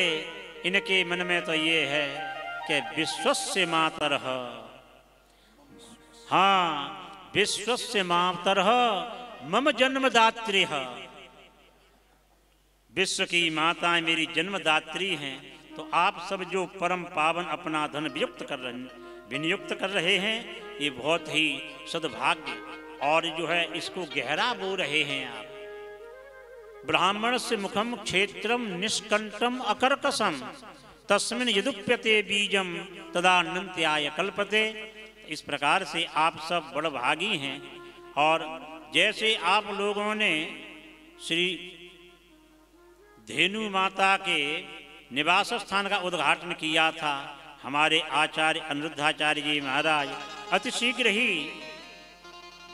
विद्यालय का भी उद्घाटन करने के लिए बहुत ही प्रयत्नशील हैं तो आप सब जो भी श्रवण कर रहे हैं, आचार्य से जुड़े हुए हैं, उनके स्वरदूत के माध्यम से जो भी अपने कर्ण कुहरों को पवित्र करते हैं, वे सब अपने पवित्र धन को श्री धाम वृंदावन में आप विनियुक्त करें।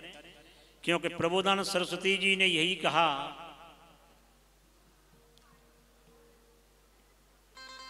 श्रीधाम वृंदावन का त्याग मत करो। भ्रातस्तेष्ठ तले तले विटपिना ग्रामे सुभिक्षामट स्वाच्छन्दं पिबयामुनं जलमलं। कन्थानि चीरा, कन्थानि चीर, चीराणि कन्थां कुरु। सम्मानं कलयाति घोरगरलं नीचापमानं सुधा। श्रीराधा मुरलीधरौ भज सखे वृंदावनम मात्यज। जिस वृंदावन के लिए भगवान कहते हैं वृंदावनम परित्यज्य पादमेकम न गच्छति। सदा द्विभुज कृष्ण। न कदाचित चतुर्भुज वृंदावनम परित्यज्य पादमेकम न गच्छति। जो भगवान श्री धाम वृंदावन को छोड़ के कभी नहीं जाते हैं, उस वृंदावन धाम का निवास हमारे आचार्य जी, श्री अनिरुद्धाचार्य जी, गौरी गोपाल सेवाश्रम के माध्यम से आप सबको वृंदावन का वह अक्षुण अक्षय अव्यय निवास प्रदान करने के लिए प्रयत्नशील हैं। इनके सभी प्रकल्पों में आप सब अपना परम सहयोग प्रदान करके पुण्य भागी बने। श्रीमद वृंदावन बिहारी लाल की जय। श्रीमद भागवत भगवान की जय। श्री सदगुरुदेव भगवान की जय। श्री अनुद्धाचार्य जी महाराज की जय। उनके श्री गोविंद गुरु गोविंद भगवान की जय हो। जय। जय श्री राधे।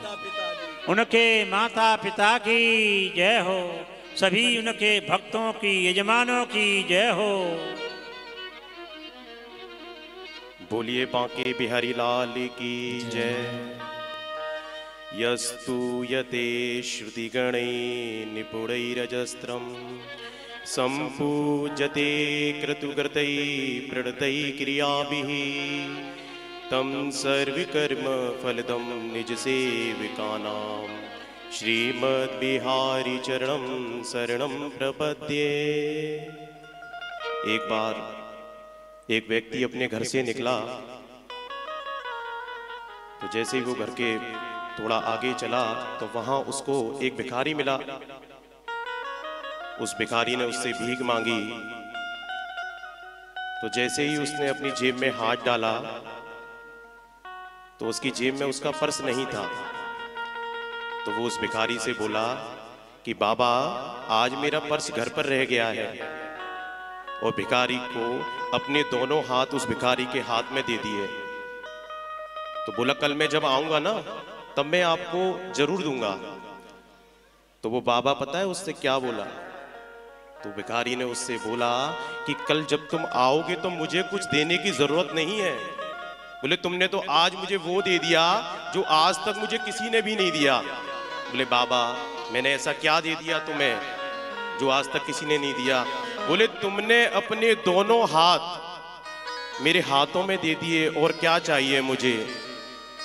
तो कहने का मतलब भक्तों सिर्फ़ इतना है कि कभी किसी जरूरतमंद को, कभी किसी भिखारी को, कभी किसी असहाय को आप देखो तो उसको पैसे दो, धन दो, चाहे मत दो, लेकिन उसको इज़्ज़त और सम्मान और प्यार उसे ज़रूर देना, क्योंकि वो इज़्ज़त, सम्मान ज़रूर आपके पास किसी ना किसी रूप में लौटकर ज़रूर आएगा। तो ऐसे ही हमारे अनिरुद्ध आचार्य जी हैं, जिन्होंने असहाय लोगों को, वृद्ध माताओं को सहारा दिया, इज़्ज़त दिया, सम्मान दी और ये सम्मान उनको इतना आज मिल रहा है ब्रज भूमि में। मैं बिहारी जी के चरणों में प्रार्थना करता हूँ कि ठाकुर जी की असीम कृपा हमेशा इन पर बनी रहे और जो ये माध्यम है जो इतने लोगों को वृंदावन में बिहारी जी के दर्शन करा रहे हैं और ऐसे ही कृपा भक्तों पर बनी रहे। जय बिहारी जी की जय जय श्री राधे राधे। बोलिए भक्त वत्सल भगवान की। श्री भगवान ने एक बार मत्स्य बन करके सत्यव्रत नाम के राजा को दिव्य ज्ञान दिया और हयग्रीव नाम के दैत्य का उद्धार किया।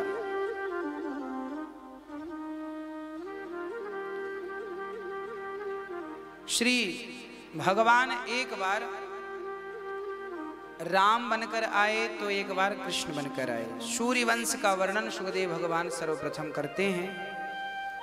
भगवान नारायण के पुत्र हुए, ब्रह्मा ब्रह्मा जी के हुए हैं। मरीचि मरीचि के पुत्र हुए कश्यप। कश्यप की पत्नी, धर्म की पत्नी से इन्हीं के वंश में आगे चल कर के हुए हैं। श्री, इनका वंश तो बहुत बड़ा है, पर जन्मोत्सव की ओर चलना है, समय हो गया है तो सूक्ष्म अति सूक्ष्म करेंगे। इन्हीं के वंश में हुए हैं राजा नभग। नभग के पुत्र नाभाग नाभाग के पुत्र अम्बरीश अम्बरीशो महाभाग सप्त द्वीपवती मही। सातवां द्वीप के राजा थे। और बहुत बड़े राजा थे पर अहंकार नहीं एकादशी के व्रत करते और भगवान को सेवा करते। इन्हीं के वंश में श्री सगर भय हैं। सगर के साठ हज़ार पुत्र अंत में सगर की दूसरी पत्नी से असम, असमंजस असमंजस के अंशुमान अंशुमान के दिलीप दिलीप के भागीरथ जी भागीरथ जी ने गंगा को प्रकट किया। इन्हीं के वंश में हुए हैं खटवांग। खटवांग के पुत्र दीर्घबाहु दीर्घबाहु के पुत्र रघु रघु के पुत्र अज अज के पुत्र दशरथ जी। दशरथ जी का पावन दर्शन तीन रानियाँ हैं, जिनके घर स्वयं भगवान श्री राम पधारे हैं। राम कथा हम कल श्रवण कर लेंगे, रामचरित्र मानस पर राम कथा पर कल प्रकाश डाल देंगे। राम जी का जन्म हुआ, जन्म लेते ही बड़े हुए तो चले गए। श्री विश्वामित्र जी लेकर गए हैं। अहिल्य आदि का उद्धार करके भगवान श्री राम पहुँचते हैं। जनकपुर जहाँ सीता स्वयंवर हुआ, सीता जी आई हैं और जब राम जी को राजा बनाने का संकल्प हुआ तो कैकई के माध्यम से राम का वनवास हुआ। राम जी चौदह वर्ष के लिए वनवास गए हैं। पश्चात राम जी रावण को मार करके वापस आए हैं। राम जी राजा बने हैं, सिया जी रानी बनी।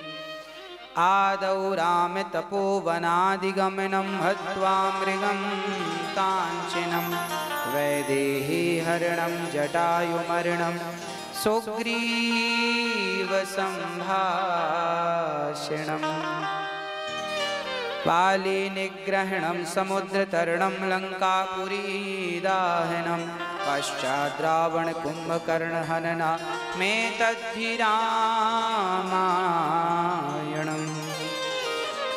राम कथा पर कल प्रकाश ज़रूर डालेंगे। ठाकुर जी चाहेंगे तो।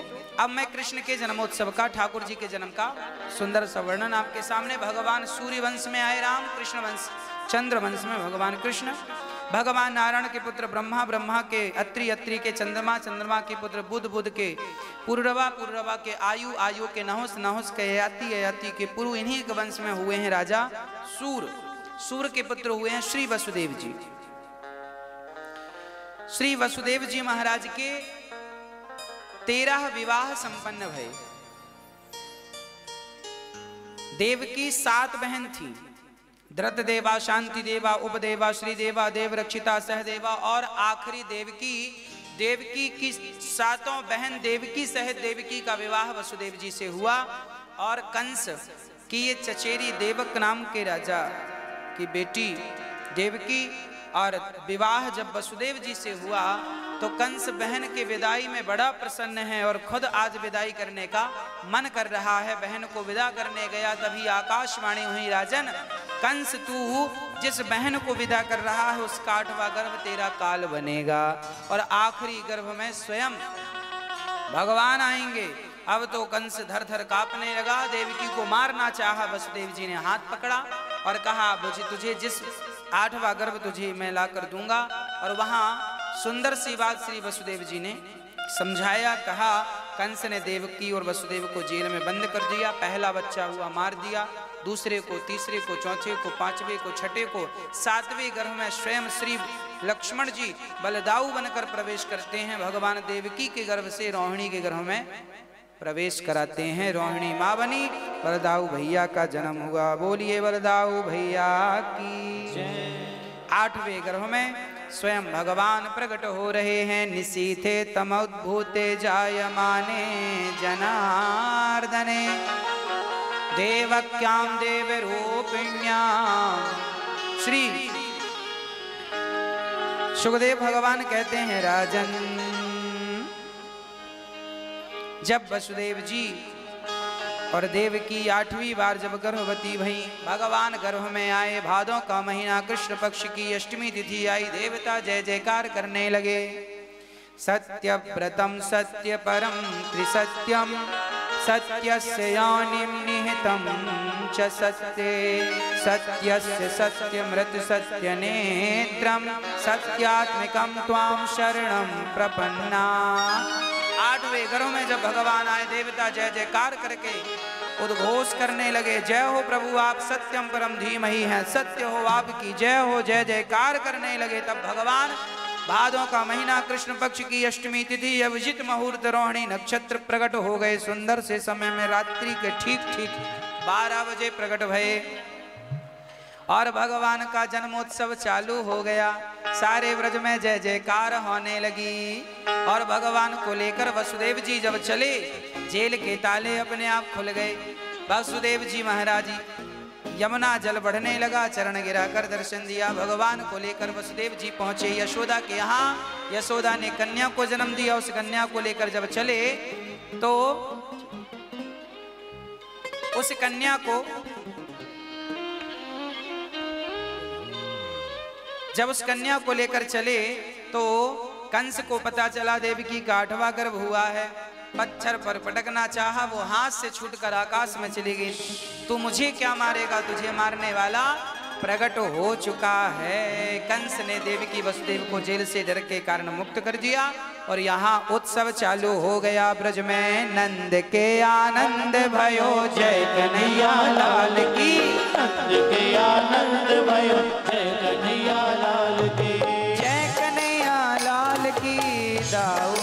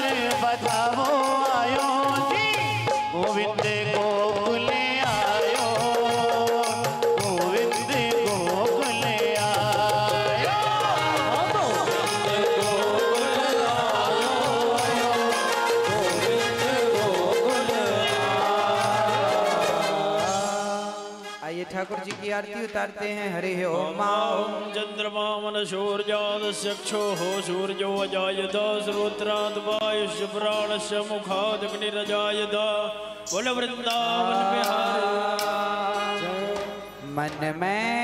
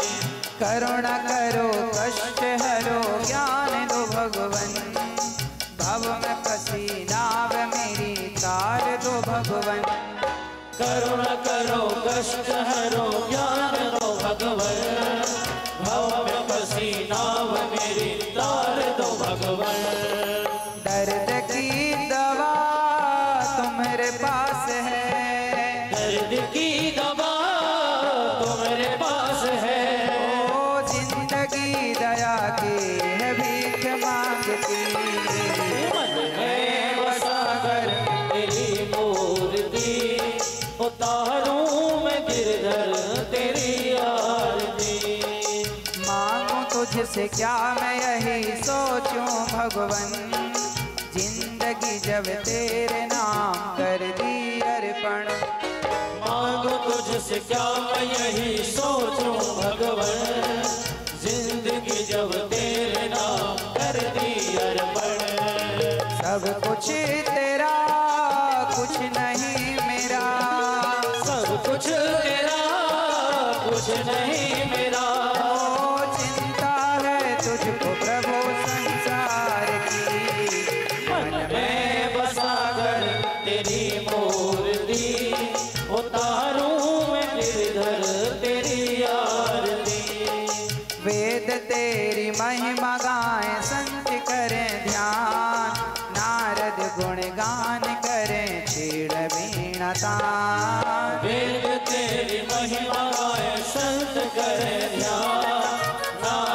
गुणगान करें छेड़ वीरता